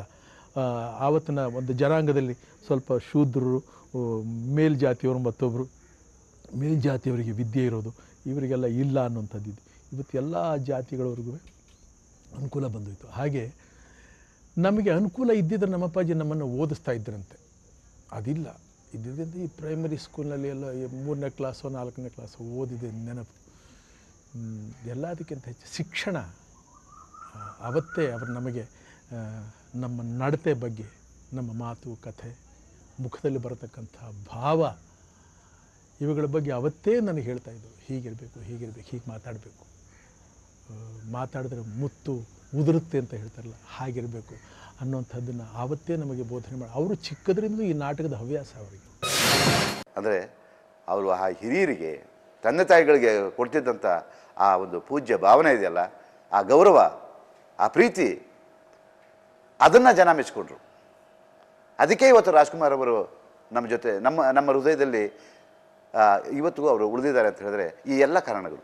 ತಮಿಳರ ಮೇಲೆ ದಬ್ಬಾಳಿಕೆ ಮಾಡೋದೇ ಆದರೆ ಜೀವಂತವಾಗಿ ಡಾಕ್ಟರ್ ರಾಜ್ಕುಮಾರ್ ಅವ್ರನ್ನ ನೋಡಲಿಕ್ಕೆ ಸಾಧ್ಯ ಇಲ್ಲ ಅಂತ ಹೇಳಿದಾಗ ಇಡೀ ಕರ್ನಾಟಕದ ಜನ ಅವ್ರು ಯಾವ ರೀತಿ ಬದಲಾವಣೆ ಆದರು ಅಂತ ಹೇಳಿದ್ರೆ ರಾಜ್ಕುಮಾರ್ ಅವರು ಹೇಗಾದರೂ ಸರಿ ಮತ್ತೆ ವಾಪಸ್ ಬರಬೇಕು ಅಂತ ಹೇಳಿ ಈ ದೇವಸ್ಥಾನಗಳಿಗೆ ಪೂಜೆ ಪುನಸ್ಕಾರಗಳಿಗೆ ತಿರುಗಿಬಿಟ್ರು. ನೂರೆಂಟು ದಿನ ನೂರೆಂಟು ದಿನ ಕರ್ನಾಟಕದ ಜನ. ಅದರಲ್ಲೂ ವಯಸ್ಸಾದಂಥವ್ರು. ಎಷ್ಟು ಕಷ್ಟಗಳನ್ನು ಅನುಭವಿಸಿದ್ರು ಅಂತ ಹೇಳ್ಬಿಟ್ಟು ರಾಜ್ಕುಮಾರ್ ಅವ್ರ ಬಗ್ಗೆ ಅಪಾರವಾದಂಥ ಗೌರವ ಇದ್ದಂಥವರು, ತಮ್ಮ ಮನೆಯಲ್ಲಿ ತಮ್ಮ ಮಕ್ಕಳೇ ಏನೋ ಕಳ್ಕೊಂಡ್ಬಿಟ್ಟಿದ್ದೀವಿ ನಮ್ಮ ಕುಟುಂಬದಲ್ಲಿ ಒಬ್ಬರನ್ನ ಕಳ್ಕೊಂಡ್ಬಿಟ್ಟಿದ್ದೀವಿ ಅನ್ನೋ ಒಂದು ರೋದನೆಗೆ ಒಳಗಾಗೋಗ್ಬಿಟ್ರು. ಇಡೀ ಕರ್ನಾಟಕ. ಇಡೀ ಕರ್ನಾಟಕ ಕಣ್ಣೀರಾಗ್ತು. ರಾಜ್ಕುಮಾರ್ ಅವ್ರಿಗೆ ಎಪ್ಪತ್ತೆರಡು ವರ್ಷ ಆಗಿದೆ. ಇವತ್ತು ಅವರು ಕಾಡಲ್ಲಿ ಇರಬೇಕಾ? ಅವರ ಆರೋಗ್ಯ ಏನಾಗಬೇಕು? ಕಣ್ಣೇರಿಟ್ರು. ಪೂಜೆ ಪುನಸ್ಕಾರ ಮಾಡಿದ್ರು. ದೇವ್ರನ್ನ ಬೇ, ಬೇಡ್ಕೊಂಡ್ರು, ಹರಕೆ ಕಟ್ಕೊಂಡ್ರು. ಅಲ್ಲಿಂದ ಕಾವೇರಿ ವಿಚಾರದ ಬಗ್ಗೆ ರಾಜ್ಕುಮಾರ್ ಅವ್ರ ಕೈಲಿ ವೀರಪ್ಪನ ಹೇಳಿಸ್ತೇನೆ. ಕಾವೇರಿ ನದಿ ನೀರನ್ನು ಬಿಡಿ ಅಂತ ಹೇಳಿ ಕ್ಯಾಸೆಟ್ನಲ್ಲಿ ಸಂದೇಶನ ಕಳಿಸ್ಕೊಡಿ ಕರ್ನಾಟಕಕ್ಕೆ ಅಂತ ಹೇಳ್ಬಿಟ್ಟು ಹೇಳ್ತಾರೆ. ಆದರೆ ಅವತ್ತು ರಾಜ್ಕುಮಾರ್ ಏನು ನಿಲುವು ತಗೊಂಡ್ರು? ಕರ್ನಾಟಕದ ಬಗ್ಗೆ ನನ್ನ ಪ್ರಾಣ ಹೋದರೂ ಸರಿ ನಾನು ಆ ಹೇಳಿಕೆನ ಕೊಡೋದಿಲ್ಲ. ಕಾವೇರಿ ನೀರನ್ನು ತಮಿಳ್ನಾಡಿಗೆ ಬಿಡಿ ಅಂತ ಹೇಳಿಬಿಟ್ಟು ನನ್ನ ಜನಗಳಿಗೆ ಸಂದೇಶ ಕೊಡಲ್ಲ. ಅದರ ಬದಲು ನನ್ನನ್ನು ಸಾಯಿಸ್ಬಿಡು. ನಾನು ಕೊಡೋದಿಲ್ಲ ಅಂತ ಹೇಳಿದರು. ಬಾಲ್ಯದಲ್ಲಿ ಅದನ್ನು ಸರಿಯಾಗಿ ಅಳವಡಿಸ್ಕೊಳ್ಳದೆ ಹೋಗ್ಬಿಟ್ರೆ ಅದು ಅದೊಂಥರ ಈ ಫೌಂಡೇಶನ್ ಅಂತಂತಾರಲ್ಲ ಅಡಿಪಾಯ ಅಂತ ಹೇಳ್ತಾರೆ. ಅದು ಭದ್ರವಾಗಿ ಅದು ಹಾಕ ಹಾಕದೇ ಹೋಗ್ಬಿಟ್ರೆ ಮಾತ್ರ ಮುಂದೆ ಬೆಳವಣಿಗೆಗೆ ಬಹಳ ತಾಪತ್ರಯಗಳಾಗುತ್ತೆ. ಇವತ್ತು ನಮ್ಮ ನಮ್ಮ ಮಕ್ಕಳಿಗೆ ನಾನು ಆ ರೀತಿ ಶಿಕ್ಷಣ ಕೊಡಬೇಕು ಅಂತ ಅನ್ನೋದಕ್ಕಿಂತ ಅವರು ನನ್ನ ನೋಡಿದ್ರೆ ಹೆದರ್ಕೋತಾರೆ. ನಾನೇನು ಅವ್ರನ್ನ ಹೆದರಿಸಲಿಲ್ಲ ಬೈಲಿಲ್ಲ ಏನು ಮಾಡಿ ಯಾಕೋ ಹೆದರ್ಕೋತಾರೆ. ಬಟ್ ತಾವು ಅಪ್ಪಾಜಿಗೆ ಹೆದರ್ತಾ ಇದ್ರಿ ಅಲ್ವಾ? ತುಂಬ. ಅದೇ ನಿಮ್ಮ ಮಕ್ಕಳು ಮಾಡ್ತಾ ಇವತ್ತು ಇವತ್ತಿಗೂ ಅದರ ಅವ್ರು ನೆನೆಸ್ಕೊಂಡ್ರೆ ಇವತ್ತಿಗೂ ನನಗೆ ನಡ್ಕ ಬರುತ್ತೆ. ಹಾಂ ಹೆದರಿಸ್ತಿದ್ರು. ಹೊಡಿತಿದ್ರು ಹೊಡೆದಿದ್ದಾರೆ. ಹೊಡೆದಿದ್ದಾರೆ. ಅವ್ರು ಹೇಳ್ತಾ ಇದ್ರು? ಅದೇ ತಾವು ಮಕ್ಕಳಿಗೆ ಯಾವ ಥರ? ಓ ಹೊಡೆದಿದ್ದೀನಿ ಚಿಕ್ಕ ಇವತ್ತು ನೆನೆಸ್ಕೊಂಡ್ರೆ ಸ್ವಲ್ಪ ಕಷ್ಟನೂ ಆಗುತ್ತೆ ಅದನ್ನು. ಅಂತಂತ ಹೇಳ್ಕೊಳ್ಳೋಂಥ ಹೊಡೆತೇನೆ ಅಲ್ಲದೆ ಹೋದರೂ ಕೂಡ ಒಂದು ಎರಡು ಸಲ ಎರಡು ಮೂರು ಸಲ ಹೊಡೆದಿದ್ದೀನಿ. ಅವೆಲ್ಲ ನೆನೆಸ್ಕೊಂಡಾಗ ಸ್ವಲ್ಪ ಯಾಕೆ ಹೀಗೆ ಮಾಡೋಕ್ಕೆ ಹೋದೆ ಅಂತಲೂ ಅನಿಸುತ್ತೆ. ಅದು ಕಾರಣ ಸಹವಾಸಗಳು ಸಂಪರ್ಕಗಳು ಅಂತ ಹೇಳ್ತೀವಲ್ಲ ಹಾಗೆ. ಆವತ್ತಿನಿಂದ ಅವ್ರು ಹೇಳ್ತಾ ಇದ್ರು ನನಗೆ ಈ ಥರ ನನಗೆ ಅನುಕೂಲ ಇದ್ದಿದ್ದು ನಮ್ಮನ್ನು ಓದಿಸ್ತಾ ಇದ್ದೆ. ವಿದ್ಯಾವಂತನ ಮಾಡ್ತಿದ್ದೆ ಪದವೀಧರನ ಮಾಡ್ತಿದ್ದೆ. ಅದಿಲ್ಲ ಆದ್ದರಿಂದ ನಾನು ನಿಮ್ಮನ್ನು ಹೆದರಿಸ್ತೀನಿ ಹೊಡಿತೀನಿ. ವಿದ್ಯೆ ಅಂತಂದ್ರೆ ಒಬ್ಬ ಜೀವನದ ಅನುಭವದ ಸಾರ ಅಂತ ಅಂದ್ಬಿಟ್ಟು ಹಿರಿಯರು ಹೇಳ್ತಾರೆ. ಶಿಕ್ಷಣ ಓದ್ಕೊಂಡಿರ್ಬೋದು. ಓದ್ಕೊಂಡು ಎಲ್ಲ ಮಾಡಿ ಅದರ ಒಟ್ಟಾರೆ ಅನುಭವ ಏನಿದೆಯಲ್ಲ ಅದರ ಸಾರ್ವೇ ವಿದ್ಯೆ ಅಥವಾ ಶಿಕ್ಷಣ ಅಂತ. ನಮ್ಮ ಅನುಭವ ಕೂಡ ಆ ರೀತಿಯಲ್ಲಿ ಬಹಳ ವಿಶಿಷ್ಟವಾದಂತ ನಮ್ಮ ಅಭಿಪ್ರಾಯ. ಇಡೀ ವಿಶ್ವವಿದ್ಯಾನಿಲಯ ತಮಗೊಂದು ಗೌರವ ಡಾಕ್ಟರೇಟ್ ಕೊಡಬೇಕು ಅಂತಂದ್ರೆ ಪ್ರಾಶ ಮಿಕ್ಕದವ್ರ ಶಿಕ್ಷಣಕ್ಕಿಂತ ಉನ್ನತ ಶಿಕ್ಷಣ ಅಂತ ಅಂದ್ಬಿಟ್ಟು ಅದು ಸಹವಾಸ ಅನ್ನೋ ಪದ ಉಪಯೋಗಿಸ್ತೀರಿ. ನಾನು ತಮ್ಮ ಬಗ್ಗೆ ತಿಳ್ಕೊಂಡ ಹಾಗೆ ತಮ್ಮ ಆತ್ಮೀಯ ಗೆಳೆಯರು ರಾಮಸ್ವಾಮಿ. ಬಾಲ್ಯದಲ್ಲಿ ನೀವು ಅವರು ಬಹಳ ಸ್ನೇಹಿತರಾಗಿದ್ದರು. ಬಾಲ್ಯದಲ್ಲಿ ಸ್ನೇಹಿತರಾಗಿದ್ದು ಇಂದಿಗೂ ಸಹ ನಿಮ್ಮ ಅತ್ಯಂತ ಆತ್ಮೀಯ ಸ್ನೇಹಿತರಲ್ಲಿ ರಾಮಸ್ವಾಮಿಗಳು ಒಬ್ಬರು ಅಂತ ಅಂದ್ಬಿಟ್ಟು. ಅವರೊಂದು ಪ್ರಸಂಗ ಹೇಳ್ತಾರೆ ನನಗೆ ಬಹಳ ಸ್ವಾರಸ್ಯಕರವಾದ ಪ್ರಸಂಗ. ತಾವು ತಿಪ್ಟೂರ್ ಕಡೆ ಹೋದಾಗ್ಲೆಲ್ಲ ತಿಪ್ಟೂರ್ನಲ್ಲಿ ನೀರ್ ಇಲ್ಲ ಅಂತ ಅಂದ್ಬಿಟ್ಟು ನಿಮ್ಮ ಗೆಳೆಯ ರಾಮಸ್ವಾಮಿನ ಜ್ಞಾಪಿಸ್ಕೊಂಡು ನೀವು ಹೋಗೋ ಕಾರ್ನಲ್ಲಿ ನೀರು ತುಂಬಿಕೊಂಡು ರಾಮಸ್ವಾಮಿ ಮನೆ ಕೊಟ್ಟು ಹೋಗ್ತಾ ಇದ್ದಂತೆ ಇದು ನಿಜವಾ ಸರ್? ಹೌದು ಅಲ್ಲಿ ನೀರಿನ ಅನಾನುಕೂಲ ಇವತ್ತಿಗೂ ಇದೆ. ಅವ್ರು ನಾ ಹೋದಾಗಲೆಲ್ಲ ಹೇಳ್ತೀರಿ ಅವರು ಅದನ್ನು ಅದನ್ನು ಬಹಳ ಹೇಳ್ತಿರ್ತಾರೆ ಅವರು. ಅಯ್ಯೋ ಬ್ಯಾಡಿ ನಮ್ಮ ಕರ್ಮ ಮಾಡಿದವರು ನಾವು ಈ ತಿಪ್ಟೂರಿನಲ್ಲಿ ಇದ್ದುಕೊಂಡು. ನಮ್ಮ ಆರೋಗ್ಯ ಎಲ್ಲ ಕೆಟ್ಟು ಹೋಗ್ತಾ ಇದೆ ಈ ನೀರು ಕುಡಿದ್ರೆ. ಆ ತಿಂದ ಅನ್ನ ಜೀರ್ಣವಾಗೋದಿಲ್ಲ ಹಾಗೆ ಹೀಗೆ ಅಂತ ಹೇಳೋರು. ನಾನು ಅವ್ರು ಇಲ್ಲಿಗೆ ಬಂದಾಗಲೆಲ್ಲ ಅವ್ರನ್ನ ಅವರು ಯಾವುದಕ್ಕೂ ಒಪ್ಪಿಕೊಳ್ಳೋ ಮನುಷ್ಯ ಅಲ್ಲ. ಒಂದು ಕಾರ್ಗಿರ್ ಕಳಿಸ್ತೀವಿ ಅಂತಂದರೆ ಹತ್ರನೇ ಬರೋದಿಲ್ಲ ಅವರು. ಆವಾಗ ನಾನು ಕಾರ್ ಮಾಡಿಕೊಂಡು ಅವ್ರ ಜೊತೆನಲ್ಲಿ ಅವ್ರನ್ನ ಕರ್ಕೊಂಡು ನಾನು ಹೋಗೋದು ಜೊತೆಯಲ್ಲಿ ಇದು ಯಾತಕ್ಕೆ ನಾನು ನಿಮ್ಮ ಜೊತೆಯಲ್ಲಿ ಬರ್ತೀನಿ ಅಂತಂದರೆ ನನಗೆ ಅನುಕೂಲ ಇದೆ. ನನ್ನ ಅನುಕೂಲಕ್ಕೋಸ್ಕರ ಬರ್ತೀನಿ. ಇದು ಬಹಳ ದಿವಸದೊಳಗೆ ತಲೆ ಒಳಗಿರುತ್ತೆ ನಿಮ್ಮ ಜೊತೆಯಲ್ಲಿ ಉದ್ದಕ್ಕೂ ಮಾತಾಡ್ಕೊಂಡು ಹೋಗ್ಬೋದು. ನೀವು ಉದ್ದಕ್ಕೂ ಮಾತಾಡ್ಕೊಂಡು ಬಂದ್ಬಿಡ್ತೀರಿ. ಆಮೇಲೆ ನೀವು ಒಬ್ಬರೇ ಆಗ್ತೀರಲ್ಲ? ನೀವೇ ನಿಮ್ಮ ನಿಮ್ಮ ನಿಮ್ಮ ಜೊತೆಲಿ ಮಾತಾಡಿದ್ದೆಲ್ಲ ಇದೆಯಲ್ಲ ನನ್ನ ಜೊತೆಯಲ್ಲಿ ಅದನ್ನೆಲ್ಲ ಮೇಲೆ ಹಾಕ್ತಾ ಬರೋದು ಅಷ್ಟೇ. ಏಳೆಂಟು ವರ್ಷಗಳೆಲ್ಲ ಒಡನಾಟದಲ್ಲೂ ನಾನು ರಾಜ್ಕುಮಾರ್ ವ್ಯಕ್ತಿತ್ವದಲ್ಲಿ, ಅವರ ಸಾನ್ನಿಧ್ಯದಲ್ಲಿ ಅವರ ಸಾಮೀಪ್ಯದಲ್ಲಿ ನಾನು ಕಂಡದ್ದು ಎಂಥ ಒಂದು ಗುಣ ಅಂತಂದರೆ ಅವರು ಯಾರ ಬಗ್ಗೂ ಯಾರ ಅನುಪಸ್ಥಿತಿಯಲ್ಲೂ ಒಂದೇ ಒಂದು ಸಣ್ಣ ಆ ಅಕ್ಕಿ ಕಾಳಿನಷ್ಟು ಗಾತ್ರದ ಒಂದು ಮಾತನ್ನು ಅವರು ಇನ್ನೊಬ್ಬರ ಬಗ್ಗೆ ಅಪಭ್ರಂಶ ಆಡಿದವರಲ್ಲ. ನಿಮ್ಮ ಅಪ್ಪಾಜಿನ ಬಗ್ಗೆ ನೀವು ಏನು ಹೇಳ್ಬೋದು? ಅದೇ ಏ- ಅವರ ಅವರ ಮಾರ್ಗದರ್ಶನವಿಲ್ಲದೆ ಹೋಗಿದ್ದರೆ ಅವರ ನೆನಪು ಯಾವಾಗಲೂ ಉಳಿದೇ ಹೋದರೆ ಅದು ನಾವು ಹೀಗಿರೋದಕ್ಕೆ ಸಾಧ್ಯವೂ ಇಲ್ಲ. ಈ, ಅದು ಅದು ನಿಲ್ಲಬೇಕು, ಆ ನೆನಪು ನಿಲ್ಲಬೇಕಾದ್ರೆ ಒಂದೇ ಸಲ. ಯಾವಾಗ ನಿಂತು ಹೋಗುತ್ತೋ, ಆವಾಗ ಅದು ನಿಂತು ಹೋಗ್ಬಿಡ್ಬೋದು ಅಷ್ಟೇ ಹೊರತು. ಅವರ ವಿಷಯದಲ್ಲಿ ಅದು ಎಷ್ಟು ಹೇಳಿದ್ರೂ ಬಹಳ ಕಮ್ಮಿನೇ ಅಂತ ಕಾಣುತ್ತೆ. ಅದೇ ಅದೇ ನಮ್ಮ, ನಾವು ಈ ಸ್ಥಿತಿಗೆ ಇರೋದಕ್ಕೆ ಕಾರಣ ಇವರು. ನಮ್ಮೂರು, ನಾವೆಲ್ಲ ನಮ್ಮನ್ನೆಲ್ಲ ಅವರು ಸಾಕದ ರೀತಿ. ತಮಗೆ ಹೊಟ್ಟೆಗೆ ಇಲ್ಲದಿದ್ದ ಸಂದರ್ಭದಲ್ಲಿ ಕೂಡ ಅದನ್ನು ತೋರ್ಪಡಿಸ್ಕೊಳ್ತೇವೆ ಅವ್ರ ಗಂಡ ಹೆಂಡರು ನಮ್ಮ ತಾಯಿ ನಮ್ಮ ಅಪ್ಪಾಜಿ ನಮ್ಮ ತಾಯಿ ಸುಮಾರು ನಾಲ್ಕು ದಿವಸ, ಐದು ದಿವಸ ಏನು ಇಲ್ಲದೆ ಹಾಗೆ ಇದ್ದು ಬಿಡ್ತಾಯಿದ್ರು ರಾಜ್ಕುಮಾರ್ ನಾಡು ನುಡಿಯ ಪ್ರಶ್ನೆ ಬಂದಾಗಲೆಲ್ಲ ರಾಜ್ಕುಮಾರ್ ಇಲ್ಲ ಇಲ್ಲದೆ ಇದ್ದರೆ ಏನಾಗ್ತಿತ್ತು ಅನ್ನೋದಕ್ಕೆ ಈ ಒಂದು ವರ್ಷ ಇದೆಯಲ್ಲ, ರಾಜ್ಕುಮಾರ್ ಇಲ್ಲದ ಒಂದು ವರ್ಷ, ಅದು ನಿಮಗೆ ಜೀವಂತವಾದ ಶಾ, ಸಾಕ್ಷ್ಯಗಳನ್ನು ನುಡಿದಿದೆ. ಇವತ್ತು ಕಾವೇರಿ ಗಲಾಟೆ. ದಿನಕ್ಕೊಂದು ಹೋರಾಟ ನಡೀತಾ ಇದೆ, ಬೀದಿಗೊಂದು ಹೋರಾಟ ನಡೀತಾ ಇದೆ, ಡೆಲ್ಲಿಗೆ ಹೋಗಿ ಮುತ್ತಿಗೆ ಹಾಕೋದಾಗ್ತಾ ಇದೆ. ಯಾವ ಮುತ್ತಿಗೆ, ಯಾವ ಹೋರಾಟ ಒಂದು ನಿರ್ಣಾಯಕ ಹಂತಕ್ಕೆ ಬರಲಿಲ್ಲ. ಯಾಕೆ ಬರಲಿಲ್ಲ? ಅದಕ್ಕೆ ನಾಯಕತ್ವ ಇಲ್ಲ. ಈ ನಾಡಿನ ಒಂದು ಸಾಂಸ್ಕೃತಿಕ ಸಾಮ್ರಾಜ್ಯದ ಅನಭಿಷಿಕ್ತ ದೊರೆಯಾಗಿ ಮೆರೆದಂಥ ರಾಜಣ್ಣ ನಮ್ಮ ಮಧ್ಯೆ ಇಲ್ಲ. ಹಾಗಂತ ರಾಜಣ್ಣ ಯಾವತ್ತೂ ನಾನು ನಾಯಕ ಅಂತ ಹೇಳ್ಕೊಳ್ಳಿಲ್ಲ. ಇಲ್ಲಿ ನಾಯಕ ಅಂತ ಹೇಳ್ಕೊಳ್ಳೋರು ತುಂಬ ಜನ ಇದ್ದಾರೆ. ಆದರೆ ಅವ್ರು ಯಾವತ್ತೂ ನಾಯಕರಾಗಲಿಲ್ಲ. ರಾಜ್ಕುಮಾರ್ ತಾನು ಏನೂ ಅಲ್ಲ. ನಾನು ಮೂರನೇ ಕ್ಲಾಸ್ ಓದಿದವನು. ಎಮ್ಮೆಯನ್ನು ಕಾಯಿಸುವಂತಹ ಒಬ್ಬ ಮನುಷ್ಯನಿಗೂ ಎಂ ಮಾಡಿ ಡಾಕ್ಟ್ರೇಟ್ ಮಾಡ್ಲಿಕ್ಕೆ ಮಾಡಿದ ನಂತರ ಸಿಗಬಹುದಾದಂಥ ಡಾಕ್ಟ್ರೇಟ್ ಸಿಗ್ತದೆ ಅಂತ ಗೊತ್ತಾದದ್ದೇ ಇವತ್ತು ಅಂತ ಅವರು ಮೈಸೂರು ಯೂನಿವರ್ಸಿಟಿಯಲ್ಲಿ ಅವತ್ತು ಡಾಕ್ಟ್ರೇಟ್ ತಗೊಳ್ಳುವಾಗ ಹೇಳಿದರು. ಯಾವ ಸಿನಿಮಾ ನೋಡಲಿಕ್ಕೆ ಹೋದಾಗ ಪರದೆಯಲ್ಲಿ ಕಾಣುವ ಎಲ್ಲ ವ್ಯಕ್ತಿಗಳು, ಚಿತ್ರಗಳು ಆ ಸಿನಿಮಾ ಮುಗಿದ ಮೇಲೆ ಪರದೆಯ ಹಿಂದಿನ ಆ ಬಾಕ್ಸ್ಗಳಲ್ಲಿ ಅವಿತ್ ಕುರು ಕೂತಿರ್ಬೋದು ಅಂತ ಹೇಳಿ ಆ ಬಾಕ್ಸನ್ನು ಎತ್ತಿ ನೋಡಲಿಕ್ಕೆ ಹೋದಂಥ ಆ ಹೋಗಿ ಪೆಟ್ಟು ತಿಂದಂತಹ ಆ ಮುತ್ತುರಾಜನ ಮುಗ್ಧತೆ ಇನ್ನೂರ ಆರು ಚಿತ್ರಗಳನ್ನು ನಟಿಸಿ ಕೊನೆಗೆ ತನ್ನ ಪಯಣವನ್ನು ಸಾಯುಜ್ಯದತ್ತ ಕೊಂಡು ಹೋಗುವಾಗಲೂ ನಡೆದಾಗಲೂ ಅದೇ ಮುಗ್ಧತೆ ಇತ್ತು. ಈಗ ಶಕ್ತಿಧಾಮ ಕಟ್ಟಿದ್ದಾರೆ ಅವರು ಮೈಸೂರಿನಲ್ಲಿ. ಯಾರು ಆಸೆ, ಆಕಾಂಕ್ಷೆ, ಆಮಿಷ ನಿಮ್ಗೆ ಅದು ಕೊಡ್ತೇವೆ, ಇದು ಕೊಡ್ತೇವೆ ಅಂತ ಯಾವ್ಯಾವುದೋ ಮನೆತನದ ಹೆಣ್ಣು ಮಕ್ಕಳನ್ನ ಕರ್ಕೊಬಂದು ವ್ಯಭಿಚಾರ ಮಾಡಿ ಅವರನ್ನು ಬೀದಿಗೆ ತಳೆದಂಥ ರಾಕ್ಷಸ ಪ್ರವೃತ್ತಿ ಏನಿದೆ ನಮ್ಮಲ್ಲಿ, ಅದಕ್ಕೆ ಅಂಥ ಹೆಣ್ಣುಮಕ್ಕಳನ್ನ ರೀಹ್ಯಾಬಿಟೇಷನ್ ಮಾಡೋ, ಪುನರ್ವಸತಿ ಮಾಡುವಂತಹ ಕೆಲಸವನ್ನ ರಾಜ್ಕುಮಾರ್ ಕುಟುಂಬ ಕೆಂಪೈನಂತವರು ಮುಂದಾಗಿ ಮಾಡಿದ್ದಾರೆ. ಅದಕ್ಕೆ ನಲವತ್ತರಿಂದ ಅರವತ್ತು ಲಕ್ಷ ರೂಪಾಯಿಯನ್ನ ರಾಜ್ಕುಮಾರ್ ರಸಸಂಜೆಯ ಮೂಲಕ ಕಟ್, ಒದಗಿಸಿಕೊಡಲಾಗಿದೆ. ಇವತ್ತೇ ಈ ನಾಡಿನಲ್ಲಿ ಮುನ್ನೂರ ಐವತ್ತಕ್ಕೂ ಹೆಚ್ಚು ಸಾಂಸ್ಕೃತಿಕ ಸಂಘಟನೆಗಳು. ರಾಜ್ಕುಮಾರ್ರ ರಸಸಂಜೆಯಿಂದ ತಮ್ಮ ಮೂಲಧನವನ್ನು ಹೊಂದಿವೆ. ಅದಕ್ಕೆ ಕೇವಲ ಅವರು ಖರ್ಚನ್ನ ಮಾತ್ರ ತಗೊಳ್ತಾ ಇದ್ರು. ಆಮೇಲೆ ರಾಜ್ಕುಮಾರರು, ನಾನು ಇವತ್ತು ಇಂಥ ಸಂಸ್ಥೆಗೆ ಇಷ್ಟು ಸಾವಿರ ರೂಪಾಯಿ ಕೊಟ್ಟೆ ಅಂತ ಹೇಳಿ ಪ್ರೆಸ್ ಕಾನ್ಫರೆನ್ಸ್ ಮಾಡುವಂತ ಜಾತಿ ಅಲ್ಲ. ಈ ಕೈಯಲ್ಲಿ ಕೊಟ್ಟದ್ದು ಈ ಕೈಯಲ್ಲಿ ಗೊತ್ತಾಗಬಾರ್ದು. ಎಡ ಕೈಯಲ್ಲಿ ಕೊಟ್ಟದ್ದು ಬಲಕೈಗೆ ಗೊತ್ತಾಗಬಾರ್ದು ಬಲಕೈಯಲ್ಲಿ ಕೊಟ್ಟದ್ದು ಎಡಕೈಗೆ ಗೊತ್ತಾಗಬಾರ್ದು. ಇದು ರಾಜ್ಕುಮಾರರ ನೀತಿ. ನಾವು ಆ ಪರಿಸರದಲ್ಲಿ ಬೆಳೆದು ಅದರಿಂದ ಕಿಂಚಿತ್ತು ಕೂಡ ನಾವು ಅದನ್ನು ಅದನ್ನು ಅನುಸರಿಸದೆ ಹೋದಾಗ ನಾವು ಮನುಷ್ಯರಾಗೋಕ್ಕಾಗಲ್ಲ.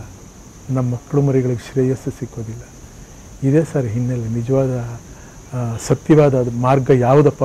ರಾಜ್ಕುಮಾರ್ ಕಂಡುಕೊಂಡಿದ್ದು, ರಾಜ್ಕುಮಾರ್ ಗೋಚರವಾಗಿದ್ದು, ರಾಜ್ಕುಮಾರ್ ನಡೆದು ಬಂದಿದ್ದು ಅಂತಂದರೆ ಮೂಲ ಇದೆ.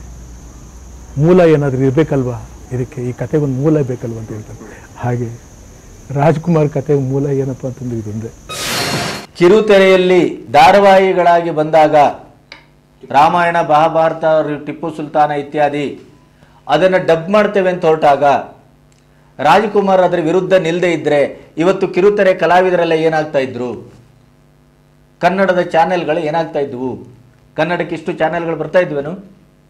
ಕನ್ನಡದ ಇವತ್ತು ಸಿನಿಮಾ ಕಲಾವಿದರಿಗಿಂತ ಕಿರುತೆರೆ ಕಲಾವಿದರು ಮನೆ, ಮಠ, ಆರಾಮಾಗಿ ಚೆನ್ನಾಗಿದ್ದಾರೆ. ದೇವರವ್ರನ್ನ ಚೆನ್ನಾಗಿಟ್ಟಿರಬೇಕು. ಅವ್ರ ದುಡಿಮೆಗೆ ತಕ್ಕ ಫಲ ಸಿಕ್ಕಿದೆ. ಅದಿದ್ರೆ ಇವತ್ತು ಅವ್ರು ರಾಜ್ಕುಮಾರ್ ಹೆಸರು ಹೇಳ್ಕೊಂಡು ಊಟ ಮಾಡೋದು. ಇದು ಕೊಡುಗೆ ಅಲ್ವಾ?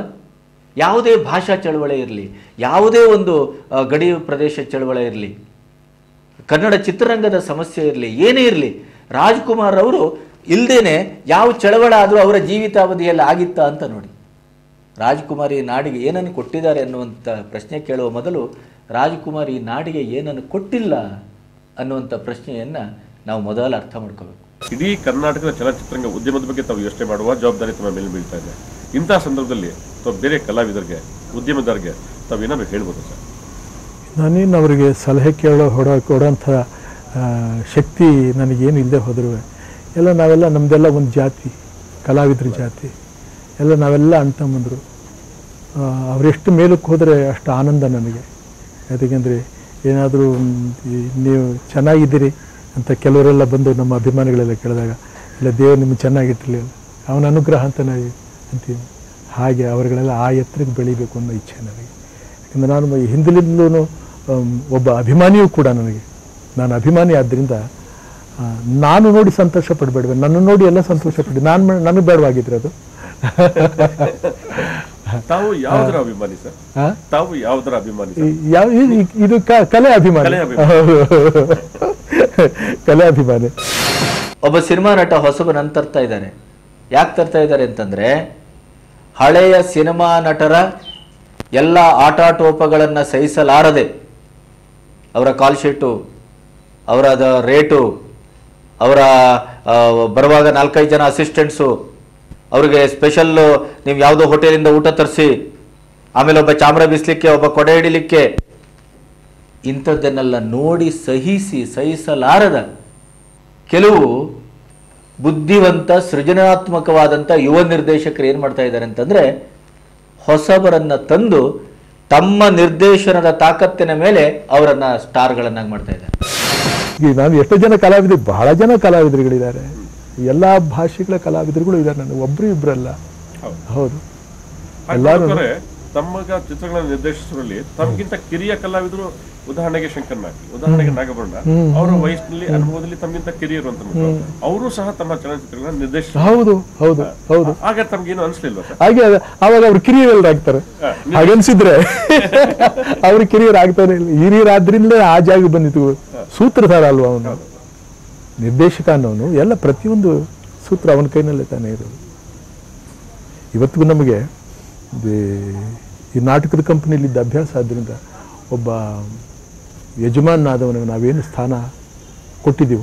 ಇವತ್ತು ನಮಗೆ ಎಷ್ಟೋ ಜನ ಪಿಕ್ಚರ್ಗಳನ್ನ ತೆಗೆದು ಭಾಳ ಕಮ್ಮಿಲಿದ್ದು ಕ- ಕಷ್ಟ ಸ್ಥಿತಿನಲ್ಲಿದ್ದವರೆಲ್ಲ ನಾವು ನಿರ್ಮಾಪಕರಾಗಿದ್ದಾರೆ. ನಿರ್ಮಾಪಕರಾಗಿ ನಮ್ಗೆ ಅನ್ನ ಹಾಕಿದ್ದಾರೆ. ಆದ್ದರಿಂದ ನಮಗೆ ಏನೇ ಮಾಡಿದ್ರು ಕೂಡ ಯಜಮಾನ ಅನ್ನೋದು ಮಾತ್ರ ಒಳಗಡೆಯಿಂದ ಅಳಿಸೋಕ್ಕಾಗ್ತಾ ಇಲ್ಲ. ಅವ ನಮ್ಮ ಧಣಿ, ನಮಗೆ ಅನ್ನ ಕೊಟ್ಟ ಧಣಿ.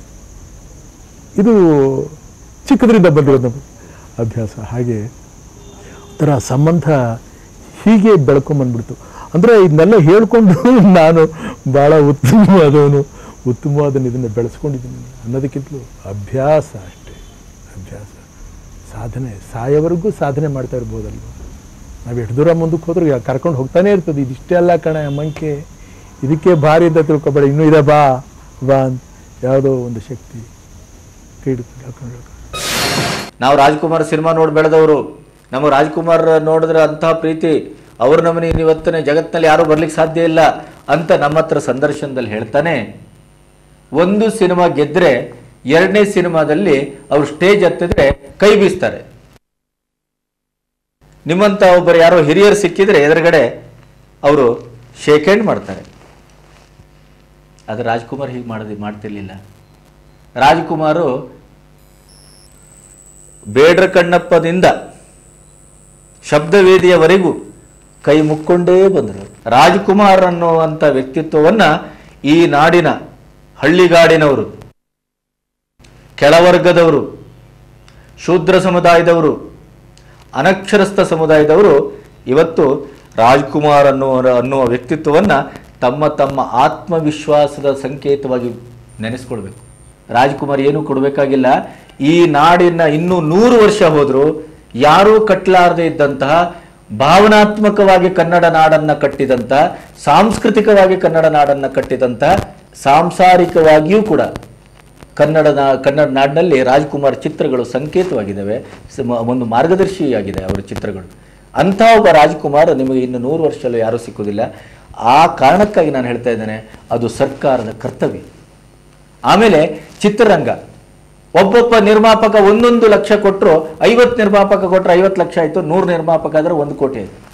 ಇವತ್ತು ರಾಜ್ಕುಮಾರ್ ಅಂತ ಒಬ್ಬ ನಟ, ಮೇರು ನಟ ಇದ್ದಿದ್ರಿಂದ ತಾನೇ ಇವತ್ತು ಇಡೀ ದೇಶದಲ್ಲಿ ಕನ್ನಡ ಚಿತ್ರರಂಗ ಕನ್ನಡ ಚಿತ್ರರಂಗ ಅಂತ ಒಂದು ಇರುವಂಥದ್ದು.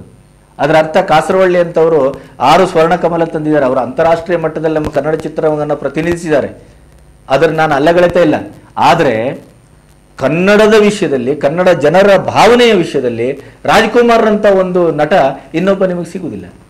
ಹಾಗಾಗಿ ನೀವು ಕನ್ ರಾಜ್ಕುಮಾರ ಸಮಾಧಿಯನ್ನ ಕಟ್ಟೋದು ಅನ್ನೋದರ ಅರ್ಥ, ಅದು ಕೇವಲ ರಾಜ್ಕುಮಾರರ ಕಳೆ ಬರಹವನ್ನು ಇಟ್ಟಂಥ ಜಾಗವನ್ನ ಪುನರ್ನಿರ್ಮಿಸುವುದಲ್ಲ, ನಿರ್ಮಾಣಗೊಳಿಸುವುದಲ್ಲ, ಕನ್ನಡರ ಜನರ ಭಾವನೆಯ ದೇಗುಲವನ್ನು ಕಟ್ತೀರಿ ಅಂತ ನೀವು ಭಾವಿಸಬೇಕು. ಬಹುಶಃ ಅದು ಕುಮಾರಸ್ವಾಮಿ ಅಂತವ್ರಿಗೆ ಸಿಕ್ಕಿದ ಭಾಗ್ಯ ಅದು. ಅವರು ಅದನ್ನು ಬಳಸ್ಕೊಳ್ಳಿಲ್ಲ ಅಂತ ಅಂದ್ರೆ ಅದು ಅವರ ದೌರ್ಭಾಗ್ಯ ಅದು. ಅದು ರಾಜ್ಕುಮಾರರ ಕುಟುಂಬದವರ ಯಾವ ಸೋಲು ಅಲ್ಲ, ಅಥವಾ ಯಾವ ಕ್ಲೀಶೆಯೂ ಅಲ್ಲ, ಅಥವಾ ರಾಜ್ಕುಮಾರ್ ಅಂತ ವ್ಯಕ್ತಿತ್ವಕ್ಕೆ ಯಾವ ಕಳಂಕವೂ ಅಲ್ಲ, ಅದು ನಿಮಗೆ ತಗಲುವ ಕಳಂಕ. ನಾನು ನಿಮ್ಮ ಕಾರ್ಯಕ್ರಮದ ಬಗ್ಗೆ ಹೇಳಬೇಕು. ಬಹುಶಃ ರಾಜ್ಕುಮಾರರ ಬಗ್ಗೆ ನೀವು ಮೌನವಾಗಿ, ಯಾವುದೇ ಇದು ಪ್ರಚಾರ, ಗಿಚಾರ, ಅದು, ಇದು ಇಲ್ಲದೇನೆ ನಿಮ್ಮಷ್ಟಿಗೆ ನೀವು ಐವತ್ತೆರಡು ವಾರಗಳ ಕಾಲ ದಾಟಿ ರಾಜ್ಕುಮಾರರನ್ನು ಅನಾವರಣಗೊಳಿಸಿದ್ದಿದೆಯಲ್ಲ, ಅದರಲ್ಲೂ ರಜನಿಕಾಂತ್ ಅಂತವರು, ಹಿಂದಿಯ ಘಟಾನುಘಟಿಗಳು, ಪರಭಾಷಿಕರು, ರಾಜ್ಕುಮಾರ್ ಒಡನಾಡಿಗಳು, ಇಂಥವ್ರನ್ನೆಲ್ಲ ನೀವು ಈ ಈ ಒಂದು ಧಾರಾವಾಹಿಗೆ, ಈ ಒಂದು ಕ್ಷೇತ್ರಕ್ಕೆ ಇಲ್ಲಿ ತಂದು ಜನರ ಎದುರು ಅವರ ಭಾವನೆಗಳನ್ನು ರಾಜ್ಕುಮಾರರ ಬಗ್ಗೆ ಹಂಚಿಕೊಳ್ಳಿಕ್ಕೆ ನೀವು ನೆರವು ಮಾಡಿದ್ದು ನಿಜಕ್ಕೂ ಹೇಳ್ತೇನೆ, ಇದು ಕನ್ನಡದ ಕೆಲಸ.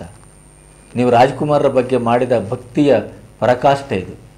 ರಾಜ್ಕುಮಾರರನ್ನು ಅನಾವರಣಗೊಳಿಸೋದು ಅಂದರೆ ಏನು ಅಂತ, ಏನು ಅಂತಂದರೆ, ಈ ನಾಡಿನಲ್ಲಿದ್ದಂಥ ಒಬ್ಬ ಕನ್ನಡದ ಮಹಾ ಸೇನಾನಿಯನ್ನು ನೀವು ಅನಾವರಣಗೊಳಿಸಿದಿರಿ ಅಂತಲೇ ಅರ್ಥ. ಹಾಗಾಗಿ ನಿಮ್ಮ ಈ ಕಾರ್ಯಕ್ರಮ ಸಾರ್ಥಕವಾದ ಕೆಲಸ ಅದು. ಅದು ಇನ್ನು ಕೃತಿ ರೂಪದಲ್ಲೋ, ಧ್ವನಿ ರೂಪದಲ್ಲೋ ಬಂದು ಜನರಿಗೆಲ್ಲದು ಮುಟ್ಟುವಂತಾದರೆ ಅದು ಇನ್ನೊಂದು ದೊಡ್ಡ ಕೆಲಸ ಅದು ನಿಮ್ಮಿಂದ ಆಗಲಿ ಅಂತ ನಾನು ಹಾರೈಸ್ತೀನಿ.